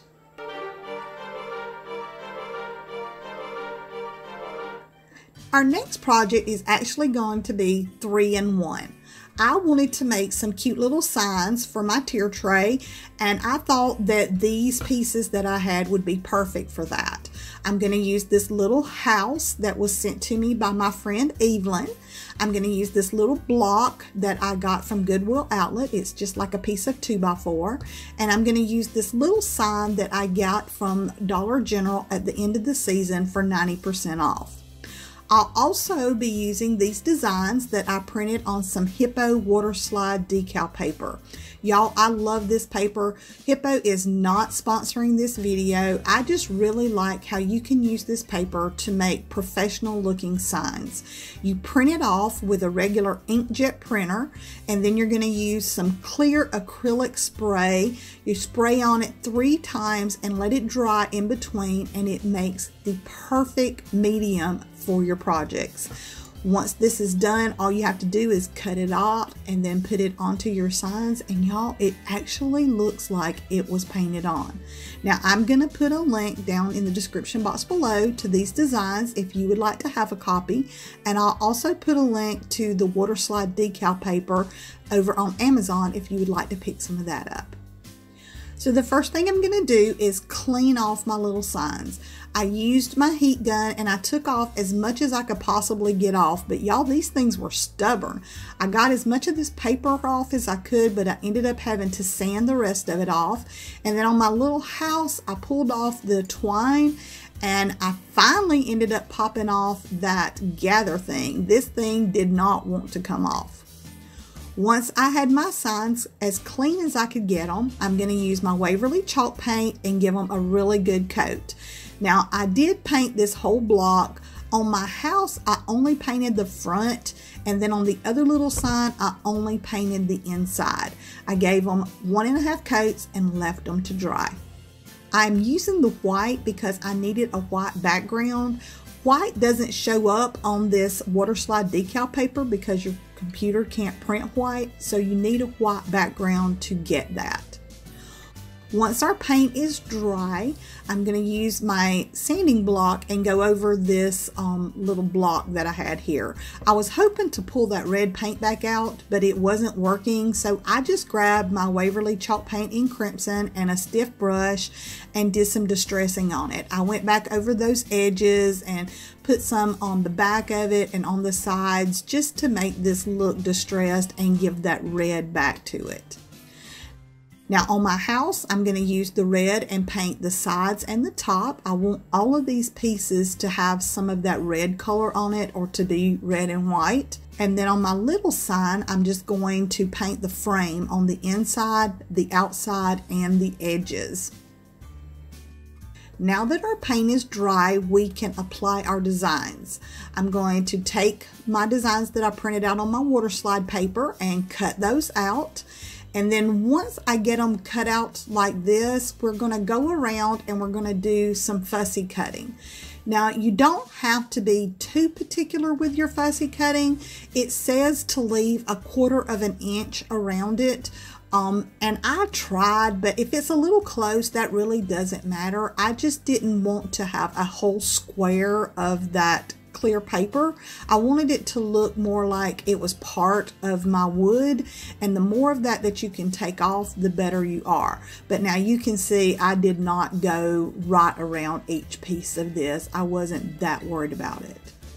Once you get them cut out, you're going to take a shallow bowl with some water in it and you put each piece in there and let it soak for about 30 seconds. It might take, you know, 45, but it doesn't take long.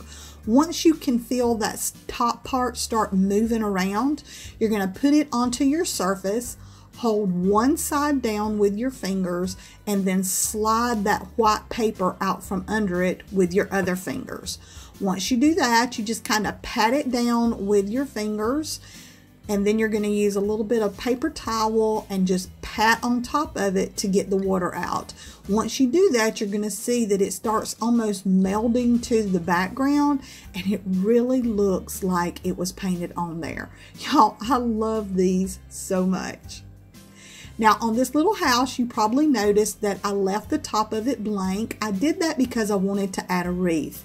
So I'm going to use a piece of this pine garland um, ties that you get from the Dollar Tree and I form it into a circle. And now we're going to make a little bow. Now we're using that ribbon that we cut off that ornament.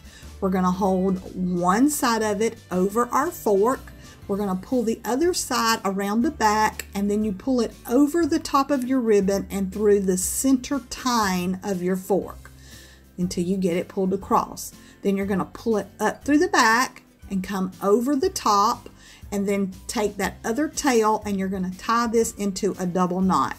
When you do that, it's going to make a little bow. This is the best way to make these tiny bows, y'all. They turn out perfect every time. Once you get your double knot in there, you're just going to slide it off the end of your fork and there's your little bow. We'll trim off those ends and then we're going to use a little hot glue to glue this up to the top of our wreath right there where it met. And then we'll use a little hot glue on the back of this at the top and the bottom and we'll glue it onto our house and with that these are finished.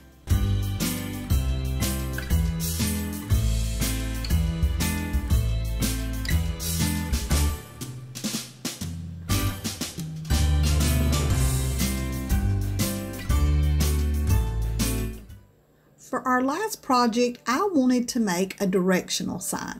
So we're going to use three of these mini craft sticks that I get from Walmart, one of these wood slices that I got in a pack from Hobby Lobby, one of these skewers that came from the Dollar Tree.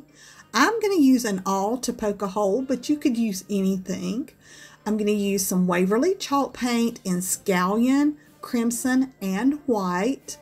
And I'm going to end up using my graphic illustration markers and I also use an Arteza white gel pen. So the first thing I wanted to do was paint my little sticks. But after I started painting it, I realized that I needed to cut these into arrows and it would be better to do this before I painted it. So I grabbed my pencil and I just traced out a little arrow on one end and I used my scissors and cut that out. And then I cut the other end straight. These are really small and they cut well with just a small pair of scissors. Once I get them cut out, I use my crimson chalk paint from Waverly and I paint two of them. I make sure to paint the front, the back, and all the sides. And then I'm going to use my scallion chalk paint and paint the third one.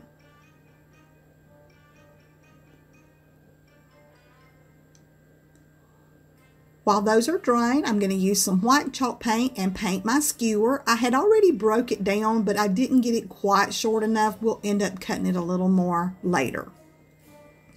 Now that those are dry, I'm going to write on them. On the green one, I want to put Grinch's lair. So I use my pencil and kind of sketch it out and then I use my pen and go over it. I like to use the pencil just in case I mess up, then I can correct it. Whereas if I just use my pen, I would have to paint over it and wait. On the red ones, I'm going to write Whoville on one and I will write Mount Crumpit on the other one. I also used my pencil on that and then I used my Arteza white gel pen to fill it in because I felt like that it popped off this red a lot better than the black did. You just want to make sure that one of your signs says Whoville, one says Mount Crumpit, and one says Grinch's Lair.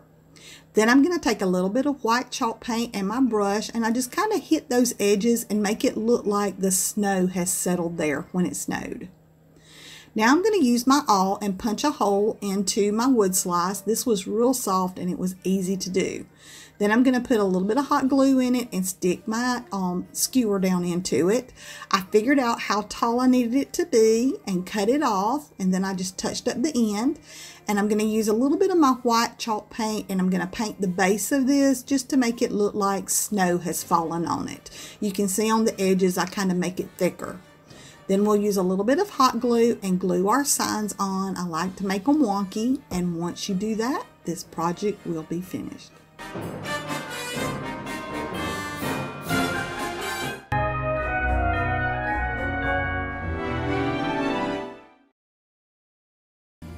So I'm going to try and give you a quick rundown of most of the supplies that I used.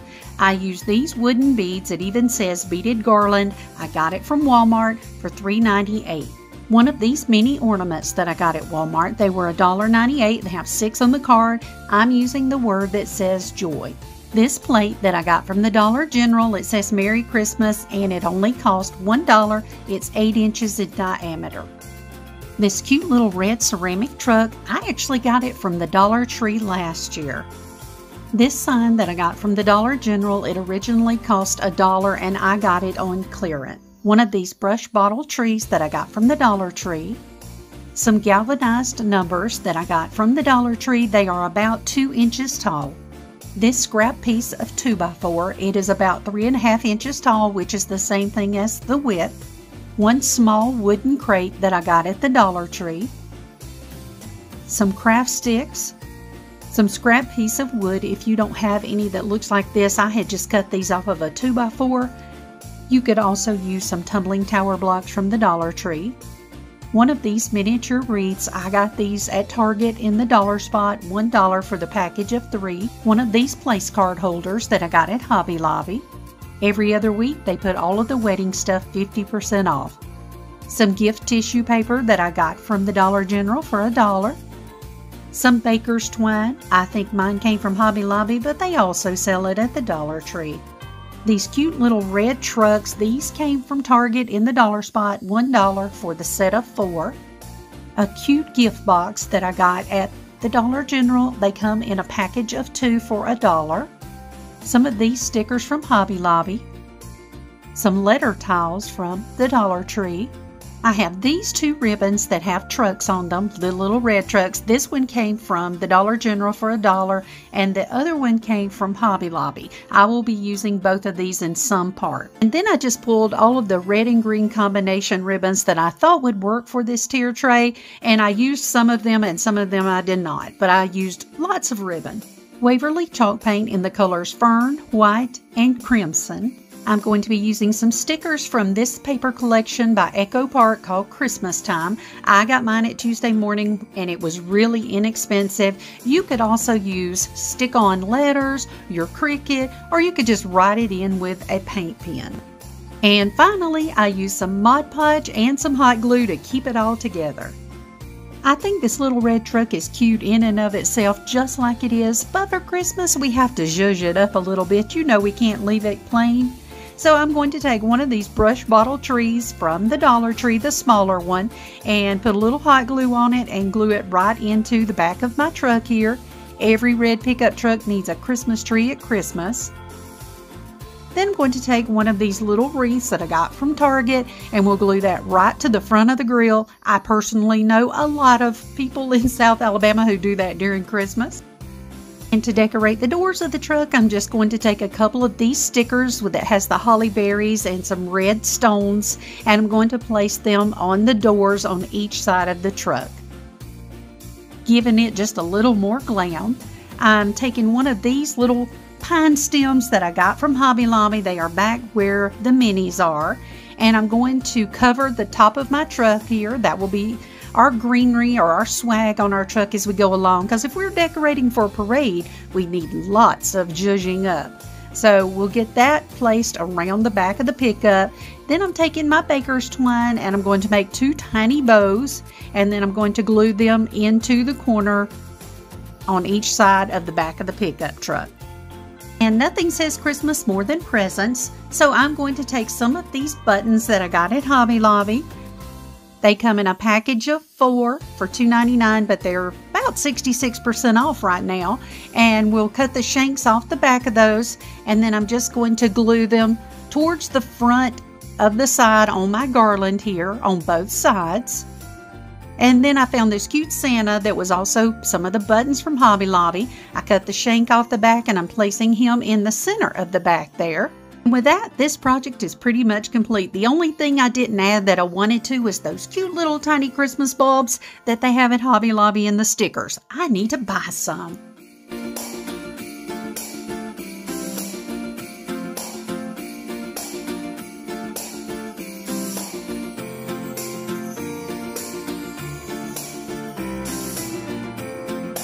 So my idea for this project is that it will hold a photo, maybe your menu for the holidays or a recipe that is special to you.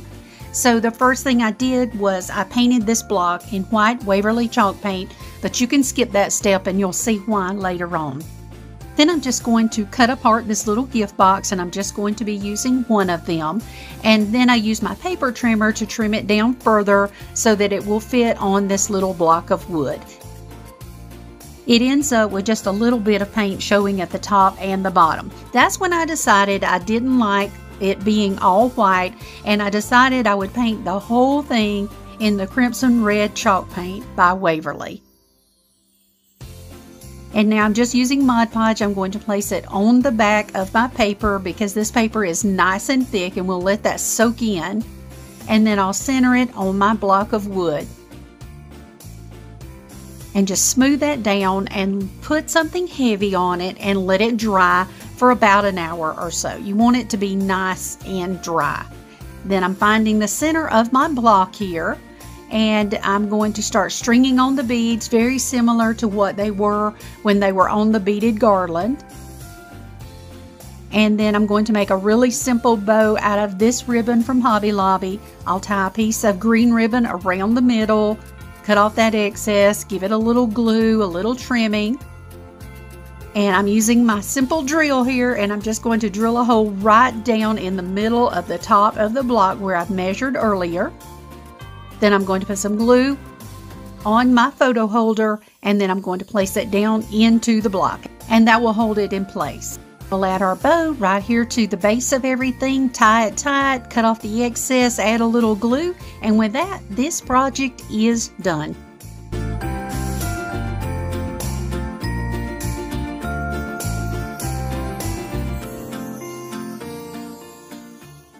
For this project, I'm going to be using this little crate from the Dollar Tree and turn it into a set of mini stacked books. But I didn't like the way the end looks, so I'm going to cut six of these jumbo sized popsicle sticks to fit the end. I'm just using my squaring tool to make sure everything's nice and straight. And I actually used my Tim Holtz scissors just to cut the ends. If you take it slowly, it doesn't splinter and it works perfectly. I didn't have to get out any heavy duty tools. I'm going to use wood glue from the Dollar Tree and I'm going to place it here on the end and then I will take my tongue depressors, popsicle sticks, whatever you would like to call them, and line them up with the sides where the lines are on the crate to look like the book pages. And you need to space them, you have to play with it a little bit. And the craft stick that I used to spread out that glue nice and flat, I just attached it on the inside and that just covers up more of those openings. And of course for the other side, I did the exact same thing. And then you want to let this project dry for quite some time. It helps to put something heavy on those sides. And once it was dry, I came in with a coat of my Waverly chalk paint in the color white, and I just gave it a good nice coat all the way around the sides and the top of the piece. And once that was dry, I used a little painter's tape and I'm going to tape it off here at the bottom. And then I'm going to come in with the green color, which is called Fern, and give it two really good coats just to be the spine of the book at the bottom. And then for the top, I'm going to paint what would be the spine and what would be the cover of our book in the Waverly chalk paint in the color crimson. This did take two good coats for coverage. Now I'm going to take some ribbon and I'm going to attach it around the side of the crate. It wasn't wide enough for my taste, so what I'm going to do is cut two pieces that will go all the way around. Then I'm going to remove those wires in this ribbon because I don't need those and I just attach it with a little hot glue. One and then the other one I place right beside it and glue it down. And once I get all of that in place, I'm going to take my truck ribbon and put it right down the middle of those two pieces and attach it to the side. I'm going to make a really simple bow to go on top. I'm doing a four loop bow out of the plaid and I'm using floral wire to secure it around the middle. Then I'm going to place another piece of ribbon on top out of the truck ribbon and we'll just twist that wire around it as well. I'm only doing two loops for this one. And I trim up my ends and dovetail them, cut off that excess wire.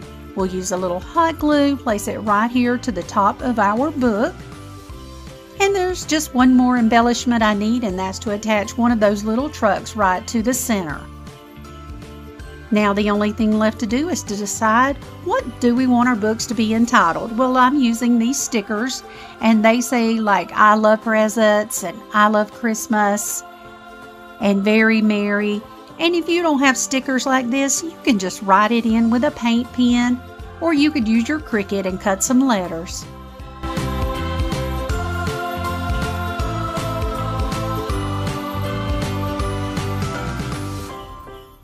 For this project, I'm just going to be dressing up that plate that I bought from the Dollar General. I'm going to take those two pieces of wood and join them with wood glue, let that dry, and then give it a good coat of the white Waverly chalk paint. And I'm also going to be using one of these jumbo giant sticks that I got at Walmart. You can see the difference in a regular tongue depressor and these. I cut off one end even. I just used my scissors for that and then I'm going to paint it in the white Waverly chalk paint as well. This will serve to make a stand for the piece. I'm taking some ribbons, all of my favorites that I've used on this project so far, and I'm cutting 5 inch pieces. I'm going to place them on an X as I go.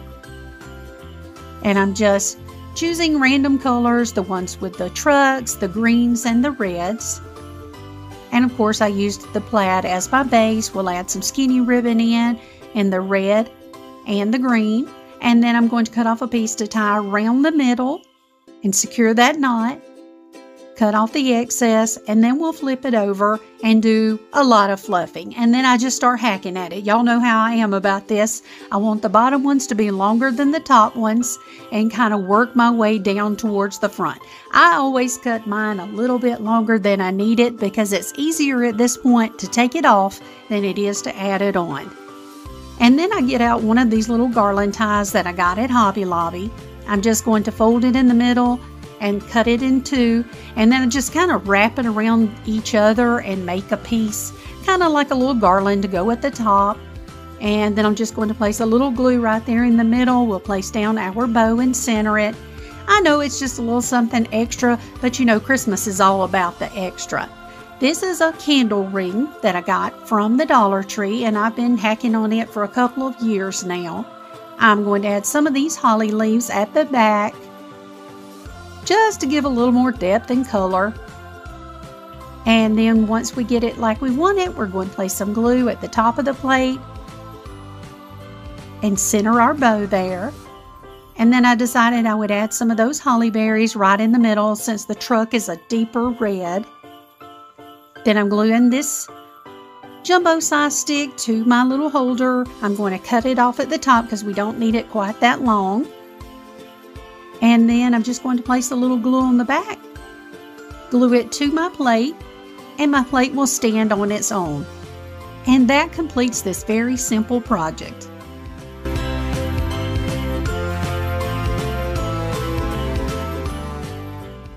To make my beaded garland, the first thing I'm going to do is start with the tassel. I'm using some baker's twine and my Cricut tool and I'm just going to tape it right here to the top of my Cricut tool so that it's out of the way. If you don't have one of these little tools, you can use some cardboard and do the same thing. But then I get started and I'm going to wrap it about 30 times around this tool to make our little tassel. And when I'm finished, I'm going to come in, remove the tape at the top, take that piece of baker's twine at the top, and pull it into a knot, tie it really tight around my string. Then I'll go and cut the end of the tassel and pull everything together. And I always pull everything tight across my hand and I take another piece of baker's twine and I tie it, oh, three quarters to half an inch from the top and pull that really tight. And then once you do that, you want to come in and give it kind of a haircut, make everything nice and even at the end, do lots of trimming till you get it like you want it. And that's pretty much how our tassel looks. I'm going to take 18 inches of these beads and I cut it just a little bit below that because I'm just going to leave them strung. They look so nice and pretty, there's no use to restring them. And once I remove the ones I don't want, I just come in with my tassel and I tie it into the knot at the bottom. Really simple stuff. I'm not making this garland complicated at all. I'm not even doing any painting this time. Now let's take one of those little trucks and I'm going to remove it from the package. But before I apply it, let's go ahead and put on the word joy, this little ornament. I'm just tying it on the opposite end, giving it a couple of good knots. And then we're going to decorate it further by making a really simple bow out of this ribbon that I got from Hobby Lobby. I'm just going to use some of this cord around the middle to make it look cute and we'll tie that off. I'm also going to secure it with some glue because it does slide around and it kind of lets go. So I'm going to trim that up and I'll glue it right down onto our beaded garland right above the word joy. I'm just using a little hot glue and that just zhuzhes it up just a little bit more. And then we'll trim it up. And finally, we'll add our little red truck right down to the tassel, and that'll hide the little knot at the top and dress everything up. And with that, this project is pretty much complete. Really simple, but it adds a lot of punch and impact.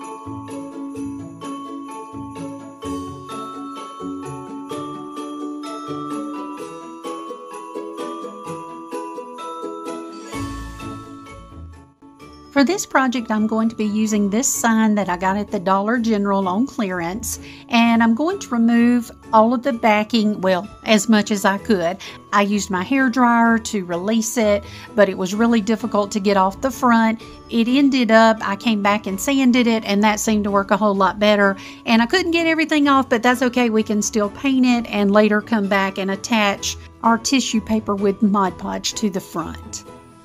And that's what I'm doing right now. I'm going to paint it. I gave it two good coats of white Waverly chalk paint. I painted this entire piece, all sides and all bare wood. And once it was dry, I came in with some Mod Podge and I coated it on the back first just to seal it. And then I'm also coating it here on the front and I'm placing down that tissue paper, smoothing it down. I also used some saran wrap and my brayer just to make sure we got all the bubbles out, or at least as much as possible. And then once I got that like I wanted it, I cut off the excess, let it dry, and then I come in with some sandpaper and I'm going to try and take off all that excess. That proved to be a little difficult. Maybe I used too much glue. Who knows? Usually this works really well, but I also use my detail scissors for any problem areas.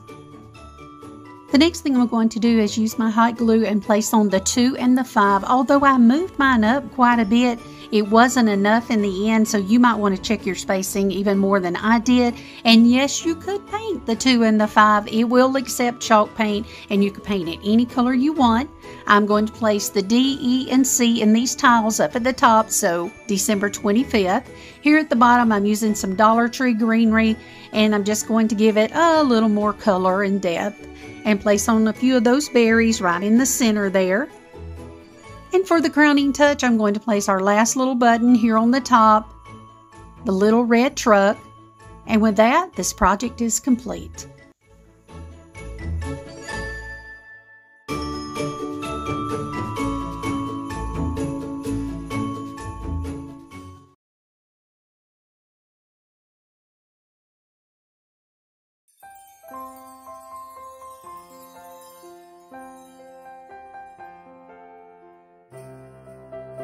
For this project, we're going to use one of these little wood planks from the Dollar Tree. I had already cut a piece off of this one for another project, but that's fine because this is actually a little longer than I want, so it'll work out. We're going to use some of these wooden letters from Dollar General. I've already taken out the ones that I need. We're going to use an S and a W and an N, but mine didn't have any N, so we're going to actually use a Z on its side. We're going to use one of these snowflakes from the Dollar Tree. This lettering that I printed out from the computer, but you can do it freehand. Some Waverly chalk paint in ink and white. And I'm showing you a graphic illustration pen, but I actually used a white gel pen and my glue gun and some glue sticks. So the first thing I'm going to do is paint that little wood plank with my ink color and I do paint the front, the back, and those little sides. I just like for my projects to have a really finished look. And then we're going to paint our little letters. Now for the letters, I am using the white in the Waverly chalk paint and I'm only painting the top and the sides of these because we'll glue them down so you won't see the back. Now I want to put my lettering on there. I just scribble on the back of it with a pencil, lay it on my project and trace over it and it's going to give me a really faint outline. Now I can see it to fill it in so then I take my Waverly um, gel pen. This is one of those white gel pens and I fill it in. Now again, you can totally do this freehand. Now I'm going to lay my lettering out so that I can figure out how I want it to look. And then we're going to figure out which size of snowflake that we need. I'll press my snowflake down and then we're just going to use a little bit of hot glue on the back of our letters and glue those into place. And once we do that, this project will be finished.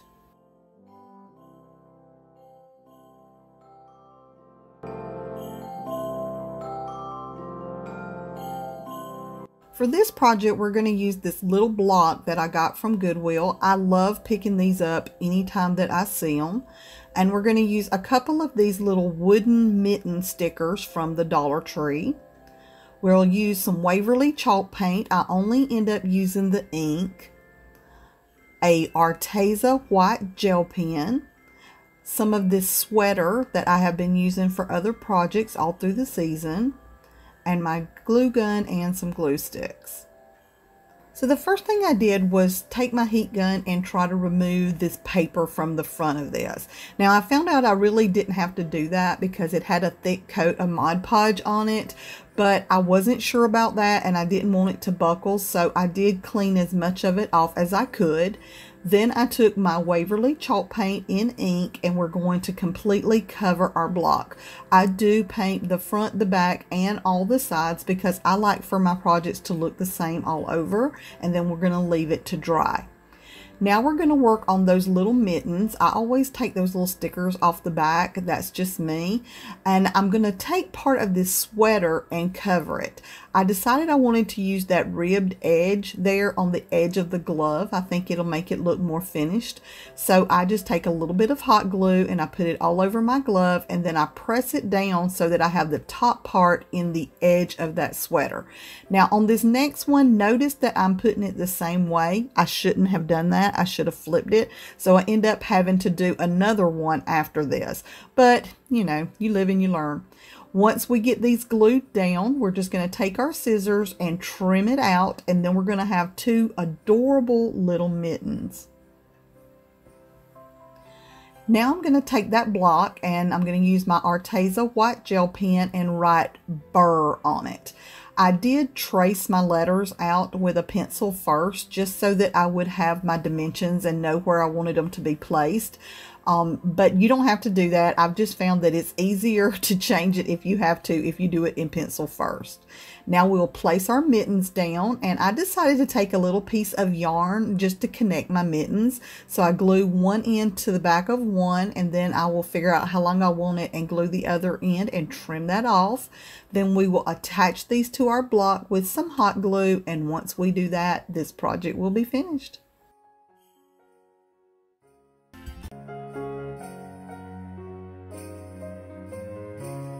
For this project, we're going to use a salt shaker. I got mine from the thrift store and one of these wooden knobs that I got from Joann Fabrics. Some faux snow, some leftover greenery, some ribbon of choice. This came from the Dollar Tree.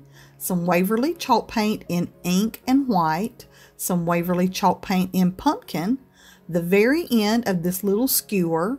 My permanent black markers and my glue gun and some glue sticks.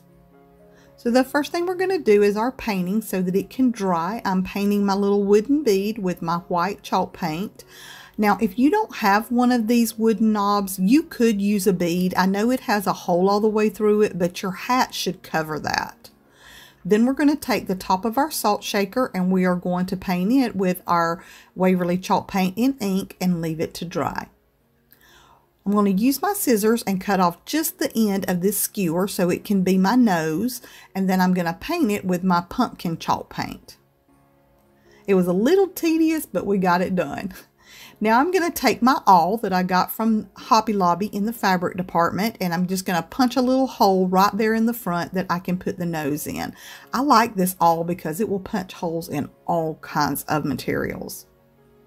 Now we'll put a little hot glue on there and then glue our nose to the front. I'm going to hold my hat in place so I can see how I need to do his little face and use my permanent marker and draw in a couple of eyes and then use some dots to make a mouth on here. Now I'll take that um, faux snow and I'm just going to pour some into my salt shaker. You put as much or as little as you would like. And then I'm going to cut up a little bit of this frosted greenery and drop in there on top of it. We'll use a little bit of hot glue right around the edge of our salt shaker and glue our head on. And then we're going to use our hot glue to glue our hat on kind of at an angle, give him a little bit of a jaunty look. I'm going to take some ribbon, I'll trim that off, and then I'm just going to tie it right there around his neck to give him a little scarf. I'm going to tie a double knot, and then I'll trim it off, and this project will be finished.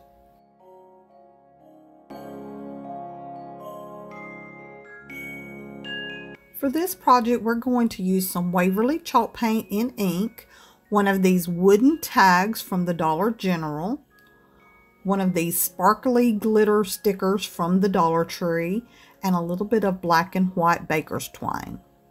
The first thing we're going to do is paint our little wooden tag. I paint the front, the back, and the sides with my ink chalk paint and leave it to dry. This one is going to be so simple as most of these are. It's just something cute that you can use as filler on your trays. Once this is dry, we're going to cut off a little piece of our baker's twine. I'm going to fold it in half and then feed it through my little hole. We'll take the ends and feed it through the loop that it made and pull it tight. I'm going to put just a little bit of hot glue there at the base and this is going to help it hold so it doesn't come loose. Then we're going to trim it up. The last thing we have to do is decide which one of our snowflakes we want to use, stick it down, and this project will be finished.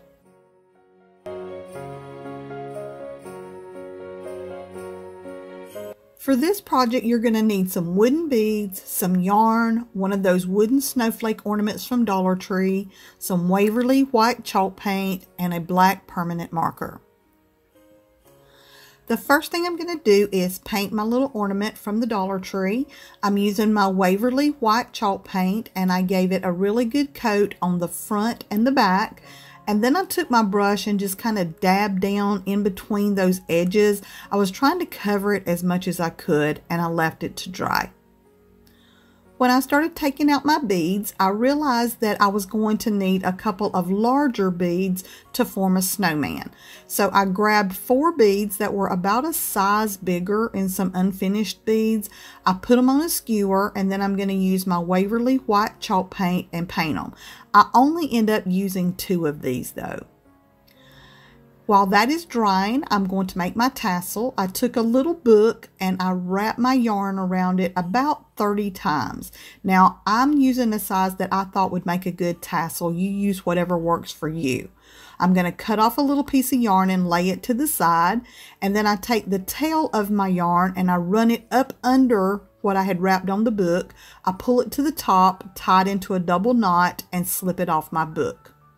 Now I'm going to take that little piece of yarn that we cut off and I'm going to wrap it around the top of this about six or seven times and tie it into a double knot. This is going to give me the top of my tassel. I'll trim all that off and then we're going to cut open those little loops at the bottom and I'm going to trim it down. You make it however long you want your tassel to be. I'll cut off a long piece of my yarn. You'd rather have too much than not enough. And then I'm just going to thread it into a darning needle to make it easier to put my beads on. I put on three of my little black beads. Then I'm going to put on one of those bigger white beads and then two more of my smaller white beads. That's going to give me a little snowman. I put on three more of my black beads. And then I'm going to start a pattern of doing white, black, white, black. You do this for as long as you want your garland to be. I think I used about 18 beads in this, but you use whatever works best for you. Once I got it as long as I wanted it, I put on three more of my black beads. Then I'm going to put on two of my smaller white beads and one of my larger white beads. And then I'll put on three more black beads. And that's my garland. Now we're going to thread that little ornament onto the end of this and tie it into a knot so that it will hold it. And that's going to be the end of our garland there. I think I tied like three knots in there just to make sure that it didn't come off. We'll trim off our thread and that will be it. Now I'm going to take those little beads we put on there and I'm going to decorate them to be a snowman. I grabbed a orange um, colored pencil that I had and drew in a little nose. Then I used my permanent marker and I made a couple little eyes and a dotted mouth. I put three little dots in the center one for some buttons. And then I decided that I probably should glue these together so that his head doesn't twist around to the back of his body. Now I'm going to take a little piece of baker's twine and I decided he needed a scarf. So I just tie that around his little neck. And then I thought, yep, probably need to glue that too. So I put a little more glue there. And then we're going to trim those ends off and he's going to have a cute little scarf. I love that little snowman. We're going to flip this around and we're going to do it one more time. We're going to draw in his little nose. Then we'll take our marker, make some eyes, dot in a little mouth, We'll put three little dots for buttons. Then we're going to go ahead and glue this together. I glue those bottom two together. I glue his head to the top one. And then I cut off the twine, but I decided I probably should go ahead and glue his head to his body. That might make it easier. And then I tie the twine around there in a double knot and trim it off. And with that, this project will be finished.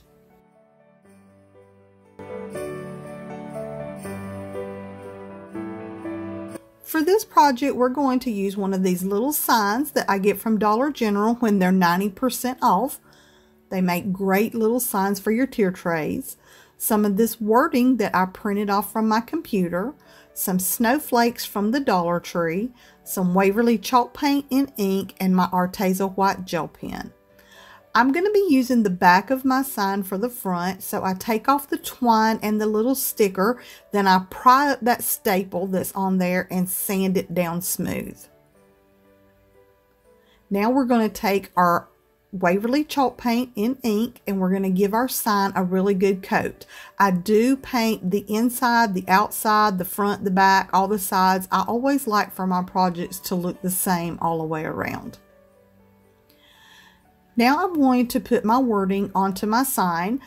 I wanted to have this really pretty fancy font so I printed it off on my computer then I just take a pencil and I scribble all over the back of it I lay it onto my sign and then I trace over the letters and that transfers them onto my project. Now it is really light, but I can see it.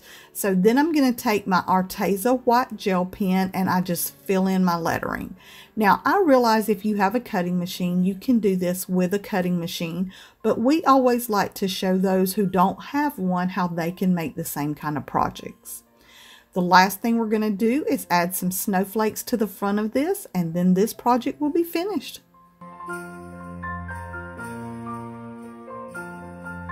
For this project, we're going to use one of these little buckets from the Dollar Tree, some Waverly chalk paint in ink, some spackling from the Dollar Tree, a little bit of tape, some of these white pom-poms, a piece of this white cloth from the Dollar Tree, this little chalkboard sign from the Dollar Tree, and my white Arteza gel pen.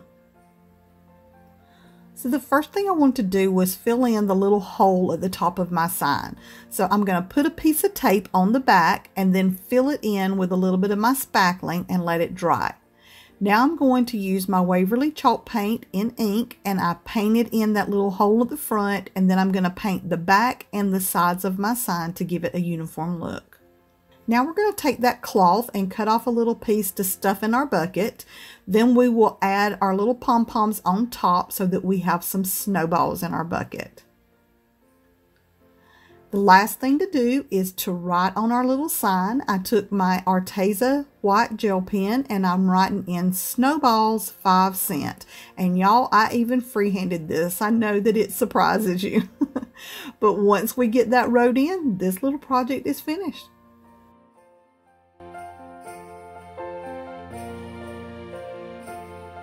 For this project, we're going to use some of these little wooden snowmen shape from Dollar Tree, some Waverly chalk paint in white and ink, a black permanent marker, and some black and white baker's twine. So the first thing we're going to do is paint the bottom part of our little shapes here with our white Waverly chalk paint and let them dry. Now again, this is one of those really simple projects that you don't have to do much to, but make adorable fillers for your tier tray. Once we get the bottom painted with the white, we're going to take our Waverly chalk paint in ink and we're going to paint the top of each one of these and then we'll set them aside and let them completely dry. Yeah, I was trying really hard not to get the black paint onto the white snowman. Now that they're dry, I'm going to take my permanent marker and I put two little eyes and a little dotted mouth on the top and then three little buttons on each belly of my snowman. Then I'm going to take an orange colored pencil and draw in a little nose. And the last thing we're going to do is take some of our baker's twine and tie it right around his neck into a little knot, trim it off to give him a scarf. Once we get all three of these done, this simple little project will be finished.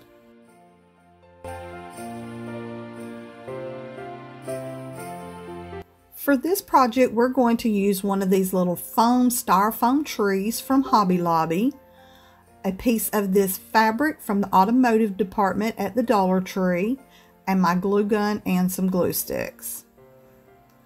So when I was looking at my tray, it had a little area that needed something. So I decided to use one of these little foam trees and cut off the bottom so it wouldn't be too tall. Then I'm going to cut a little piece of this fabric that I get from the automotive section at the Dollar Tree. And we're just going to glue it around this. Now, y'all, I could have made this a lot easier on myself if I would have made a pattern first. But I was being stubborn and wanted to hurry. So I just end up cutting it up. You know, I'll cut pieces off, I glue it down, I wrap it some more until it completely fits around there. This fabric is really forgiving, so you don't see this seam that I'm making here at the back. So I'm just going to keep cutting it and gluing until I have a little snow-covered cone tree to fit on my tray. Once you get this glued down the way you like it, this simple little project is finished.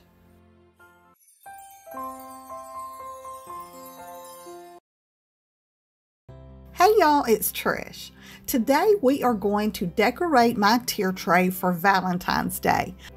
Our first project, we're going to use this heart that I got from the Dollar Tree. And we are also going to use some Waverly chalk paint in white, a pencil, and some of these rub-on transfers that also came from the Dollar Tree. The first thing I did was take the paper off the front of this. It was pretty much peeled off anyway, but I finished peeling it off and then I sanded it down to smooth it out. Now we're just going to take our Waverly chalk paint and give it a good coat of paint and leave it to dry.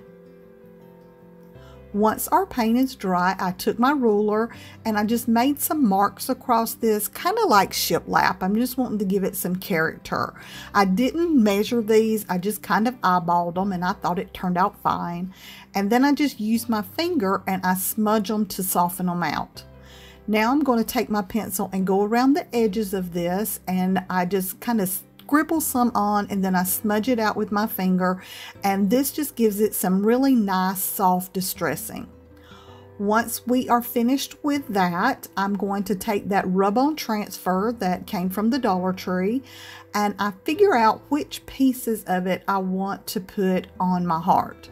I cut those out and then I lay it down on top of the heart where I want it to go. And I use my little spatula thing. I got this from Cricut, but you could use a credit card, anything you have with a straight edge. And I rub over it really good and then lift it up and it leaves the transfer on the piece. I love these, y'all. They are so pretty, and y'all know how much I love mixed media, and this gives it that same feel. It layers up our wording on here, and I can layer up the textures, and I just love how it came out once I got the major pieces down that I really wanted on there, I just kept going back and cutting out other little pieces and filling in those little blank areas. I didn't want to leave anything with a big hole. It doesn't matter if there's some white showing, but I didn't want any really big holes. So we're just going to keep filling this in with all those little pieces. And then I found that I had not gotten all of the transfer off of this one piece. So I grabbed it and started taking taking those little pieces that were left on there and filling in some of those little areas that were left.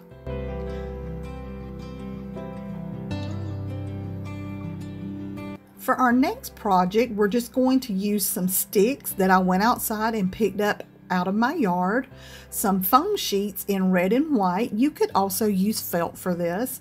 And then a heart and an arrow end that I just traced out onto a piece of paper and our glue gun. The first thing I did was cut out my pattern and then I'm going to trace four on each color four of the hearts and four of the arrow ends. Now, if you're not going to make four or you're just wanting to use one color, what you need is two hearts and two arrow ends for each arrow that you're going to make. I trace these out and then I cut them out.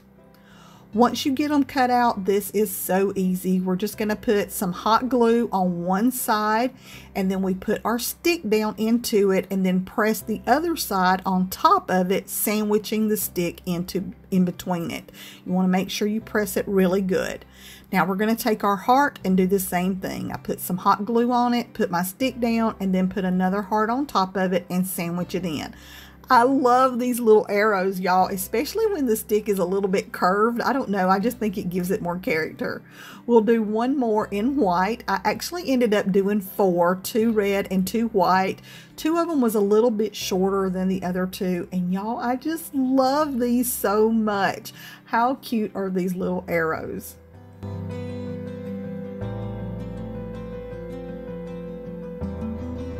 For our next project, we're going to use one of these little mini mason jars. I got this from the Dollar Tree. We're going to use a awl to uh, punch a hole in the top. I'm going to cut out this little tag that I made and print it on some of my craft paper. We're going to use one of these little wooden hearts from the Dollar Tree, some twine, and then my hole punch to punch a hole with the first thing we're going to do is go ahead and punch a hole in our heart because we want to be able to hang this in our jar. I'm going to thread my twine through there and tie it into a knot and then trim off that end and then I'll cut off a piece of my twine.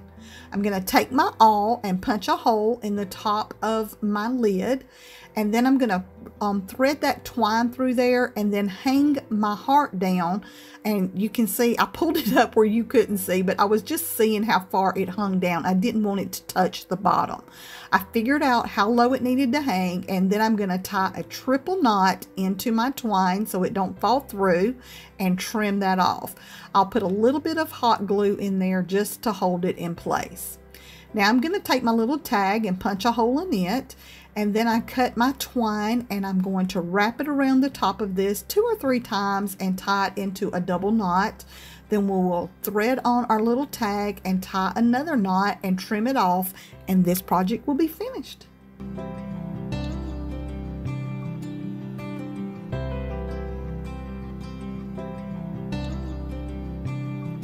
For this project, we're going to use one of these little wooden hearts from the Dollar Tree. This printable that I made and printed out, I'll put a copy to it down below if you would like to have it. We're going to use some Mod Podge, some Waverly chalk paint in white, one of these tumbling tower blocks, and some acrylic paint in melted chocolate. Now you can probably see that I was trying to stain this with one of my stain markers, but it didn't have enough ink left in it to completely stain this, and I didn't like how it was covering anyway. So I just grabbed some milk chocolate or melted chocolate acrylic paint, mixed it with some water, and used it for a stain. We are going to paint this on and let it dry. Once that was dry, I took my white Waverly chalk paint and my chippy brush and I just do some distress painting all over this. I used a pretty heavy hand. I wanted to be able to see the brown, but I wanted more of the white on there. Then we're going to let this dry.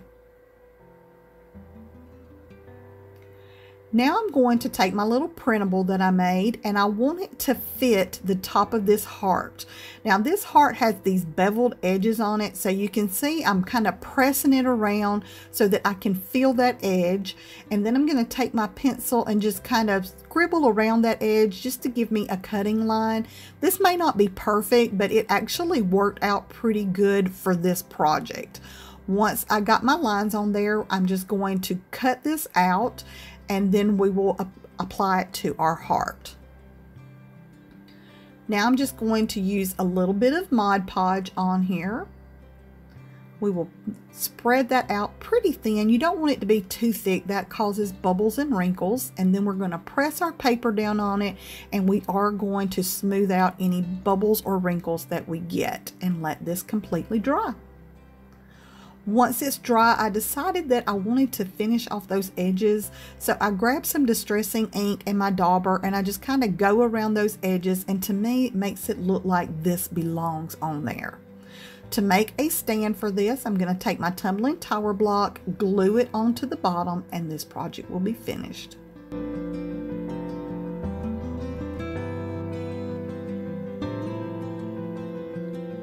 For our next project, we're going to use this little house sign. I got this at the thrift store, but I'm pretty sure it came from one of the dollar stores. We're going to use this wording that I printed out with my computer. I'll put a link to it down below if you'd like a copy. We're going to use one of these red glitter heart stickers. I got these from Hobby Lobby last year. We're going to use some Waverly chalk paint in white, my pencil, and some permanent markers. So the first thing we're going to do is give our little house a good coat of paint. It took about two coats to cover my words completely, and I did paint the front and the back of this and left it to dry. Once our paint was dry, I take my pencil and I just kind of smudge around those edges just to give it some depth and dimension. Then I'm going to take my wording and I scribble on the back of it with my pencil. You guys have seen us do this a hundred times. We'll lay it down on our project and then we're going to trace over it with our pencil and this transfers it onto our project. Now, if you have a cutting machine, you could cut these words out. If you have good handwriting, you could freehand this. You could use stickers, whatever works best for you. I just really like this method and I really like being able to show you how you can make projects, whether you have a cutting machine or not. Once I get my letters transferred on, I use my markers and fill it in. Now I'm using these graphic illustration markers from Hobby Lobby. I really like these markers, but if you don't have any, you could use a permanent marker like a Sharpie or one of the jot markers. Once we get our words on, we're going to take one of these little hearts and stick it at the top and this project will be finished.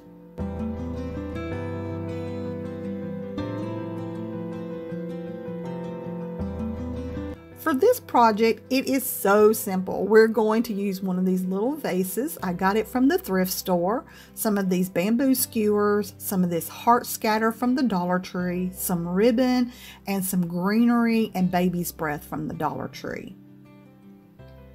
All we are going to do is figure out what part of our greenery we want to use. I pull off about three pieces and stick it down into my little vase. I love this little vase. It came in a pack of three at the thrift store. Then I'm going to cut some of my baby's breath. I cut three little pieces of it and I stick those down in there. I like using threes when I do things like this. Then we're going to take three of those little hearts and three of our skewers and it was about this point that I realized I needed to, you know, make these skewers some color besides the brown wood. So I grabbed some green paint and used a paper towel and just kind of painted my little skewers just so they would blend in with my greenery that was in there and wouldn't stick out like a sore thumb. Once these were dry, I'm going to stick my little hearts on to each one of them, make them kind of look like a flower, and then I'm just going to trim them off at different lengths. Now we will stick those down into our little vase and arrange those in place. You just do what looks good to your eye. The last thing I'm going to do is take a piece of ribbon, wrap it around that vase about three times, and then tie it into a bow, and this project will be finished.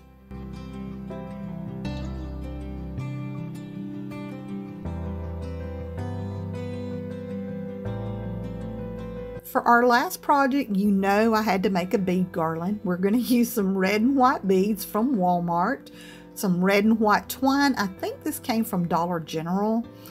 Some white Waverly chalk paint, some crimson Waverly chalk paint, and two little wooden hearts from the Dollar Tree. One comes in the chalk looking set and then one came from the little scatter and I'm going to use my little hole punch to punch a hole in my smaller heart. I'm also going to use the rest of this rub-on transfer from the Dollar Tree. The first thing I did was paint one side of my heart with my crimson chalk paint. It took about three coats to get this covered really well and then I let it dry.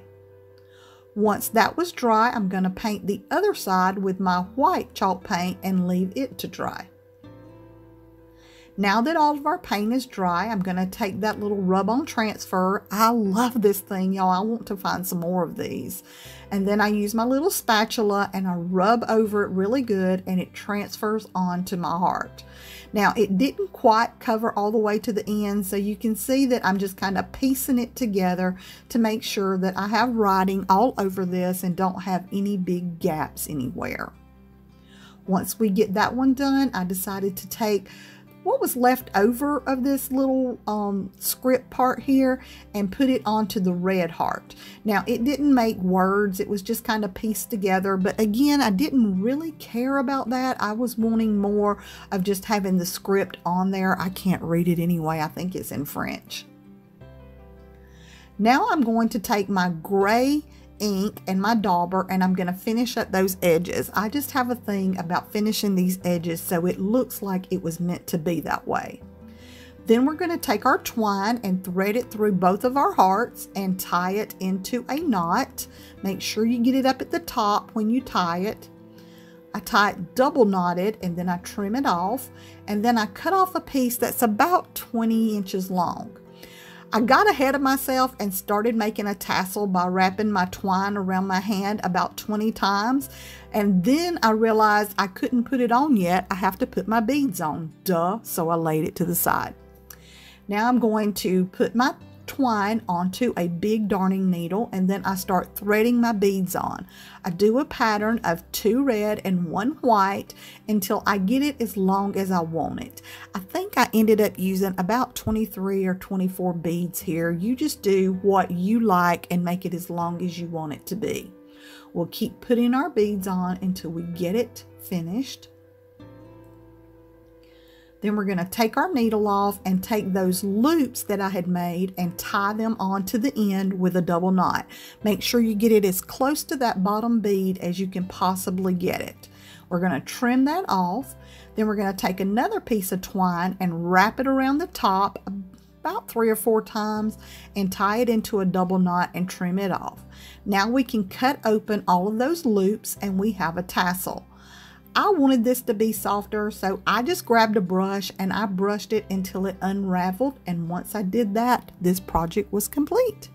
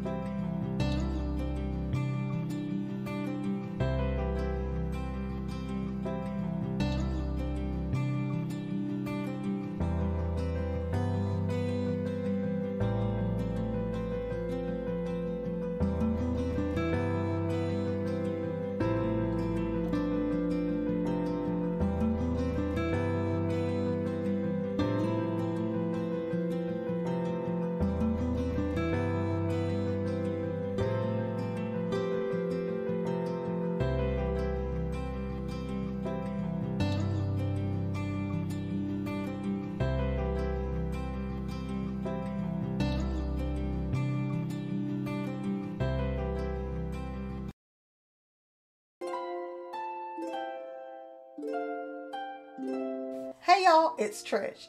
As some of you know, when we do these tier tray projects, I set it up a little bit different than I do our regular video. We normally go from one project right into the other. That way we can get them all done because there's so many of these tiny little mini projects.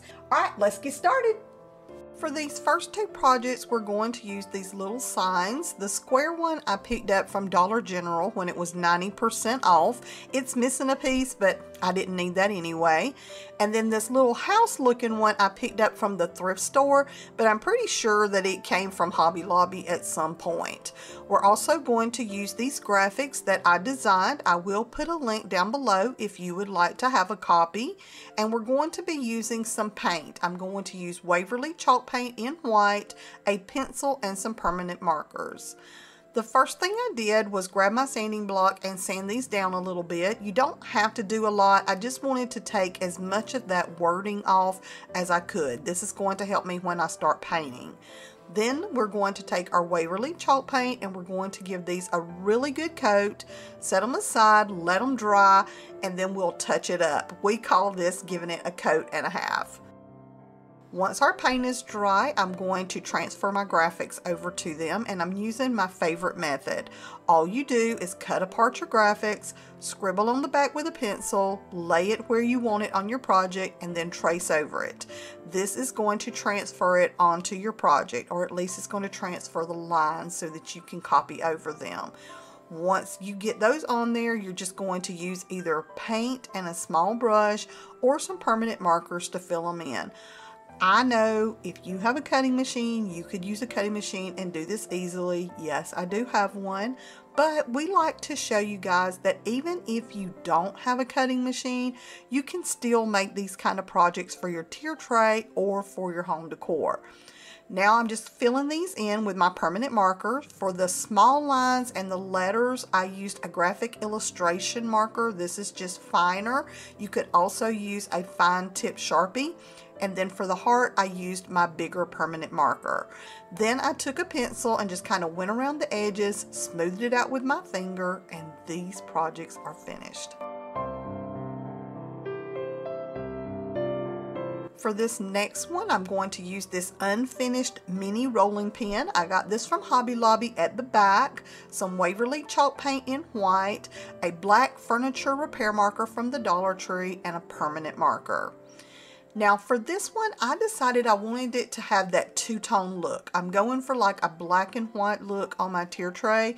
So I wanted to stain the little handles on these in the very end. I like using these furniture repair markers. They're not as messy as stain, they don't smell, and they dry instantly. Once I got the end stained, I'm going to come back in with my paint and I'm going to paint the rolling part of my little rolling pin. I'm using the Waverly chalk paint in white because that was the look I was going for. Now you could completely paint all of yours, you could stain all of it, whatever your preference. Once my paint is dry, I'm going to come back with a pencil and I'm tracing in just a little heart and then I'm going to fill that in with my permanent markers. And that's all I'm doing to this one. Now, you could add a word to this if you wanted to. You could put home or family or your last name, but I like to keep it simple and I was really happy with how it turned out with just the little heart. Now for our next project, I'm going to use this unfinished window that I got from Hobby Lobby, a piece of leftover garland from Christmas, and some of this boxwood pick from Walmart, and then my Waverly chalk paint in white. The first thing I'm going to do is paint this, and really that's the only thing that I'm going to do to it other than make my little wreath. I love this window. As soon as I saw it, I knew what I wanted to do with it. It was back in the unfinished wood section at Hobby Lobby, but I will say that you should measure your tray and make sure it's going to fit. I just have one of the little mini tier trays and my biggest opening is four inches and this does not fit inside of it. I ended up having to stand it up outside of the tray and it still looks good but it didn't fit. So if you're going to get one of these, you might want to check your tier tray, make sure it's going to fit in there, or you could do the same thing I did. While our paint is drying, I'm going to take this leftover piece of garland from Christmas and I'm trimming it down. It was just too fuzzy and I didn't like how it looked, but when I trim it and then form it into a circle, now I have a cute little wreath. I love how this looks. Now I wanted to give it something extra so I took this boxwood pick that I got from Walmart and I'm cutting off these little leaves and I'm going to glue them down. I put a little bit of glue on the end and then for the next one I'm going to take the end of it and push it right up under the top of the first one. This kind of makes it look like that it just flows all the way around. Now I did have to take off some of the leaves on the inside because to me it was just too full, but I was really happy with how this turned out. You don't have to do this if you don't want to. You could just use the garland. That looks fine too, but I thought the boxwood kind of elevated it and made it look like it goes for all year. Once we're finished with that, we'll use a little glue to attach it and this project is complete. Now for this one, it's the simplest one we're going to do. I'm just going to take one of these wood slices that I got from Hobby Lobby, some of these finial dowel caps, I think they were a quarter of an inch, and then I'm using a little bit of clear wax. This is the Waverly clear wax. You really don't have to use the clear wax. This was just something that I thought to do, but it wasn't necessary. I put some of it on the top of my wood round and then I decided to also add it to the little finials that's going to be the feet of this. We're making a mini riser to go on our tier tray. Y'all, you don't need the wax. Once I had finished that, I figured out where I wanted my feet to go. Then I'm just going to put a little bit of hot glue on the bottom, stick these down, and this little riser is complete.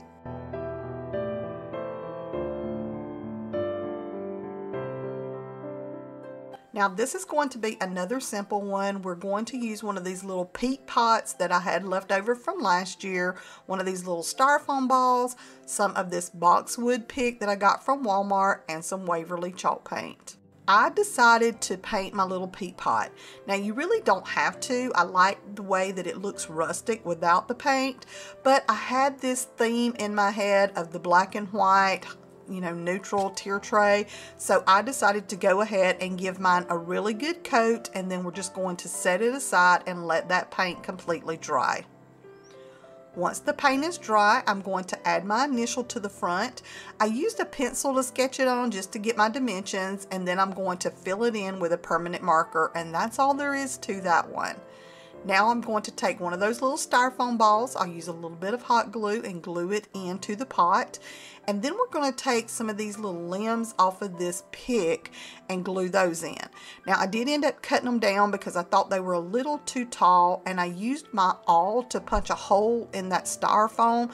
That just helps it go in a little bit better. I put a little bit of hot glue on the end and these stay in perfectly. I was actually really happy with how this piece turned out. Now I'm using this boxwood pick because I got it for 97 cents at Walmart and I love how it looks, but you could use any greenery that you want to use.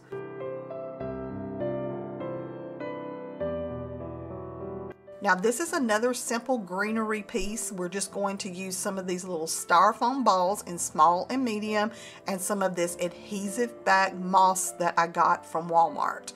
All we're going to do is cover these styrofoam balls with this moss. Do you have to have the adhesive back? No, you don't. You could use the moss from the Dollar Tree and use some glue, but y'all, that stuff is so messy. This stuff here cuts down on that tremendously. They do sell this adhesive back boss at Hobby Lobby, but it's like 13 or $14 a pack and it's only $6 a pack at Walmart and it works perfectly. All I'm doing is cutting off some little pieces. I peel off the back of this and then stick it to the ball. You can butt it up against each other. You can't tell where the seams are. Sometimes it overlapped and it worked in perfectly. I just love how these turned out. I love adding green pieces to my tier trays. I think that it just kind of brightens it up. So that little pot that we did with the greenery in it and these little moss balls are really just going to be the perfect finishing touches on these tier trays. And they're so easy to make.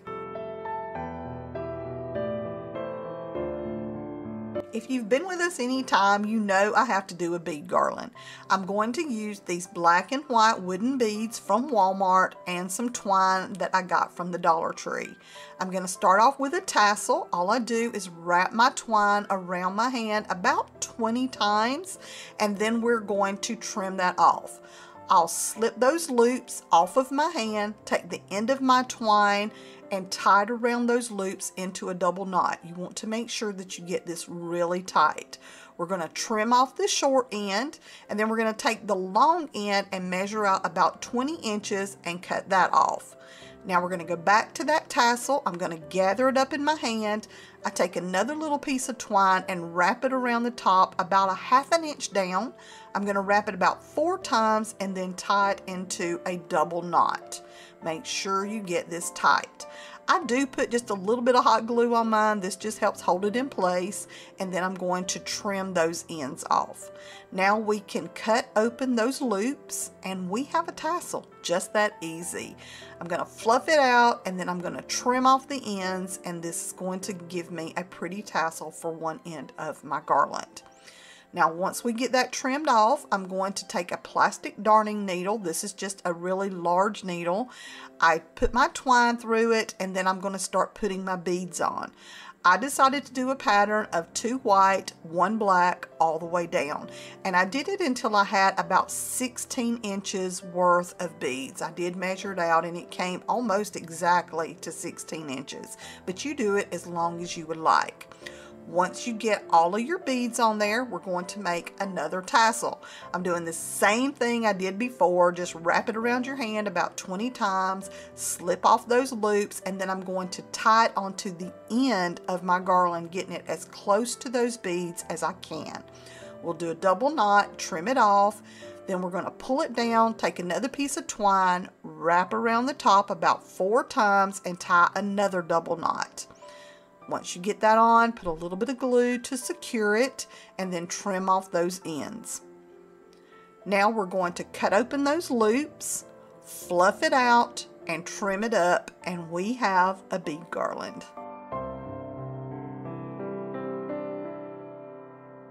Okay, so some of you said that you would like to be able to buy some laser cut pieces that I did with my machine. So I am going to be setting up an Etsy shop.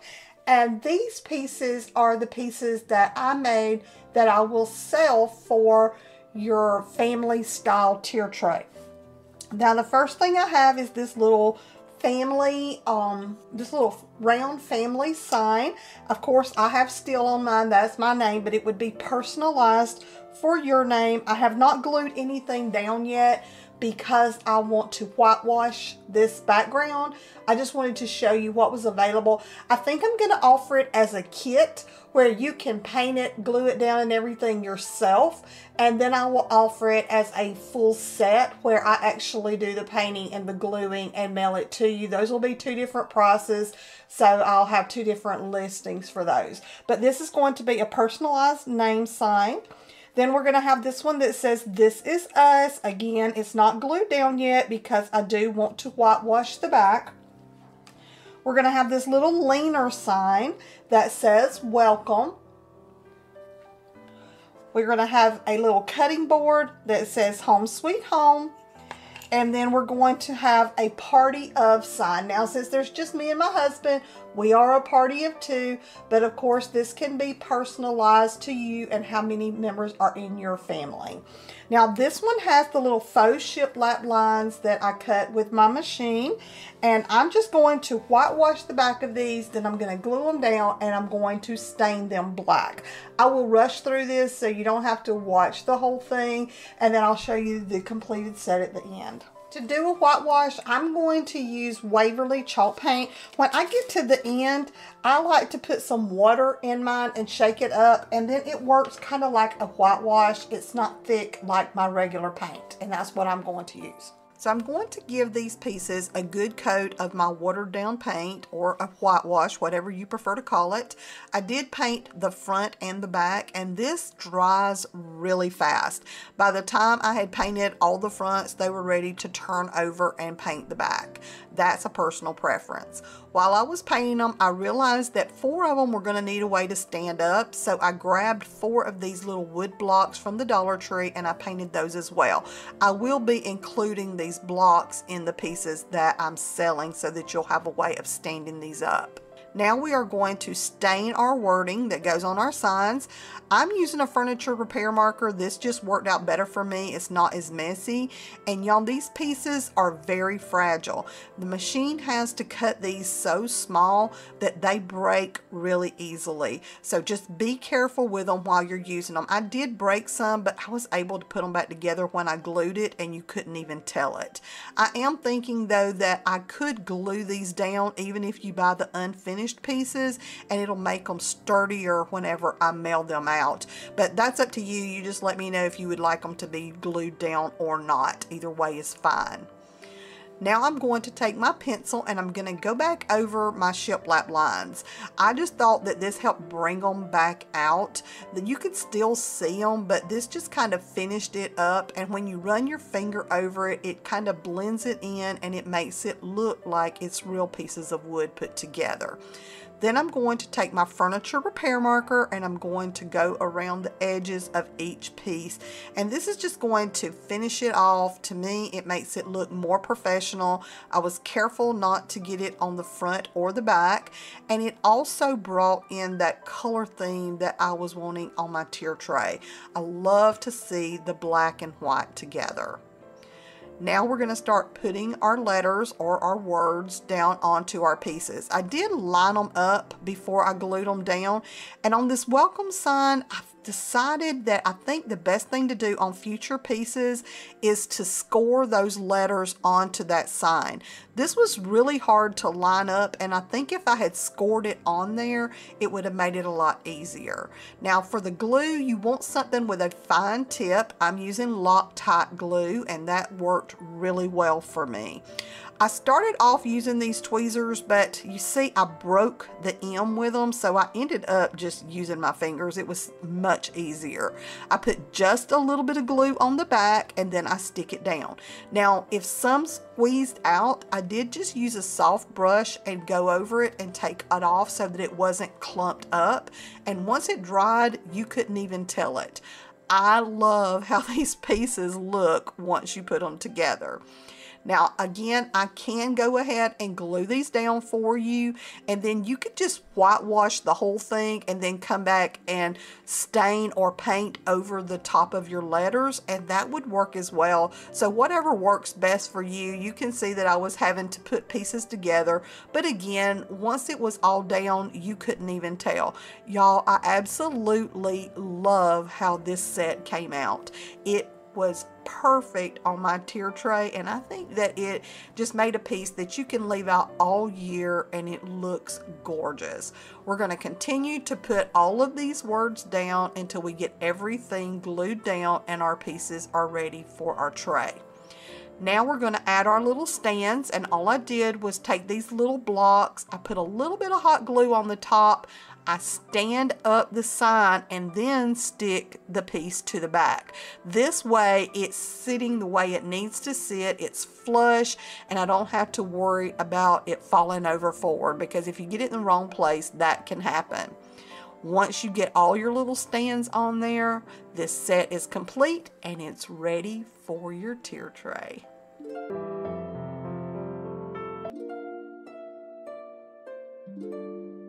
Thank you so much for watching today. If you saw something you liked, we hope you'll give us a big thumbs up. Leave us a comment and let us know what you think and if you have any suggestions. We just love hearing from y'all and it really does help our channel grow. We are also over on TikTok, Instagram, Facebook, and Pinterest and would love it if you would click the link below and join us over there as well. If you enjoyed this episode, check out these videos for even more DIY inspiration. Bye, y'all.